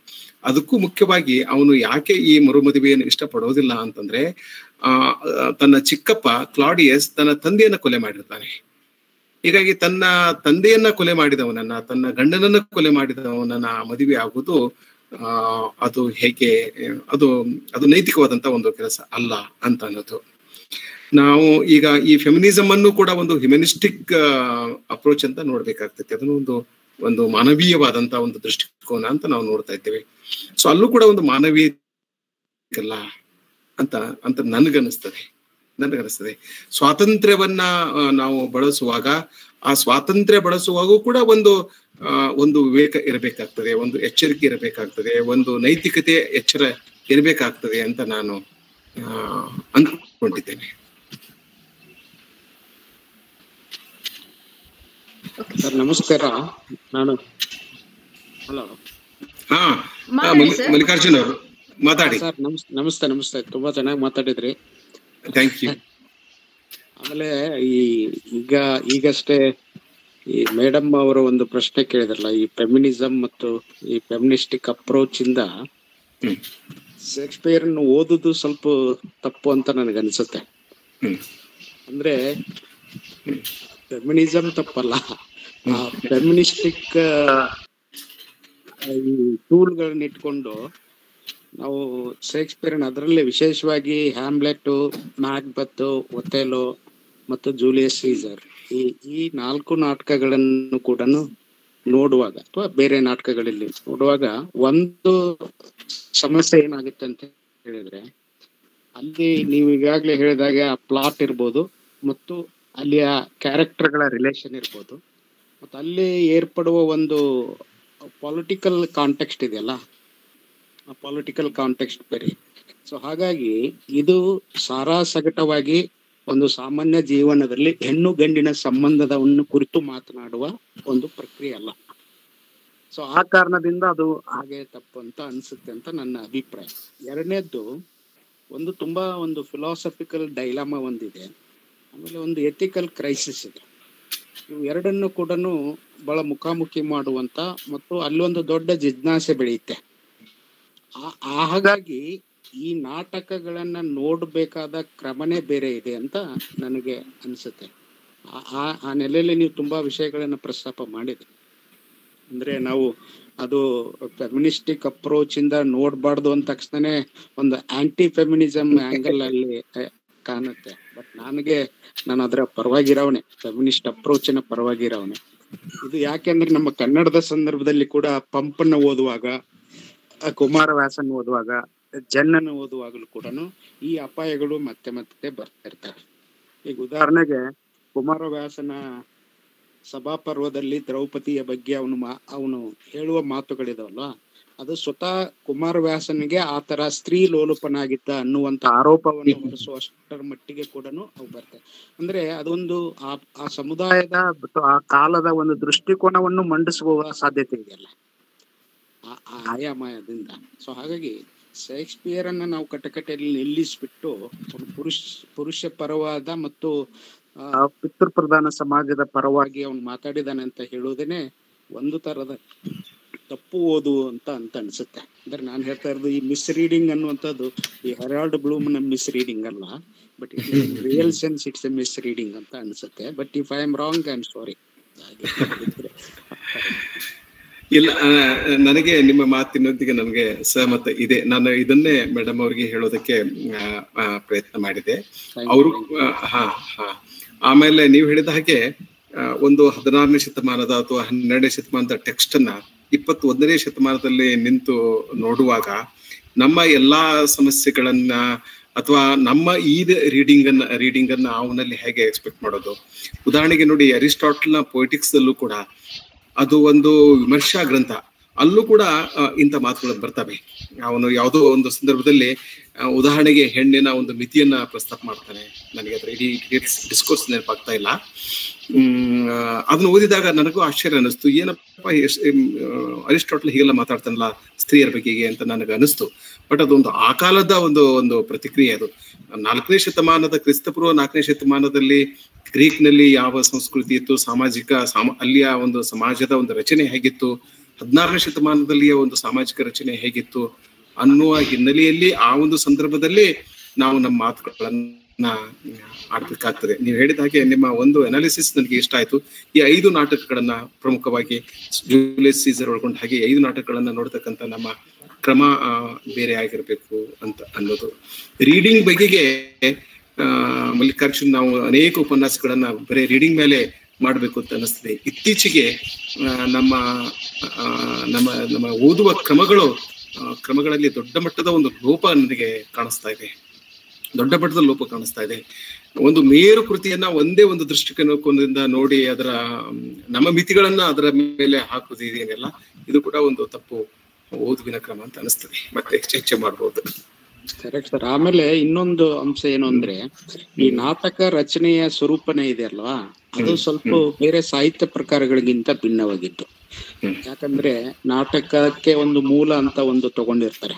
ಅದನ್ನ ಪುರಾಣಗಳಿಂದನೋ ಜಾನಪದದಿಂದನೋ ಯಾವುದೋ ಐತಿಹ್ಯಗಳಿಂದನೋ ಅಥವಾ ಈ ರಾಜಕೀಯ ಚರಿತ್ರೆ ಜನರಿಂದನೋ ತುಗುಲಕ್ ಮೆನ್ಷನ್ ಮಾಡಿದ್ರು ತುಗುಲಕ್ ಇರ್ಬೋದು ತಲೆದಂಡ ಇರ್ಬೋದು, ಅಥವಾ ಬೇರೆ ಬೇರೆ ಕನ್ನಡದ ನಾಟಕಗಳು ಇರ್ಬೋದು, ಅಥವಾ ಶೇಕ್ಸ್ಪಿಯರ್ ಅಥವಾ ಬ್ರೆಕ್ಟ್ನ ನಾಟಕಗಳು. ಅಲ್ಲಿ ಅದು ಇರೋದ್ರಿಂದ, ಆ ಒಂದು ಕಾಂಟೆಕ್ಸ್ಟ್ ಅಲ್ಲಿ ಇರೋದ್ರಿಂದ, ನಾವು ನೇರವಾಗಿ ಇಲ್ಲಿ ಈ ನಾಟಕಕಾರರನ್ನ ಈ ನೆಲೆಯಲ್ಲಿ ನೋಡಕ್ಕಲ್ಲ. ಬಟ್ ನಾಟಕದ ಒಳಗಡೆ ಆ ಆಯಾಮಗಳು ಇವಾಲ್ವ್ ಆಗ್ತಾ ಇದಾವೆ. ಬಟ್ ಆ ಸಂಗತಿಗಳನ್ನ ನಾವು ಈಗ ಅಡ್ರೆಸ್ ಮಾಡ್ಬೋದು, ಅದನ್ನ ಪ್ರಶ್ನೆ ಮಾಡ್ಬೋದು. ಅದ್ರ ಬಗ್ಗೆ ತಕರಾರಿಲ್ಲ ನನಗೆ. ಬಟ್ ಆದ್ರೆ ಶೇಕ್ಸ್ಪಿಯರ್ನೇ ಅವನು ಸ್ತ್ರೀ ವಿರೋಧಿ ಆಗಿದ್ದ ಅಂತ ಹೇಳೋ ಹೇಳೋ ಮಾತನ್ನ ನನಗೆ ಸ್ವಲ್ಪ ಅರ್ಗಿಸ್ಕೊಳಕ್ ಆಗಲ್ಲ ಇದೆ ಇದೆ. ಈ post colonial thinkers post colonial ವಿಮರ್ಶೆ ಕೂಡ ಹೀಗೆ, ಹೀಗೇನೆ. ಅವನು ಈ ಒಂದು ಸಾಮ್ರಾಜ್ಯಶಾಹಿಯ ಪ್ರತಿಪಾದಕ, ಸಾಮ್ರಾಜ್ಯಶಾಹಿಯ ರಕ್ಷಕ ಸಾಮ್ರಾಜ್ಯಶಾಹಿಯ ಪೋಷಕ ಅಂತ ಒಂದು ನಿಲುವು ಬಂದ್ಬಿಡ್ತದಲ್ಲ. ಟೆಂಪೆಸ್ಟ್ ನಾಟಕದಲ್ಲಿನೂ ಬರುತ್ತಲ್ಲ ಈಗ ಅವನು ಪ್ರಾಸ್ಪರಸ್ ಮತ್ತು ಇವನು ಯಾರವನು? ಕ್ಯಾಲಿಬನ್ ಕ್ಯಾಲಿಬನ್, ಕ್ಯಾಲಿಬನ್. ಅದು ಬಟ್ ಒಂದು ಪೋಸ್ಟ್ ಕಲೋನಿಯಲ್ ರೀಡಿಂಗ್ ಆಗಿ ಅಲ್ಲಿ ರಿವರ್ಸ್ ಹಾ ಹಾಗಾದ್ರೆ ಅವನು. ಅದೇ. ಅದು ಪೋಸ್ಟ್ ಪೋಸ್ಟ್ ಕೊಲೋನಿಯಲ್ ಟೆಸ್ಟ್ ಆಗಿ ನೋಡ್ತಾ ಇದ್ದೀವಿ ಅದನ್ನ. ಹೌದು ಹೌದಾ? ಹೌದು. ಹೌದು, ಹೌದು. ನಮಸ್ಕಾರ ಬಸವರಾಜ್ ಅವ್ರೆ. ಹಾ ನಮಸ್ಕಾರ ಸರ್. ನಮಸ್ಕಾರ, ಬಹಳ ಚೆನ್ನಾಗಿ ಮಾತಾಡಿದ್ರಿ, ಖುಷಿ ಅನಿಸ್ತು. ಎಲ್ಲಾ ನಾಟಕಗಳಲ್ಲಿ ರನ್ನನ ಗದಾಯುದ್ಧದಲ್ಲಿ ಮರುಳುಗಳ ಪ್ರಸಂಗ ಅಂತ ಬರ್ತದೆ. ಬಹಳ ಅದ್ಭುತವಾಗಿ, ಯಾಕಂದ್ರ ದುರ್ಯೋಧನನು ಹೋಗ್ತಾ ಇರ್ತಾನೆ ಹೇಳಿಕೆ ಮೇರೆಗೆ, ಅಲ್ಲಿ ಭೀಷ್ಮನನ್ನ ರಕ್ತವನ್ನು ಕುಡಿಬೇಕಂದ್ರೆ ಇನ್ನೂ ಅವನ ಜೀವವನ್ನು ಹಿಡ್ಕೊಂಡಿದ್ದಾನೆ. ನಿನ್ನ ತಮ್ಮನ ರಕ್ತವನ್ನು ಕುಡಿಬೇಕು ಅಂತ ಹೇಳಿದ್ರೆ, ಆಗ್ಲೇ ಭೀಮ್ ಕುಡಿದು ಬಿಟ್ಟಿದ್ದಾನೆ ನಿನ್ನ ರಕ್ತವನ್ನು ಕುಡಿಬೇಕು ಅಂತ ಹೇಳಿ ತಿಳ್ಕೊಂಡು, ಬಹಳಷ್ಟು ಒಂದು ಕುಣಿದಾಟವನ್ನು ಮಾಡ್ತಾ ಇರ್ತವೆ. ಅಂದ್ರೆ ಕಾವ್ಯಗಳಲ್ಲಿ ನಾಟಕಗಳಲ್ಲಿ ಆ ಒಂದು ಭೂತ ಪ್ರಸಂಗ ಅಂದ್ರೆ ದೆವ್ವಗಳನ್ನ ಅಲ್ಲಿ ತರ್ತಕ್ಕಂಥದ್ದನ್ನ ನಾವು ಕಾಣ್ತೀವಿ. ಆ ಹಿನ್ನೆಲೆ ಅದು ಮೊದಲಿಂದನೂ ಬಂದಿದೆ ಏನೋ ಅನ್ನುವಂಥದ್ದು ಗಮನಿಸಬಹುದು ಅಂತ ನನ್ನ ಅನಿಸಿಕೆ. ಸರಿಯಾದ ಸರಿಯಾಗಿದೆ. ನೋಡ್ಬೋದು. ಹೇಳ್ರಿ ಹೇಳ್ರಿ. ಇಲ್ಲ ಆಮೇಲೆ ಚನ್ನಪ್ಪ ಕಟ್ಟಿಯವರು ಒಂದು ಬಹಳ ಒಳ್ಳೆಯ ಪ್ರಯತ್ನವನ್ನ ಮಾಡಿದ್ರು. ಶೇಕ್ಸ್ಪಿಯರ್ನ ದುರಂತ ನಾಟಕಗಳನ್ನ ರಂಜನಗದನ್ನ ಇಟ್ಕೊಂಡು ನೀವು ಅವ್ರ ಮಾತುಗಳನ್ನ ಕೇಳಿದ್ರಲ್ಲ ಆ, ರೀತಿಯ ಒಂದು ಆ, ರೀತಿಯ ಅಧ್ಯಯನ ಕ್ರಮಗಳು ಹೆಚ್ಚು ಹೆಚ್ಚಾಗಿ ಬರಬೇಕು. ಒಳ್ಳೆಯದು. ಅದ್ರ ಮೂಲಕ ಆ, ಒಂದು ಇಂಗ್ಲಿಷ್ ಪಠ್ಯವನ್ನ ಒಂದು ಇಂಗ್ಲಿಷ್ ಕೃತಿಯನ್ನ ಕನ್ನಡ ಕೃತಿಯೊಂದಿಗೆ ಹೋಲಿಕೆ ಮಾಡುವುದರಿಂದ ಅನೇಕ ಲಾಭಗಳು ಇವೆ. ಹೊಸ ವಿಚಾರಗಳು ಬರ್ತವೆ ಬರ್ತವೆ. ಬರ್ತವೆ ಸಂತೋಷ ಸರ್ ಚೆನ್ನಾಗಿ ಮಾತಾಡಿದ್ರಿ ಅಭಿನಂದನೆಗಳು.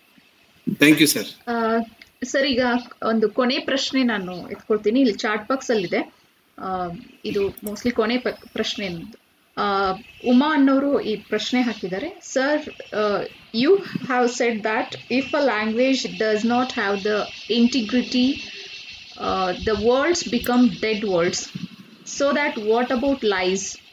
Can we call lies are dead words?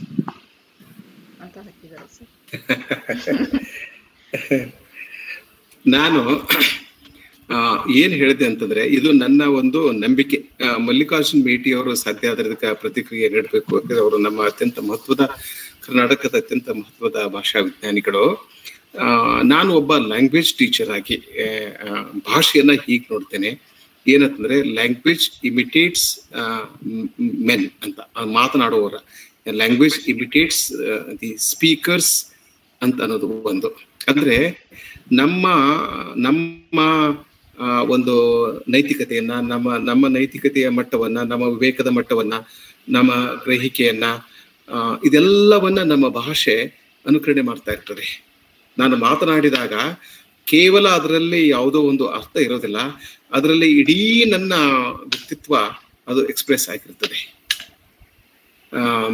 ಈ ಕಾರಣಕ್ಕಾಗಿ ನನ್ನ ಒಂದು ವ್ಯಕ್ತಿಗತ ಜೀವನದಲ್ಲಿ ಒಂದು ಇಂಟಿಗ್ರಿಟಿ ಇರದೇ ಇದ್ರೆ ಟ್ರಾನ್ಸ್ಪರೆನ್ಸಿ ಇರದೇ ಇದ್ರೆ, ಅಥವಾ ಒಂದು ದೊಡ್ಡ ಮಟ್ಟದ ನೈತಿಕತೆ ಇರದೇ ಇದ್ರೆ, ನಾನು ಆಡುವ ಮಾತುಗಳಲ್ಲಿ ಇರೋದಿಲ್ಲ ಅಂತ ನಾನು ಹೇಳಬೇಕಾಗಿತ್ತು. ನಾನು ಅದನ್ನ ಹೇಳುವ ಪ್ರಯತ್ನ ಮಾಡಿದೆ. ಇನ್ನೊಂದು ಏನಂತಂದ್ರೆ, ಶಬ್ದಗಳು ಯಾಕೆ ಹಾಗೆ ಹೇಳ್ತಾನೆ Shakespeare? Words words words words words ಅಂತ ಯಾಕೆ ಹೇಳ್ತಾನೆ? ಹೆಮ್ಲೆಟ್ ಯಾಕೆ ಹೇಳ್ತಾನೆ ಅಂತಂದ್ರೆ ಹೆಮ್ಲೆಟ್ಗೆ ಆ ಯಾಕೋ ಅವನಿಗೆ ಮಾತಿನಲ್ಲಿ ವಿಶ್ವಾಸ ಹೋಗ್ಬಿಟ್ಟಿರ್ತದೆ, ಶಬ್ದಗಳಲ್ಲಿ ವಿಶ್ವಾಸ ಹೋಗ್ಬಿಟ್ಟಿರ್ತದೆ.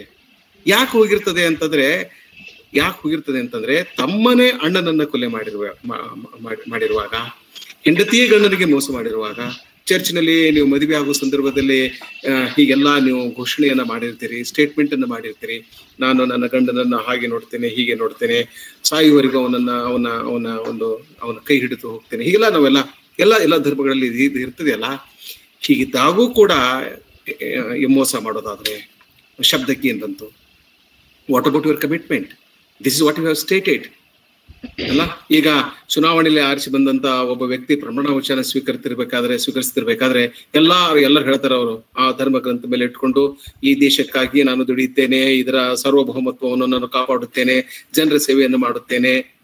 ಯಾರು ಮಾಡಿದ್ರು ಎಪ್ಪತ್ತು ವರ್ಷಗಳಲ್ಲಿ? ಅಲ್ಲೇನಿದೆ? ಶಪಥ ಅಂತಂದ್ರೆ, ನನಗೆ ರಾಜಕಾರಣಿಗಳ ಶಪಥ ತಗೊಳ್ಳೋದು ಅಂತಂದ್ರೆ, ಅದು ಒಂದು ಸುಳ್ಳು, ಅದು, ಅದೊಂದು ಸುಮ್ಮನೆ ಅದೊಂದು ಶಬ್ದಗಳು, ಬರೀ ಶಬ್ದಗಳು. ಕೋರ್ಟ್ನಲ್ಲಿ ಹೋಗ್ತೇವೆ ಧರ್ಮಗ್ರಂಥದ ಮೇಲೆ ಇಟ್ಟು ನಾನು ಪ್ರಮಾಣ ಮಾಡ್ತೇನೆ, ಸತ್ಯವನ್ನು ಬಿಟ್ಟು ಬೇರೆ ಏನು ಹೇಳುವುದಿಲ್ಲ. ಸುಳ್ಳನ್ನು ಬಿಟ್ಟು ನಾನು ಬೇರೆ ಏನು ಹೇಳುವುದಿಲ್ಲ ಅಂತ ಅರ್ಥ ಅದಕ್ಕೆ. ಅಲ್ವಾ? ಆಮೇಲೆ ವೇದಿಕೆ ಮೇಲೆ ನಾವೆಲ್ಲ ಭಾಷಣ ಮಾಡ್ತೇವೆ. ನಾವು ನಾವಾಗಿರ್ತೀವಿ. ಇಲ್ಲೆಲ್ಲ ನಿಂತ್ಕೊಂಡು ಭಾಷಣ ಮಾಡ್ತೀವಿ ಅದ್ಭುತವಾಗಿ ಭಾಷಣ ಮಾಡ್ತೀವಿ. ನಾವು ಹಾಗೆ ಇದ್ದೇವಾ?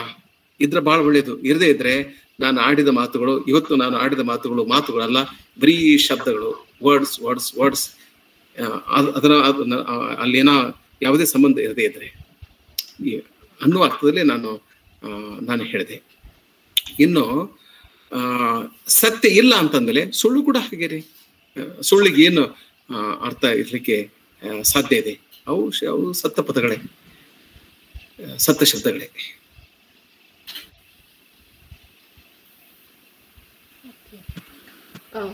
ಥ್ಯಾಂಕ್ ಯು ಸರ್ ಈಗ ನಾನು ಕಾರ್ಯಕ್ರಮವನ್ನ ಕೊನೆಗೊಳಿಸೋಕಿನ ಮುಂಚೆ ಬರುವ ವಿಜಯಲಕ್ಷ್ಮಿ. ಹಾ ಸರ್. ಹ್ಮ್ ಆ, ಮೇಟಿ ಅವರಿದ್ರೆ ಮಲ್ಲಿಕಾರ್ಜುನ್ ಇದ್ದೀರಾ? ಹಾ ಸರ್ ಇದ್ದೀನಿ ಸರ್. ಈ ನೀವು ಇದನ್ನ ಈ ಇದನ್ನ ಒಬ್ಬ ಭಾಷಾ ತಜ್ಞರಾಗಿ ನೀವು ಹೇಗೆ ಇದನ್ನ ಇದಕ್ಕೆ ಪ್ರತಿಕ್ರಿಯಿಸ್ತೀರಿ? ನನ್ನ ಕುತೂಹಲ ಇದು. ನೀವು ಇದೀರಿ ಅಂತ ಕೇಳಿದೆ. ಅಲ್ಲ ಕರೆಕ್ಟ್ ನೀವು ಹೇಳಿದ ವಿಚಾರಗಳು ಸರಿ. ಈಗ ಆ ಭಾಷೆಯಲ್ಲಿ ಅರ್ಥ ಇರಲ್ಲ. ಅರ್ಥವನ್ನ ನಾವು ಆರೋಪಿಸ್ತೀವಿ ಮತ್ತು ಅರ್ಥವನ್ನ ಕಲ್ಪಿಸ್ತೀವಿ. ಸೊ ಹಾಗಾಗಿ ಅರ್ಥ ಅನ್ನೋದು ಒಂದು ಇನ್ಹೆರೆಂಟ್ ಆಗಿರುವ ಫಿನಮಿನ ಅಲ್ಲ ಅದು. ಸೊ ಅಂದ್ರೆ ಅವಾಗ ವರ್ಡ್ಸ್ ವರ್ಡ್ಸ್ ವರ್ಡ್ಸ್ ಅನ್ನುವಂಥದ್ದು ಏನಾಗುತ್ತೆ ಅನ್ನುವಂಥದ್ದು ಒಂದು ಬಿಂಬ ಮಾತ್ರ ಆಗಿರುತ್ತೆ. ಸೊ ಹಾಗಾಗಿ ಅದರ ಬಿಂಬದಲ್ಲಿ ಜೀವ ಇರಲ್ಲ. ಜೀವ ತುಂಬಬೇಕಾಗಿರುತ್ತೆ.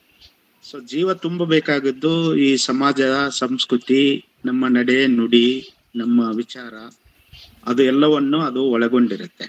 ಸೊ ಹಾಗಾಗಿ ಅಲ್ಲೇ ಅದು ಬಹಳ ಮಾರ್ಮಿಕವಾಗಿದೆ ಈ ಶೇಕ್ಸ್ಪಿಯರ್ನ ಕೆಲವು ಸಂಗತಿಗಳು ನಮಗೆ ಬಿಡಿಸಲಕ್ಕ ಆಗರ, ಆಗಲಾರ್ದಷ್ಟು ಜಟಿಲವು ಮತ್ತು ಅಷ್ಟು ತಾತ್ವಿಕವಾದ ಸಂಕೀರ್ಣತೆಯನ್ನ ಒಳಗೊಂಡಿದೆ. ಈಗ ನೀವು ಅದನ್ನ to be or not to be ಅನ್ನೋದಿರ್ಬೋದು, ಅಥವಾ ಈ ತರದ ವರ್ಡ್ಸ್ ವರ್ಡ್ಸ್ ವರ್ಡ್ಸ್ ಅನ್ನೋದಿರ್ಬೋದು, ಅಥವಾ foul is fair and fair is foul ಅನ್ನೋದಿರ್ಬೋದು so ಈ ತರದ ಸಂಗತಿಗಳನ್ನ ನಾವು ತಗೊಂಡ್ರೆ, ಅದು they appear to be very simple but ಆದ್ರೆ ಅವುಗಳಿಗೆ ಒಂದು ಫಿಲಾಸಫಿಕಲ್ ಕನೋಟೇಶನ್ ಇದೆಯಲ್ಲ ಅದು ಬಹಳ ಕಷ್ಟದ್ದು ಅಂತ ಅನ್ಸುತ್ತೆ. ಹಾಗಾಗಿ ಇಲ್ಲಿ ನಮ್ಮ ಒಂದು ಒಂದು ಇದು ಲ್ಯಾಂಗ್ವೇಜ್ ಅಥವಾ ನಮ್ಮ ನಡೆನುಡಿಗಳು ಇನ್ಸ್ಟಿಟ್ಯೂಷನಲೈಸ್ ಆಗ್ಬಿಟ್ರೆ, ಒಂದು ಸಾಂಸ್ಥಿಕರಣಗೊಂಡಾಗ ಸೊ ಅವುಗಳಿಗೆ ಇರುವ ಅರ್ಥಗಳು ಬೇರೆ ಆಗ್ತಿರ್ತವೆ. ಈಗ ಅವನು ಹ್ಯಾಮ್ಲೆಟ್ ಹೇಳುವಾಗ ವರ್ಡ್ಸ್ ವರ್ಡ್ಸ್ ವರ್ಡ್ಸ್ ಅಂತ ಹೇಳ್ತಾ ಇರುವಾಗ್ಲೇನೆ ಸೊ ಅವನು ಒಂದು ಒಂದು ಇನ್ಸ್ಟಿಟ್ಯೂಷನಲೈಸ್ಡ್ ರೆಪ್ರೆಸೆಂಟೇಟಿವ್ ಆಗಿ ಅವನು ಹೇಳ್ತಾ ಇರ್ತಾನೆ. ಬಟ್ ಈಗ ಒಬ್ಬ ಸಾಮಾನ್ಯನಾಗಿ ಅದನ್ನ ನೋಡಿದಾಗ ಅದಕ್ಕೆ ಬೇರೆ ಅರ್ಥ ಇರುತ್ತೆ. ಸೊ ಹಾಗಾಗಿ ನಾವು, ಈಗ ನಮಗೆ ಸುಮ್ಮನೆ ನನ್ನ ದೇಶದ ಬಗ್ಗೆ ನನ್ನ ಪ್ರೀತಿ ಇದೆ ಅಂತ ನಾನು ಹೇಳಿದ್ರೆ ಸೊ ನಾನು ಹೇಳ್ತಾ ಇರುವ ಪ್ರೀತಿ ಬೇರೆ. ಅಂದ್ರೆ ನನ್ ನನ್ನ ದೇಶ ಅನ್ನೋದಕ್ಕೆ ನನ್ನ, ನನಗೆ ಒಂದು ಇದೆ, ನಂದು ಅದು ಅನ್ನುವಂತ ಒಂದು ನನ್ನನ್ನು ಒಳಗೊಂಡಿದೆ ಅಥವಾ ನಾನು ಅದನ್ನು ಒಳಗೊಂಡಿದ್ದೀನಿ ಅನ್ನುವಷ್ಟು ಮಟ್ಟಿಗೆ ಅದು ಸೀಮಿತವಾಗಿರುತ್ತೆ. ಆದ್ರೆ ನಮ್ಮ ರಾಷ್ಟ್ರವನ್ನ ನಿಭಾಯಿಸ್ತಾ ಇರುವವರು ನಿರ್ವಹಿಸ್ತಾ ದೇಶ ಪ್ರೇಮ ಅಂತ ಹೇಳಿದ್ರೆ ಅವ್ರಿಗೆ ಅವ್ರಿಗೆ ಅವ್ರ ಅರ್ಥ ಬೇರೆ ಇದೆ. ಸೊ ಹಾಗಾಗಿ ಅದು ಅದು ಸ್ವಲ್ಪ ಕಷ್ಟದ ಪ್ರಶ್ನೆ ಅಂತ ಅನ್ಸುತ್ತೆ ಸರ್ ನನಗೆ thank you thank you okay sir thank you ಚೆನ್ನಾಗಿದೆ ನಿಮ್ಮ ವಿವರಣೆ. ಥ್ಯಾಂಕ್ ಯು ಸರ್ ಆಯ್ತು ವಿಜಯಲಕ್ಷ್ಮಿ ಯಾವ ಯಾವ ಪ್ರಶ್ನೆ ಇಲ್ಲ ಅಂತಂದ್ರೆ ನೀವು ಮು- ಮುಗಿಸ್ಬೋದು ಕೆಲವೊಂದು ಎರಡ್ ಮೂರು ಪ್ರಶ್ನೆ ಇತ್ತು ಸರ್ ಆಲ್ರೆಡಿ ನೀವು ಅದ್ರ ಬಗ್ಗೆ ಡಿಸ್ಕಷನ್ ಸೆಷನ್ ಅಲ್ಲಿ ಅದನ್ನ ಎಲಾಬ್ರೇಟ್ ಮಾಡಿದೀರಿ ಅನ್ನೋ ಕಾರಣಕ್ಕೆ ನಾನು ಅದನ್ನ ಅಲ್ಲಿಗೆ ಯಾರಾದ್ರೂ ಪ್ರಶ್ನೆ ಕೇಳುದಿದ್ರೆ ಕೇಳಿ ಇನ್ನೊಂದು ಇನ್ನೊಂದು ಪ್ರಶ್ನೆಗೆ ಅವಕಾಶ ಕೊಡಿ. ಇಲ್ಲ ಅಂದ್ರೆ ಮುಗಿಸ್ಬಿಡಿ. ವಿನಯ್. ಮಾತಾಡಿ ಹಲೋ. ಹಲೋ. ಮೇಡಮ್ ಮಾತಾಡಿ ಮೇಡಮ್ ಹಲೋ ನಮಸ್ತೆ ಸರ್. ಮುಮ್ತಾಜ್ ಬೇಗಂ ಅಂತ ಹೇಳಿ ಗಂಗಾವತಿಯಿಂದ. ಆ, ನಾನು ನಿಮ್ಮ ಮಾತುಗಳನ್ನು ಕೇಳಿದೆ ಬಹಳ ಅದ್ಭುತವಾದಂತಹ ಉಪನ್ಯಾಸವನ್ನು ಕೊಟ್ರಿ. ಆದ್ರೆ ನನಗೊಂದೇನು ನೀವು ಹೇಳೋ ಮಾತಿಗೆ ನಾನು ಒಂದಿಷ್ಟು ವಿಸ್ತರಿಸೋದಾದ್ರೆ ಒಂದೆರಡು ಅಂಶಗಳನ್ನ ನಿಮ್ಮ ಇಲ್ಲಿ ಮಾತನಾಡ್ಲಿಕ್ಕೆ ಇಷ್ಟಪಡ್ತೀನಿ. ಯಾಕೆ ಅಂತಂದ್ರೆ ಈ ಸ್ತ್ರೀವಾದಿ ಹಿನ್ನೆಲೆಯಲ್ಲಿ ಚರ್ಚೆ ಮಾಡ್ತಾ ಒಂದಿಷ್ಟು ಮಾತುಗಳು ಬಂದ್ವು.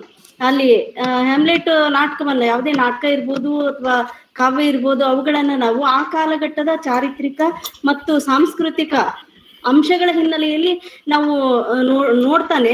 ಇವತ್ತು ನಾವು ಅದನ್ನ ಹೇಗೆ ಮರು ಕಟ್ಟುವಿಕೆ ಮತ್ತು ಮರು ವಿಮರ್ಶೆಗೆ ಒಳಪಡಿಸಬೇಕು ಅನ್ನುವಂತಹದ್ರ ನಿಟ್ಟಿನಲ್ಲಿ ನಾವು ಕೃತಿಗಳನ್ನ ನೋಡಬಹುದು ಅಂತ ಅನ್ಸುತ್ತೆ. ಆ ಕೃತಿಯನ್ನ ನಾವು ಒಟ್ಟಾರೆಯಾಗಿ ಸ್ತ್ರೀವಾದಿ ನೆಲೆಯ ಹಿನ್ನೆಲೆಯಲ್ಲಿ ನೋಡಬಾರ್ದು ಅಂತಲ್ಲ. ಆ ನೋಡುವಂತ ಸಂದರ್ಭದಲ್ಲೂ ಸಹ ಆ ಕಾಲಘಟ್ಟದ ಸಂದರ್ಭಗಳು, ಸಾಂಸ್ಕೃತಿಕ ಬದುಕು ಅವುಗಳ ಹಿನ್ನೆಲೆಯಲ್ಲಿ ನಾವು ಮತ್ತೆ ಪುನರ್ ಓದಿಗೆ ಮತ್ತು ಪುನರ್ ವಿಮರ್ಶೆಗೆ ಒಳಪಡಿಸಬಹುದು ಅಂತ ಅನ್ಸುತ್ತೆ. ಹಾಗಾಗಿ ನಾವು ಕರ್ಣನ ಇದು ರ- ರನ್ನನ ಗದಾಯುದ್ಧ ಆಗಿರ್ಬೋದು ಅಥವಾ ಕುಮಾರ ವ್ಯಾಸನ ಭಾರತ ಆಗಿರ್ಬೋದು, ಅಲ್ಲಿ ಬರ್ತಕ್ಕಂಥ ಸ್ತ್ರೀ ಪಾತ್ರಗಳನ್ನ ಇಟ್ಕೊಂಡೇನೆ ನಾವು ಎಷ್ಟೋ ಜನ ಸಂಶೋಧನೆಯನ್ನು ಮಾಡಿರ್ತಕ್ಕಂಥದ್ದನ್ನ ನಾವು ನೋಡ್ತೀವಿ ಸ್ತ್ರೀವಾದಿ ನೆಲೆಯಲ್ಲಿ. ಆ ಹಿನ್ನೆಲೆಯಲ್ಲಿ ಸ್ತ್ರೀವಾದ ಅನ್ನುವಂಥದ್ದು ಇತ್ತೀಚೆಗೆ ಬಂದಿರತಕ್ಕಂಥ ಒಂದು ಕಾನ್ಸೆಪ್ಟ್ ಇದ್ರೂ ಸಹ ಸ್ತ್ರೀ ತನ್ನ ಮನೋಭಾವಗಳನ್ನ ಬಹಳ ಹಿಂದಿನಿಂದ ಜನಪದ ಆದ ಸಂದರ್ಭದಲ್ಲೇ ತನ್ನ ಮನೋಭಾವಗಳನ್ನ ಮತ್ತು ಪ್ರತಿರೋಧಗಳನ್ನ, ಕಷ್ಟ ಸುಖಗಳನ್ನ ಹೇಳ್ಕೊಂಡು ಬಂದಿರತಕ್ಕಂತ ಕ್ರಮಗಳನ್ನ ನಾವು ನೋಡ್ತೀವಿ. ಅಂದ್ರೆ ಅದನ್ನ ಒಂದು ಜ್ಞಾನ ಶಿಸ್ತಾಗಿ ನಾವು ಈಗ ಈಗ ನೋಡ್ತಾ ಇದೀವಿ ಹೊರತು, ಅದು ಯಾವತ್ತೂ ಸಹ ಸಾಹಿತ್ಯದ ಭಾಗವಾಗಿ ಇದ್ದಿರ್ತಕ್ಕಂಥದ್ದನ್ನ ಮುಖ್ಯವಾಗಿ ಗಮನಿಸ್ಬೇಕು ಅಂತ ಅನ್ಸುತ್ತೆ. ಇಷ್ಟು ನನ್ನ ಮಾತುಗಳು ನಿಮ್ಮೊಂದಿಗೆ ಹಂಚ್ಕೊಳ್ಳಿಕ್ಕೆ ಅವಕಾಶ ಕೊಟ್ಟಂತ ವಿಜಯಲಕ್ಷ್ಮಿ ಅವರಿಗೆ ಧನ್ಯವಾದಗಳು. ಮಮತಾಜ್ ಬೇಗಂ ಮೇಡಮ್, ನೀವು ಹೇಳಿದ್ದು ಸರಿಯಾಗಿದೆ. ಹಾಗೇನು ಬೇರೆ ಬೇರೆ ದೃಷ್ಟಿಕೋನಗಳಿಂದ ನೋಡಬಾರ್ದು ಅಂತೇನಿಲ್ಲ. ನೀವು ಸ್ತ್ರೀವಾದಿ ನೆಲೆಯಿಂದ ಅಥವಾ ಮಹಿಳಾವಾದಿ ನೆಲೆಯಿಂದ ಫೆಮಿನಿಸ್ಟಿಕ್ ಪರ್ಸ್ಪೆಕ್ಟಿವ್ ಇಂದ ಶೇಕ್ಸ್ಪಿಯರ್ನ ಈ ನಾಟಕವನ್ನ ಅಧ್ಯಯನ ಮಾಡಬಹುದು, ಬೇರೆ ನಾಟಕಗಳನ್ನು ಕೂಡ ಅಧ್ಯಯನ ಮಾಡಬಹುದು. ಆದ್ರೆ ಅದರ, ಆ ನಾಟಕದ ಬೇರೆ ಬೇರೆ ಆಯಾಮಗಳನ್ನ ನಾನು ಆಯಾಮಗಳನ್ನು ಕೂಡ ನಾವು ನೋಡ್ಬೇಕಾಗ್ತದೆ ಅಂತ ಅನ್ನೋದು ಒಂದು. ಎರಡನೇದು, ಯಾವುದೇ ಒಂದು ಪಾತ್ರದ ಒಂದು ಮಾತನ್ನ ನಾವು ಆ ಲೇಖಕನ ಮೇಲೆ ಆರೋಪ ಮಾಡೋದು ಅಲ್ಲ. ಅದು ನನ್ನೊಂದು ದೃಢವಾದಂತ ಒಂದು ನಿಲುವು. ಒಂದು ಪಾತ್ರ ಆಡುವ ಮಾತು ಅದು ಲೇಖಕನ ದರ್ಶನ ಅಂತ ನಾವು ತಿಳ್ಕೊಳ್ಳಿಕ್ಕೆ ಆಗೋದಿಲ್ಲ. ದರ್ಶನ ಅನ್ನೋದು ಅದು ಒಟ್ಟಾರೆಯಾಗಿ ನಾವು ಅದನ್ನ ನೋಡ್ಬೇಕು. We should see it in totality ಬೇರೆ ಬೇರೆ ಡೈಲಾಗ್ಸ್ ಮೂಲಕ ನೋಡಕ್ ಆಗೋದಿಲ್ಲ. ಸೊ ಕೆಲವರು ಏನ್ ಮಾಡ್ತಾರೆ ಅಂದ್ರೆ ನಿರ್ಣಯಕ್ಕೆ ಬಂದ್ಬಿಡ್ತಾರೆ. ಏನಂತಂದ್ರೆ ಶೇಕ್ಸ್ಪಿಯರ್ ಎನ್ ಟಿ ಓಮನ್ ನೋಡಿ, ಅದು ಬಹಳ ಸರಳವಾದದ್ದು. ನೀವು ಯಾರ ಮೇಲಾದ್ರೂ ಆರೋಪ ಮಾಡಬಹುದು. ಅವನು ಸ್ತ್ರೀ ವಿರೋಧಿ, ಅವನು ದಲಿತ ವಿರೋಧಿ, ಅವನು ಕನ್ನಡ ವಿರೋಧಿ, ರಾಷ್ಟ್ರ ವಿರೋಧಿ ಅನ್ನೋದು ದೊಡ್ಡದದು ಈ ಪಟ್ಟ ಏನಿದೆಯಲ್ಲ ನಾವು ಯಾರಿಗಾದ್ರೂ ಆ ಪಟ್ಟವನ್ನ ಕಟ್ಟಬಹುದು ಕಟ್ಟಬಹುದು ಬಹಳ ಸರಳಿದೆ. ಅದು ಭಾರತದಲ್ಲಿ ಹತ್ರ ಸರಳ ಸರಳಿದೆ. ಅದಕ್ಕೆ ಒಂದೊಂದ್ಸಲ ನೀವು ಬಲಿ ಆಗ್ತೀರಿ, ಒಂದೊಂದ್ಸಲ ನಾವು ಬಲಿ ಆಗ್ತೀವಿ. ಒಂದು ಸಂಕೀರ್ಣವಾದಂತ ಒಂದು ಸಮಾಜದಲ್ಲಿ ನಾವು ನೀವೆಲ್ಲ ಇದ್ದೇವೆ. ಈ ಎಲ್ಲಾ ಸಂಕೀರ್ಣತೆಯೊಂದಿಗೆ ಲಿಮಿಟೇಷನ್ಸ್ ಗಳೊಂದಿಗೆ ನಾವು ಮತ್ತೆ ಜೊತೆಯಾಗಿ ಬದುಕಿ ರಾಷ್ಟ್ರವನ್ನು ಕಟ್ತಕ್ಕಂತ ಒಂದು ದೊಡ್ಡ ಜವಾಬ್ದಾರಿ ಹೊಣೆ ನಮ್ಮ ಮೇಲೆ ಇದೆ. ನಿಮ್ಮ ಮಾತುಗಳಿಗೆ ರಾಜಶ್ರೀ ಮೇಡಮ್ ಅವರು ನಮ್ಮ ನನ್ನ ಸಹೋದ್ಯೋಗಿ ಕರ್ನಾಟಕ ಕೇಂದ್ರೀಯ ವಿಶ್ವವಿದ್ಯಾಲಯದಲ್ಲಿ ಅವರ ಮಾತಿಗೂ ನನ್ನ ಸಹಮತ ಇದೆ. ನನ್ನ ಪ್ರೀತಿಯ ಸ್ನೇಹಿತರು ಮೇಟಿ ಮಲ್ಲಿಕಾರ್ಜುನ್ ಅವರ ಸ್ಕಾಲರ್ಶಿಪ್ ಬಗ್ಗೆ ನನಗೆ ಬಹಳ ಗೌರವ ಇದೆ. ಅವರ ಮಾತಿನ ಬಗ್ಗೆ, ಅವರ ಬರಹದ ಬಗ್ಗೆ ನನಗೆ ಬಹಳ ಗೌರವ ಇದೆ. ಅವರ ಮಾತಿಗೂ ನನ್ನ ಸಹಮತ ಇದೆ. ನಾನು ಆಡಿದ ಮಾತಿಗೂ ನನ್ನ ಸಮತಿ ಇದೆ. ಇನ್ನೊಂದು ಯಾವ್ದೋ ಪ್ರಶ್ನೆ ಇತ್ತಲ್ಲ ಯಾರು ಕೇಳ್ತಾ ಇದ್ರು? ಸರ್ ಇಲ್ಲಿ ವಿನಯ್ ನಾಡ್ಗೇರ್ ಅನ್ನೋರು ಅವಾಗಿಂದ ಟ್ರೈ ಮಾಡ್ತಿದ್ರು. ಸರ್ ಅವ್ರ ಆ ಪ್ರಶ್ನೆ ಕೇಳಿ ಮುಗಿಸ್ಬಿಡಿ. ವಿನಯ್ ನಾಡ್ಗೇರ್ ಸರ್ ಮಾತಾಡಿ ಸರ್. ನಮಸ್ತೆ ಸರ್ ನಮಸ್ತೆ. I was your student I was your student at KCD sir oh wonderful where are you I mean Dharwad sir I am teaching in a school I was professor Mathew student okay okay oh, yes, uh, sir. Um, you talked about how uh, Hamlet is. Ah, Uh, Na- Nadiger, Nadiger, I can Oh, make yes. out. I can yes, make sir, out. Yes, Oh. yes, sir. Yes, sir. Nice to see you, sir. Nice to see Yeah, you. yeah, yeah. Yeah, very nice to see you. ಹಾ ಏನ್ ನೋಡಪ್ಪ ನಿನ್ ಮುಖ ನೋಡಿ ಖುಷಿ ಆಯ್ತು ಮಾತಾಡು. right, sir. So actually, I learned more about uh, Shakespeare through Matthew, sir, in my philosophy classes than I did in uh, some because we had only Julius Caesar. so um, I studied Hamlet and uh, King Lear uh, with Matthew sir also. Uh, he just gave one remark which has still been haunting me. Uh, you heard it, sir, that um, Hamlet can be studied at two levels as a revenge play and a psychological drama. But he said that both of these have to be understood through the third lens, which is through the angle of death also. Because Hamlet the only scene outside of the fort or the castle is in a graveyard at the end. So, to understand death also, um, that is the most important question which should be answered. And then we can answer the other two questions of how it is a psychological play and how it is a revenge drama. ಇದ್ರ ಬಗ್ಗೆ ನಂಗೆ Matthew sir ಪೂರ್ತಿ ನಂಗೆ answer ಕೊಡ್ಲಿಲ್ಲ ಇದ್ರ ಬಗ್ಗೆ it was just a remark but ನಿಮ್ದು ಏನ್ ಅನಿಸಿಕೆ ಸರ್ ಇದ್ರ ಬಗ್ಗೆ ಅಂತ ಅಷ್ಟ ಒಂದು ರಿಮಾರ್ಕ್ ಸರ್ ಇದ್ರ ಬಗ್ಗೆ Um, Vinay was my very, very, he was very, very regular student. uh, he used to participate in debate and he was always seen moving with uh, Professor Joseph Matthew, my colleague. Karnataka. ಕಾಲೇಜ್ನಲ್ಲಿ ನನ್ನ ಬಹಳ ಹಿರಿಯ ಸ್ನೇಹಿತರು professor ಯಾರ್ತಿ ಮತ್ತೆ ಇವರು Joseph Vinay ನನಗೆ ಇದ್ರದ್ದು immediate response ಏನಂತಂದ್ರೆ ಆ ಒಂದು ಎಂಗಲ್ ನಿಂದ ಕೂಡ ಈ ನಾಟಕವನ್ನ ನೋಡಬಹುದು I made a statement in the beginning of my presentation today that Hamlet is a very very very complex play and its complex its complexity has to be understood in different uh, uh, uh, using different perspectives Uh, and uh, this is one of them death ಅನ್ನೋದೇನಿದೆಯಲ್ಲ you know um, i don't say that the play talks about death because we see a series of deaths the play ಬಹಳ ಜನ ಸಾಯ್ತಾರ ಹೀಗಾಗಿ ಇದು ಸಾವಿಗೆ ಸಂಬಂಧಪಟ್ಟಂತ ನಾಟಕ ಅಂತ ನಾವು ಅನ್ಬಾರ್ದು. ಆ, ಆ- ಡೆತ್ತಿನ ಒಂದು ಪರ್ಸೆಪ್ಷನ್ ಏನಿದೆಯಲ್ಲ, ಸಾವಿನ ಪರ್ಸೆಪ್ಷನ್ ಏನಿದೆಯಲ್ಲ, ಅದು ನಾಟಕದ ಉದ್ದಕ್ಕೂ ನಮ್ಗೆ ಕಾಣ್ತದೆ. ಸೂಕ್ಷ್ಮವಾಗಿ ಆ ನಾಟಕವನ್ನ ನಾವು ಓದ್ಬೇಕು. ಇದು it's it's a prison house ಅನ್ನೋದು, ಆಮೇಲೆ ಹೆಮ್ಲೆಟ್ ಅಂತಾನೆ. ಆಮೇಲೆ ಹೆಮ್ಲೆಟು ಕೂಡ ಸಾವಿನ ಬಗೆಗೆ ಕಂಟೆಂಪ್ಲೇಟ್ ಮಾಡ್ತಾನೆ ಅವನು. ಆಗಾಗ ಸಾವಿನ ಬಗ್ಗೆ ಕೂಡ ಚಿಂತನೆ ಮಾಡ್ತಾನೆ. ಸಾಯ್ಬೇಕು ಅಂತ ಅನ್ನೋದು. ಹ್ಮ್. ಆ, ಅದು ಈಗ ಕ್ಲಾಡಿಯಸ್ಗೆ ತನ್ನ ಅಣ್ಣನನ್ನ ಕೊಲ್ಬೇಕು ಅನ್ನೋದು ಅವನ ತಲೆಯಲ್ಲಿ ಇರ್ತದೆ. ಇವನಿಗೆ ಚಿಕ್ಕಪ್ಪನನ್ನ ಕೊಲ್ಬೇಕು ಅಂತ ಇರ್ತದೆ. ಫೋರ್ಟಿನ್ ಪ್ರಾಸಿಗೆ ಇಡೀ ಡೆನ್ಮಾರ್ಕ್ ಅವನೇ ಸರ್ವನಾಶ ಮಾಡಬೇಕು ಅಂತ ಇರ್ತದೆ. ಲಿಯಾಟಾಸಿಗೆ ಹೆಮ್ಲೆಟರ್ನನ್ನ ಕೊಲ್ಬೇಕು ಅಂತ ಅಂತ ಇರ್ತದೆ. ಆಮೇಲೆ ಒಪಿಲಿಯಾಗೆ ಸಾಯ್ಬೇಕು ಅಂತ ಇರ್ತದೆ. ಅದು ನೋಡಿ ಒಂದು ಕೊಲ್ಲೋದು ಬೇರೆ ಸಾಯೋದು ಬೇರೆ. ಯಾಕೆ ಸಾಯ್ಬೇಕು ಅಂತಂದ್ರೆ she can not just tolerate isolation aloofness ಅಕ್ಕಿಗೆ ಆಗೋ, ಇದು ಆಗೋದಿಲ್ಲ. ಅಥವಾ ಅವನ ಒಂದು ಇನ್ಡಿಫ್ರೆನ್ಸ್ ಏನಿದೆಯಲ್ಲ ಹ್ಯಾಮ್ಲೆಟ್ನ ಇನ್ಡಿಫ್ರೆನ್ಸ್ ಏನಿದೆಯಲ್ಲ, ಅದನ್ನ ಟಾಲರೇಟ್ ಮಾಡ್ಕೊಳ್ಳೋಕೆ ಆಗೋದಿಲ್ಲ. ಅವನ ಸಾಮೀಪ್ಯ ಬಯಸ್ತಾ ಇರ್ತಾಳೆ, ಅವನ ಪ್ರೀತಿಯನ್ನ ಬಯಸ್ತಾ ಇರ್ತಾಳೆ, ಸಿಗದೆ ಇದ್ದಾಗ ಸಾಯ್ಬೇಕು ಅಂತಂತಾಳೆ. ಆಮೇಲೆ ಗರ್ಟ್ರಿಯೂಡ್ ಕೊನೆಗೆ, ನಾನು ಸತ್ತು ಹೋಗ್ಬೇಕು ಅಂತ ತಿಳ್ಕೊಂಡು, ಮಗನಿಗಾಗಿ ಇಟ್ಟಂತ ವಿಷವನ್ನ ತಾನೇ ಕೂಡ ಸತ್ತು ಹೋಗ್ತಾಳೆ. ಮತ್ತು ಅನೇಕ ಸಂದರ್ಭದಲ್ಲಿ ಆತ್ಮಹತ್ಯೆ ಮಾಡ್ಕೊಳ್ಳೋ ವಿಚಾರ ಇವರಿಗೂ ಬರ್ತವೆ ಹ್ಯಾಮ್ಲೆಟ್ಗೂ ಕಾಣ್ತಾ ಇರ್ತದೆ. ಸೊ ಆ ಅರ್ಥದಲ್ಲಿ ಇದು ಒಂದು ಸಾವಿನ ಜಿಜ್ಞಾಸೆ ಅದು ಪ್ರಾರಂಭದಲ್ಲೂ ನಡೀತಾ ಇರ್ತದೆ. ಅಂದ್ರೆ the tendency to self murder the tendency to commit suicide ಏನಿದೆಯಲ್ಲ ಅದು ಎಲ್ಲಾ ಪಾತ್ರಗಳಲ್ಲೂ ಕೂಡ ಬಹಳ ಸೂಕ್ಷ್ಮವಾಗಿ ಅವರ ಪಾತ್ರಗಳ ಮನಸ್ಸಿನಲ್ಲಿ ಇರೋದನ್ನ ನಾವು ಗಮನಿಸಬಹುದು. I definitely agree with what you said and I in fact agree with what Joseph Mathew said rio long ago thank you sir thank you yes thank you sir if time permits ಒಂದು last question ಕೇಳಬೇಕು ಅಂತ ಆಸೆ ಪಡ್ತಿದ್ದಾರೆ ವಿದ್ಯಾವತಿ ಆ, ಗೋಟೂರು. ಆ, ನೀವು yes ಅಂತಂದ್ರೆ ವಿದ್ಯಾವತಿ ಕೇಳಿ. ಪ್ರಶ್ನೆ ಕೇಳಿ. ಎಸ್ ವಿದ್ಯಾವತಿ ಗೋಟೂರ್ ಹಾ. ಹಲೋ ಸರ್ ನಮಸ್ತೆ ಸರ್ ಹಾ ನಮಸ್ತೆ ವಿದ್ಯಾವತಿ. ಸರ್, ನನ್ಗೆ ಎಲ್ಲ ಇದು ಅರ್ಥದಲ್ಲಿ ನಾನು ಜಾಯ್ನ್ ಆದೆ. ಆದ್ರೆ ಒಂದು ಕ್ವೆಶನ್ ಏನು ಅಂತಂದ್ರೆ ಬಹಳಷ್ಟು ತಲೆ ಕೊರಿತಿದೆ ಸರ್. ಏನು ಅಂತಂದ್ರೆ through Shakespeare we learn many things that we should not take revenge ಇದು ನಾವು ಶೇಕ್ಸ್ಪಿಯರ್ ನಾಟಕದಿಂದ ಏನ್ ಮಾಡ್ತೀವಿ ಅಂದ್ರೆ ಬಹಳಷ್ಟು ವಿಷಯಗಳನ್ನು ಕಲ್ತ್ಕೊಳ್ತೀವಿ ಸರ್. ಅದರಲ್ಲಿ ಮುಖ್ಯವಾಗಿ ದ್ವೇಷಿಸಬಾರ್ದು, ಎಲ್ಲರನ್ನು ಪ್ರೀತಿಸ್ಬೇಕು, ಈ ನಾಟಕದ ಒಂದು ಮುಖ್ಯ ಇದು. ದ್ವೇಷ ಅಥವಾ ಸೇಡು ಅಂತಕ್ಕಂಥದ್ದು ಯಾವಾಗ್ಲೂ ನಮ್ಮನ್ನ ಹಾಳು ಮಾಡುತ್ತೆ ಅನ್ನೋದು ಸರ್. ಆದ್ರೆ ಜನ, ಇದು ಒಂದು ನಾಟಕದಷ್ಟೇ ಸರ್. ಅದು ಜನ ಯಾಕೆ ಇದನ್ನ ಅರ್ಥ ಮಾಡ್ಕೊಂಡು ಆ ಒಂದು ಲಿಟ್ರೇಚರ್ದಿಂದ ಲಿಟ್ರೇಚರ್ ಇರ್ತಕ್ಕಂತ ಮೌಲ್ಯಗಳನ್ನ, ಅದರ ಒಂದು ಏನು ಅಂತಂದ್ರೆ ನೈತಿಕತೆಯನ್ನ ಯಾತಕ್ಕೋಸ್ಕರ ಅರ್ಥ ಮಾಡ್ಕೊಂಡು ಜೀವನವನ್ನು ಸುಧಾರಿಸ್ಕೊಳ್ತಿಲ್ಲ.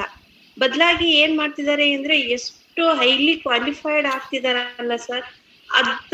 ಅದಕ್ಕಿಂತ ಒಂದ್ ಬಹಳಷ್ಟು ಏನು ಅಂತಂದ್ರೆ ಕೆಳಮಟ್ಟದಲ್ಲಿ ತಮ್ಮ ಯೋಚನೆಗಳನ್ನ ಇಟ್ಕೊಂಡಿರ್ತಾರೆ. ಇದಕ್ಕೆಲ್ಲ ಏನ್ ಕಾರಣ? ಇದಕ್ಕೆಲ್ಲ ಒಂದು ಏನ್ ಸೊಲ್ಯೂಷನ್ ಇದು ಲಿಟ್ರೇಚರ್ ನಮ್ಗೆಲ್ಲ ಇದು ಇಷ್ಟೆಲ್ಲ ಮೌಲ್ಯಗಳನ್ನು ತಿಳಿಸ್ಕೊಟ್ರು ಕೂಡ ಅದನ್ನ ನಾವ್ ಯಾತಕ್ಕೋಸ್ಕರ ಅಳವಡಿಸ್ಕೊಳ್ಳೋದಕ್ಕೆ ಸಾಧ್ಯ ಆಗ್ತಾ ಇಲ್ಲ ಅನ್ನೋದು ಒಂದು ಪ್ರಶ್ನೆ ಸರ್. ಬಹಳಷ್ಟು ತಲೆಯಲ್ಲಿ ಬರೀತಾ ಇತ್ತು. ವಿದ್ಯಾವತಿ ನನ್ನ ವಿದ್ಯಾರ್ಥಿನಿ ಮಹಿಳಾ ವಿಶ್ವವಿದ್ಯಾಲಯದಲ್ಲಿ ನಾನು ನಿನಗೆ ಒಬ್ಬ ಶಿಕ್ಷಕನಾಗಿ ಮಾತ್ರ ಉತ್ತರ ಕೊಡ್ತೇನೆ. ಇಲ್ಲಿ ಭಾಷಣಕಾರನಾಗಿ ಭಾಷಣಕಾರನಾಗಿ ಅಲ್ಲ, ಬಹಳ ಮಹತ್ವದ ಪ್ರಶ್ನೆ ವಿದ್ಯಾವತಿ ನೀವು ಕೇಳಿದ್ರಿ. ಸಾಹಿತ್ಯವನ್ನ ಓದುವವರು ಶೇಕ್ಸ್ಪಿಯರ್ನ ಪಾಠ ಮಾಡುವವರು, ಅಥವಾ ಟಾಲ್ಸ್ಟಾಯ್ನ ಒಂದು ಎನಿ ಲಿಟ್ರೇಚರ್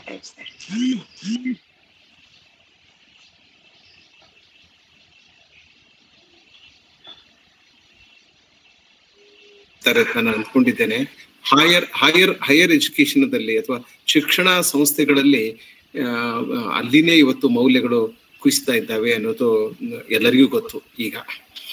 ಇದಕ್ಕೆ ಏನ್ ಮಾಡ್ಬೇಕು ಅಂತಂದ್ರೆ ಇದಕ್ಕೆ ನೇರವಾಗಿ, ಏನ್ ಮಾಡ್ಲಿಕ್ಕೆ ಸಾಧ್ಯ ಇದೆ? ನಮ್ಮ ಮನಸ್ಸಿನ ಕೊಳೆಯನ್ನ ಯಾರು ತಾನೇ ಅದನ್ನ ಶುಚಿಗೊಳಿಸ್ಲಿಕ್ಕೆ ಸಾಧ್ಯ ಇದೆ? ಈಗ ನನ್ನ ಬಟ್ಟೆ ನನ್ನ ಬಟ್ಟೆ ಹೊಲಸಾಗಿದೆ ಅಂತಂದ್ರೆ ಲಾಂಡ್ರಿ ಕೊಡ್ಬೋದು.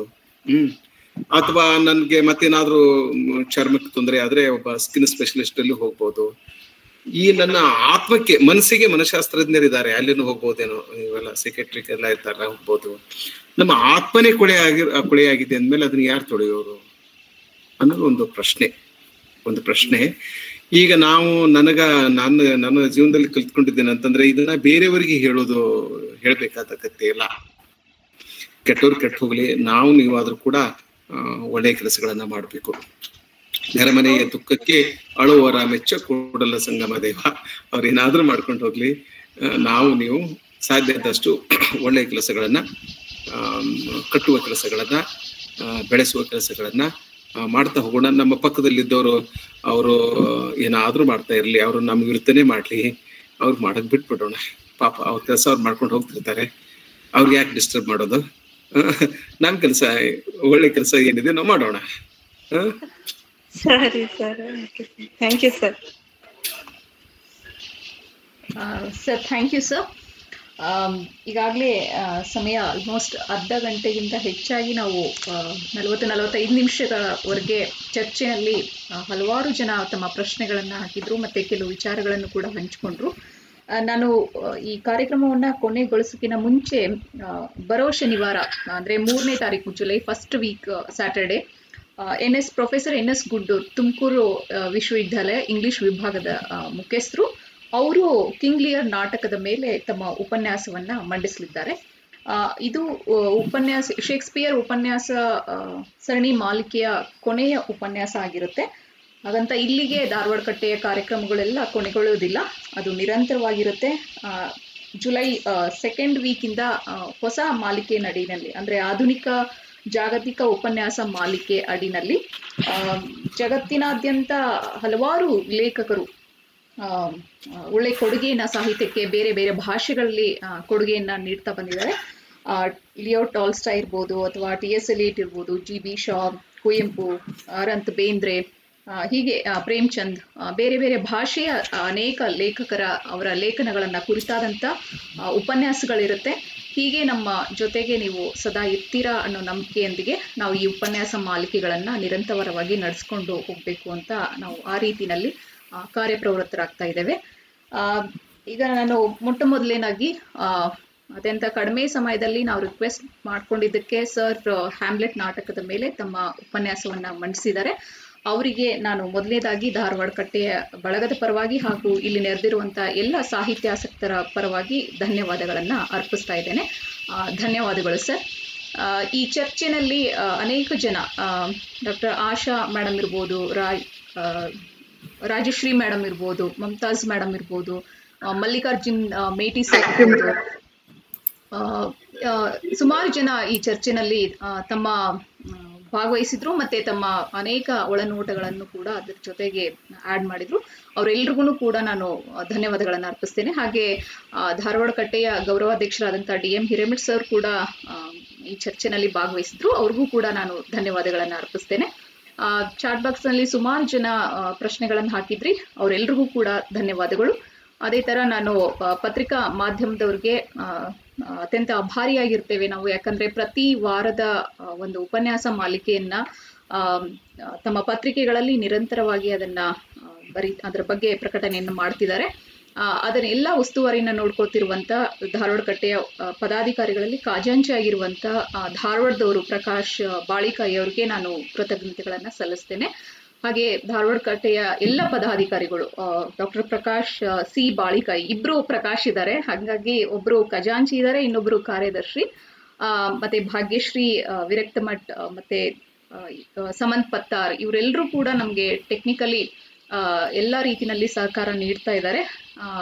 ಅವರೆಲ್ರಿಗೂ ಕೂಡ ತಮ್ಮೆಲ್ಲರ ಪರವಾಗಿ ನಾನು ಧನ್ಯವಾದಗಳನ್ನು ಅರ್ಪಿಸ್ತಾ ಇದ್ದೇನೆ. ಈ ಎಲ್ಲ ಕಾರ್ಯಕ್ರಮಗಳ ನಿರಂತರ ನಾವೇನ್ ಮಾಡ್ಕೊಂಡು ಬಂದಿದ್ದೀವಿ ಅದು ನಮ್ಮ ಧಾರವಾಡ ಕಟ್ಟೆ ಯೂಟ್ಯೂಬ್ ಚಾನೆಲ್ ಅಲ್ಲಿದೆ ಅದನ್ನ ನೀವು ವೀಕ್ಷಿಸಬಹುದು ಕೇವಲ ಇಲ್ಲಿ ನೆರೆದಿರೋರಷ್ಟೇ ನೆರೆದಿರೋರು ಅಷ್ಟೇ ಅಲ್ಲ ಸುಮಾರು ಎಪ್ಪತ್ತು ಎಂಬತ್ತು ಜನ ಯೂಟ್ಯೂಬ್ ಲೈವ್ ಅಲ್ಲಿ ಈ ಕಾರ್ಯಕ್ರಮವನ್ನ ವೀಕ್ಷಿಸಿದ್ರು ಅವರೆಲ್ರಿಗೂ ಕೂಡ ನಾನು ಧನ್ಯವಾದಗಳನ್ನ ಅರ್ಪಿಸ್ತೇನೆ. ಮುಂದಿನ ವಾರ ಮತ್ತೆ ಭೇಟಿಯಾಗೋಣ. ಧನ್ಯವಾದಗಳು. ಶುಭರಾತ್ರಿ. दोनों सर नमस्ते thank you thank you. You talk you touch the all points from all angles. Thank you. We are ah, ah, ah, eager to hear from more support. Oh thank you. I'm i'm glad that you participated. No sir. I'm always there. Only thing i just listen soon. And if I feel like I put uh, something in the chat box after mentions, it was really nice. Thank you, madam. Because, Take care. Uh, look at the text from so many angles. Okay. Uh, Mallikarjun Reddy sir gave a different angle to that work. Really, really, really. it was so nice, sir. thank yes. you so much. Thank you, sir. Okay, okay. Thank Good you, Vijay Lakshmi. Good night. Take care Good time. Thank you ma'am thank you so much Thank you so much.